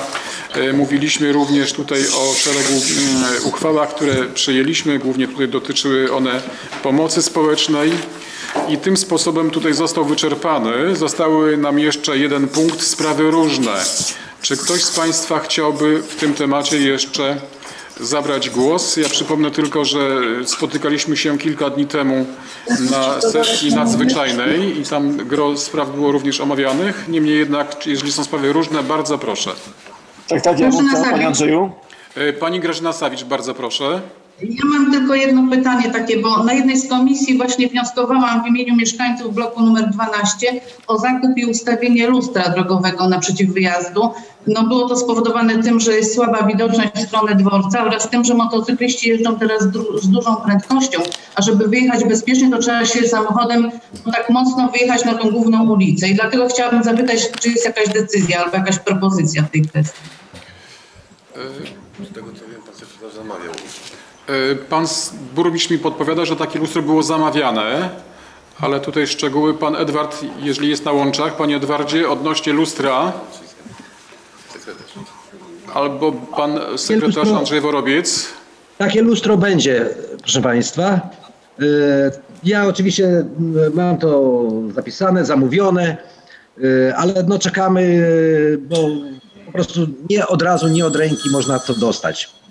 Dziękuję bardzo. Proszę. Dobrze, zgłasza się również pan radny Rochuń Łukasz, bardzo proszę. Y, Ja prawdopodobnie do pana Edwarda odnośnie starego komisariatu, tam kto tam włada kluczami czy pani dostępem tam, tam jest y, z tyłu otwarte okno. I teraz jak tam te deszcze czy jak, to też tam, no szkoda, żeby ten budynek jednak tam jakoś niszczał, nie ma pomysłu na niego, ale, ale okno może wartowałoby zamknąć albo zwrócić uwagę komu tam trzeba to. Dziękuję. Już odpowiadam. Y, Na razie, na dzień dzisiejszy jest to jeszcze własność policji, która ma zamiar, bo próbowała już przekazać, co prawda, ale się nie udało, próbowała to przekazać na mienie wojskowe. To zostanie przekazane, dlatego że y, jako mienie wojskowe można będzie po prostu to przykładowo sprzedać. Ja już się wycofuję, bo jadę do Olsztyna. Dziękuję bardzo. Rozumiem, rozumiem. Znaczy, no, chodzi mi tylko głównie te, te, te uszczelnienie tego okna, bo tam może, wiadomo, komuś się to kiedyś przyda, może tam, może jak nie ma, jak nie ma to, to można dać komuś po prostu znać, żeby to tam uczyni, uczyniono. Dziękuję. Dobrze.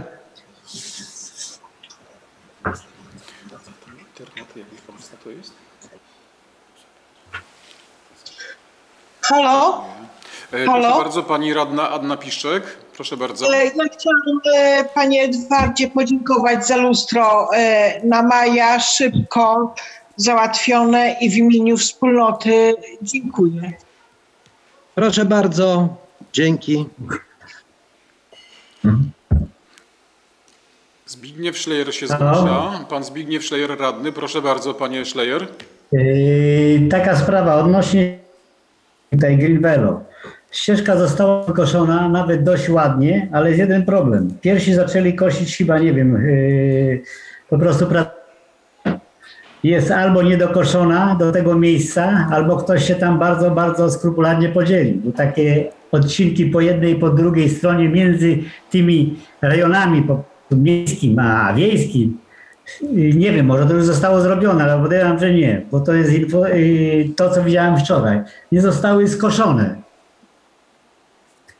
Także no nie wiem, kto to dokosi. Czy to miasto, czy tam się jakoś naprawdę te granice administracyjne tak się urywają po prostu i no trzeba było to jakoś dokosić. Być może no miasto to zrobi. No, oczywiście sprawdzę to, sprawdzę. No ale czyje by to nie było, miasto po prostu jeszcze dokosi tam troszeczkę. Jeżeli to No jest i jeszcze niedużo, ile Tak, to może tak. być metrów, panie radny? A ja wiem, tam z 10 metrów może. To A, dwie okej, strony. okej, zrobimy. Dobra. Dwie strony licząc. I tutaj jeszcze mam taką prośbę, nie chciałem przedłużać yy, po prostu dyskusji o stanie miasta, tylko mam prośbę taką do radnych, żeby po prostu nie krytykowali się tak na, na sesjach. Yy, Dlaczego? Dlatego, że wszyscy widzą to samo.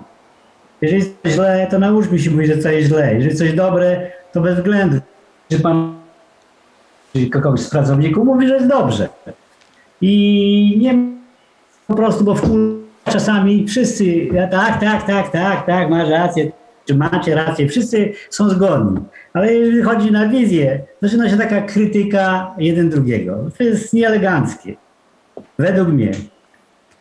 I rozumiem yy, lojalność niektórych radnych, ale no bądźmy po prostu sobą i stwierdzajmy fakty, co co widzimy. Jeżeli jest coś źle, mówmy źle. Jeżeli jest dobrze, chwalmy, popierajmy.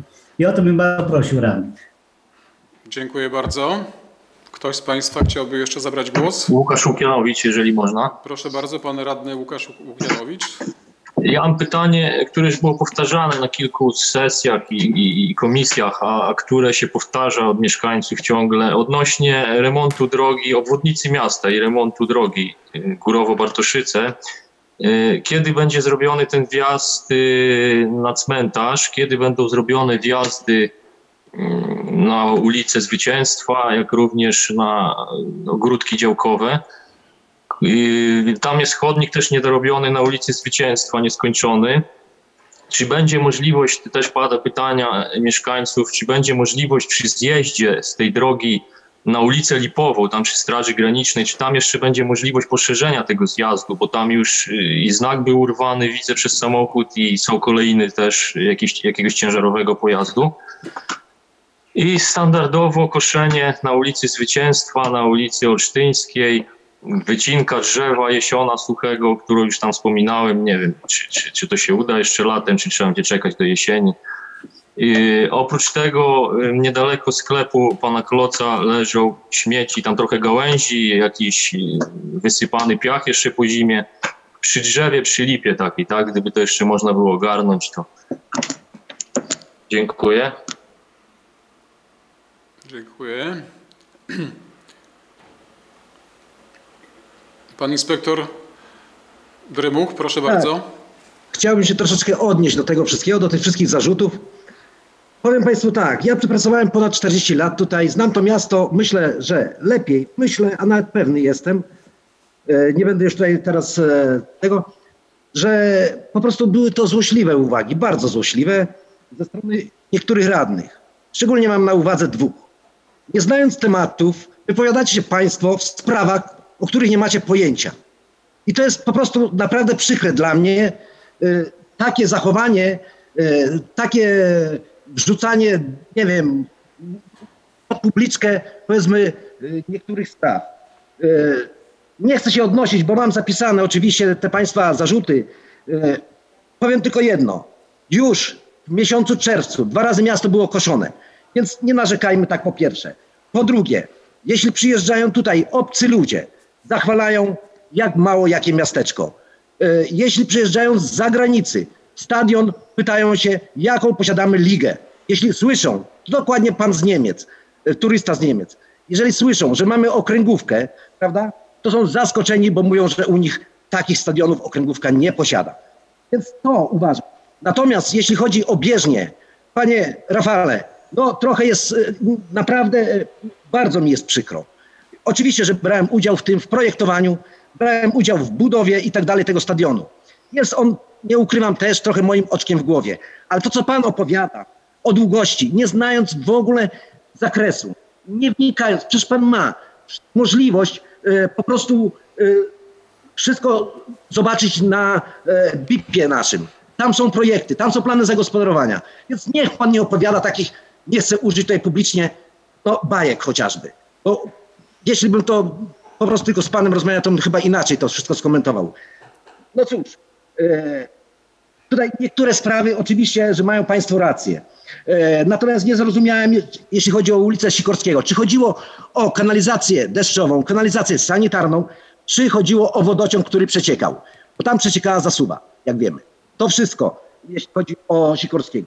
Kanalizacja deszczowa na stawie garcaskim. Nie wiem, czy chodzi o kanalizację sanitarną, bo takie mieszanie pojęć, tam mamy rozdzielczą kanalizację, więc najpierw niech się pan po prostu, panie Rafale, nauczy, że jest kanalizacja deszczowa i sanitarna. I wtedy niech pan się publicznie wypowiada. Dziękuję, to wszystko. E, Poproszę o głos, bo Dziękuję bardzo. Pan radny Narkiewicz, ale proszę, proszę już tutaj nie, nie, nie, eskalować, bo tutaj tak normalnie No. rozmawiajmy i kończmy Pa- już. Panie Przewodniczący, no nie wiem, zostałem zaatakowany bardzo mocno, a dobrze, że to się nagrywa, bo można sobie otworzyć moją wypowiedź. Tam ani słowa nie było o tym, że pan Drymuch jest czegokolwiek winny. To były tylko uwagi na temat inwestycji, dlaczego była taka, a nie inna. Ani, ani jednego zdania na temat winy pana Drymucha, więc nie rozumiem oburzenia pana. Panie jak pan chce mi powiedzieć coś naprawdę w twarz i mocno, ja zajdę za chwilę na dół i bardzo chętnie po sesji z panem porozmawiam. E, Nikt e, nie zarzucił panu dzisiaj, że pan e, cokolwiek zepsuł. Więc myślę, że ten atak na moją stronę jest troszeczkę nie- nie- z pana strony niefajny. Mam pytania do pana Drymucha z, innej, z innej, e, innego tematu. Znaki drogowe w naszym mieście. Związku z tym, że przemieszczam się z dziećmi pomiędzy szkołami, już raz udało mi się osobiście i kilkoro dzieci zahaczyć głową o znaki drogowe, które są tak nisko umiejscowione na chodniku, że trzeba się schylić, żeby w nie uderzyć. Czy może pan Maciek e, jako policjant, czy są jakieś przepisy, które regulują wysokość znaku ponad powierzchnią chodnika? Takie mam pytanie. Dziękuję bardzo. Dziękuję bardzo.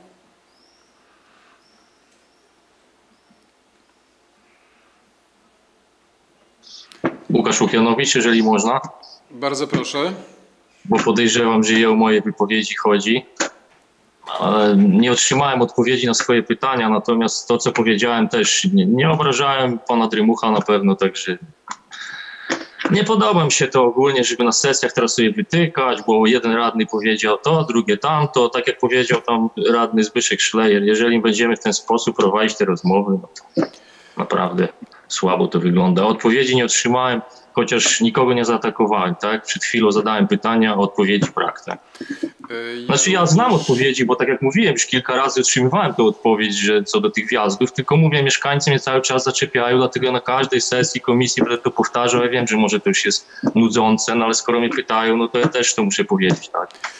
E, Szanowni Chodzi mi konkretnie o również- wjazdy, o zjazd do na cmentarz, o, o ukończenie tej drogi y, 512, tak? Ja również Dziękuję. apeluję o nieatakowanie się na wizji. Nasz ratus, na- nasze miasto jest małe i można przyjść, porozmawiać. Niepotrzebne jest e, nagrywanie tego i żeby szło to w eter, bo to też również jest jakiś wizeru- wizerunek naszego miasta. Także, także bardzo proszę. Jeżeli można, do nawiązania jak krótko. Pani e, Anna Piszczek, bardzo proszę. e, Do e, krótkiej wypowiedzi pana e, przewodniczącego. Panie Łukaszu, ja też mam duże zastrzeżenia, jeżeli chodzi o telekomunikację, ale nie będę o tym mówiła oficjalnie teraz. Są sprawy, które możemy załatwić normalnie, mówiąc, a nie na forum. Przepraszam, a jeżeli pan będzie chciał zapytać, to ja odpowiem panu. Dziękuję bardzo. E, Dziękuję bardzo. E, Widzę, że chyba wszyscy jesteśmy. Łukasz Łukianowicz, muszę na to odpowiedzieć, bo zaczynamy teraz o pracy mówić, o komunikacji. Jak pani ma zastrzeżenia, to ja powiem tak jak pan Rafał Narkiewicz. Przyjdzie pani do mnie, powie pani, jakie ma zastrzeżenia, bo sama pani teraz wyciąga takie rzeczy. Naprawdę brak słów. Atakujcie mnie teraz wszyscy i Tak, jak jeżeli uważacie, że to za słuszne, także. Szanowni radni. Koniec, ja już więcej nie odpowiadam. Nie chcę się tam dyskutować na ten temat. Dziękuję. Szanowni radni, ja tylko powiem w ten sposób, Przepraszam, że... panie przewodniczący. Nie ja pójdę, tylko wyślę ludzi, którzy do mnie przychodzili.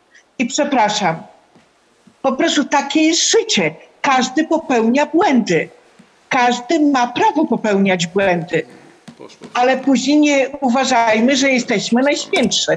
I dlatego ja nie przyjdę do telekomunikacji, tylko wyślę ludzi, którzy przychodzili do mnie. Dziękuję.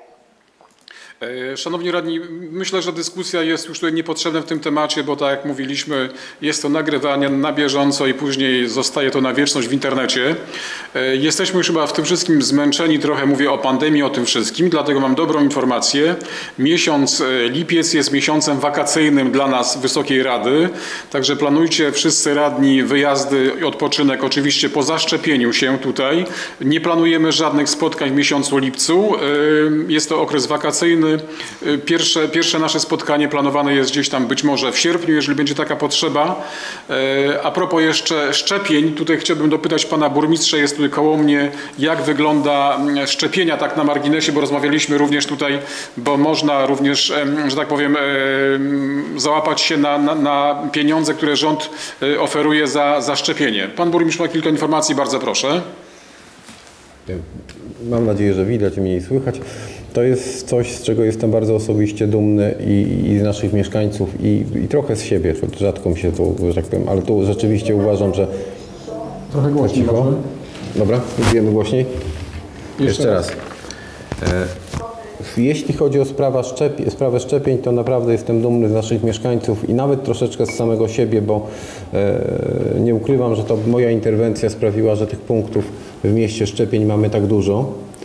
E, I to znalazło odzwierciedlenie w statystykach. Słuchajcie, to jest statystyka na dzisiaj. Dzisiaj spośród około 3800 mieszkańców, którzy figurują e, w statystykach, to pierwszą dawką, czyli zakładam, że domyślnie zaszczepią się wszystkimi dawkami, zaszczepiło się 1785 osób, co stanowi 45,9% e, mieszkańców. Dwie dawki przyjęło już 1325 osób. I no trochę nam brakuje.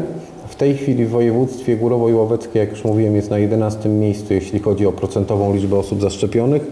E, Wydaje mi się, że na terenie naszego miasta można się szczepić e, najszybciej, chyba w okolicy. Zresztą ze stadionu korzysta mnóstwo obcych ludzi, bo sam jak byłem na szczepieniu, to właściwie wśród kilkudziesięciu osób widziałem jedną czy dwie osoby z Górowa. Więc jak ktoś się chce szczepić, do czego bardzo zachęcam, bo naprawdę COVID nie jest lekką chorobą i sam przeszedłem zakażenie dosyć, dosyć ciężko i wolałbym nie wracać do tego doświadczenia. E, Ale też e, bardzo ważne jest to, żeby za- zabezpieczyć samego siebie po to, żeby zabezpieczyć też najbliższych, tak? Swoich dziadków, swoich rodziców, osoby chore w rodzinie i nigdy nie wiemy, na kogo popadnie ciężki przebieg. Choroba jest wredna, wstrętna, e, a ostatnia rzecz jest taka, że jeżeli nie wyszczepimy się, to znowu czeka nas e, lockdown, czyli znowu nas pozamykają i ja naprawdę wolałbym, wolałbym już nie. Dziękuję bardzo. E, To tak na Radny marginesie. pan Bachanowicz, jeżeli tylko do Bardzo pana proszę, burmistrza. pan radny Bachanowicz, proszę bardzo. Panie burmistrzu, czy te dane, które pan przedłożył, to są dane y, osób, które się zaszczepiły w naszym mieście, czy również osób, które się zaszczepiły poza naszym miastem? Dotyczą tylko Górowa i Łoweckiego jako naszego miasta. Nie? Gmina ma dużo niższy stopień wyszczepienia, bo tak z ciekawości popatrzyłem. Dobrze, dziękuję. E, Dziękuję bardzo. E, Myślę, że chyba już wszystkie tematy zostały wyczerpane. Zachęcam tutaj również, jeżeli są jakieś tematy jeszcze mm, palące w Waszych okręgach wyborczych do osobistego kontaktu, e, osobistego kontaktu tutaj chociażby z przedstawicielami magistratu, żeby to wszystko załatwić. Pan Czesław Antonowicz mi się wyświetla. Pan Czesław chciałby coś powiedzieć. Tak, tak. Ca- Cały czas czekam na głos. Bardzo proszę, pan Czesław Antonowicz, Witam, radny, z- witam. radny z BEMA. Witam Państwa bardzo gorąco. Yy, Ja bym to chciał nawiązać yy, tak bardzo krótko i humorystycznie do yy, wypowiedzi pana burmistrza odnośnie debaty o stanie gminy. I chodzi o, w zasadzie o pielęgnację zieleni. Nie wiem jak jest jakby gdzie indziej, ale jeżeli chodzi o BEMA, to jest po prostu tragicznie. Nie, yy, bym prosił, żeby chociaż co jakiś tam czas ktoś się y, pojawił y, na mema i te kilka klombów jakby oczyścił z tych chwastów czy trawy, bo, bo jeszcze trochę to ich faktycznie nie będzie w ogóle widać, bo już tak są pozarastane, y, a podejrzewam, że nie będzie jakichś wielkich problemów z odnalezieniem tych klombów, bo są ogrodzone taką trochę niewysoką siateczką, ale zaznaczone są. Ja czekam już od dłuższego czasu, chyba 3-4 tygodnie, żeby ktoś się tam pojawił. Nie ma chętnych. Dziękuję bardzo. Dziękuję. Myślę, że już chyba tematy zostały wyczerpane i jeszcze raz zachęcam do osobistego kontaktu z naszym magistratem celem załatwienia spraw piekących, naglących y, w, w naszych obwodach y, wyborczych. E, Tak jak powiedziałem, miesiąc e, lipiec jest planowany okresem wakacyjnym, także na pewno nie spotkamy się chyba, żeby trzeba było w trybie nagłym jakąś sesję, sesję nadzwyczajną, ale nie planujemy tego. Kolejne nasze spotkanie planowane jest na miesiąc e, sierpień, ale bliżej nieokreślone. Zobaczymy, jak to wszystko będzie.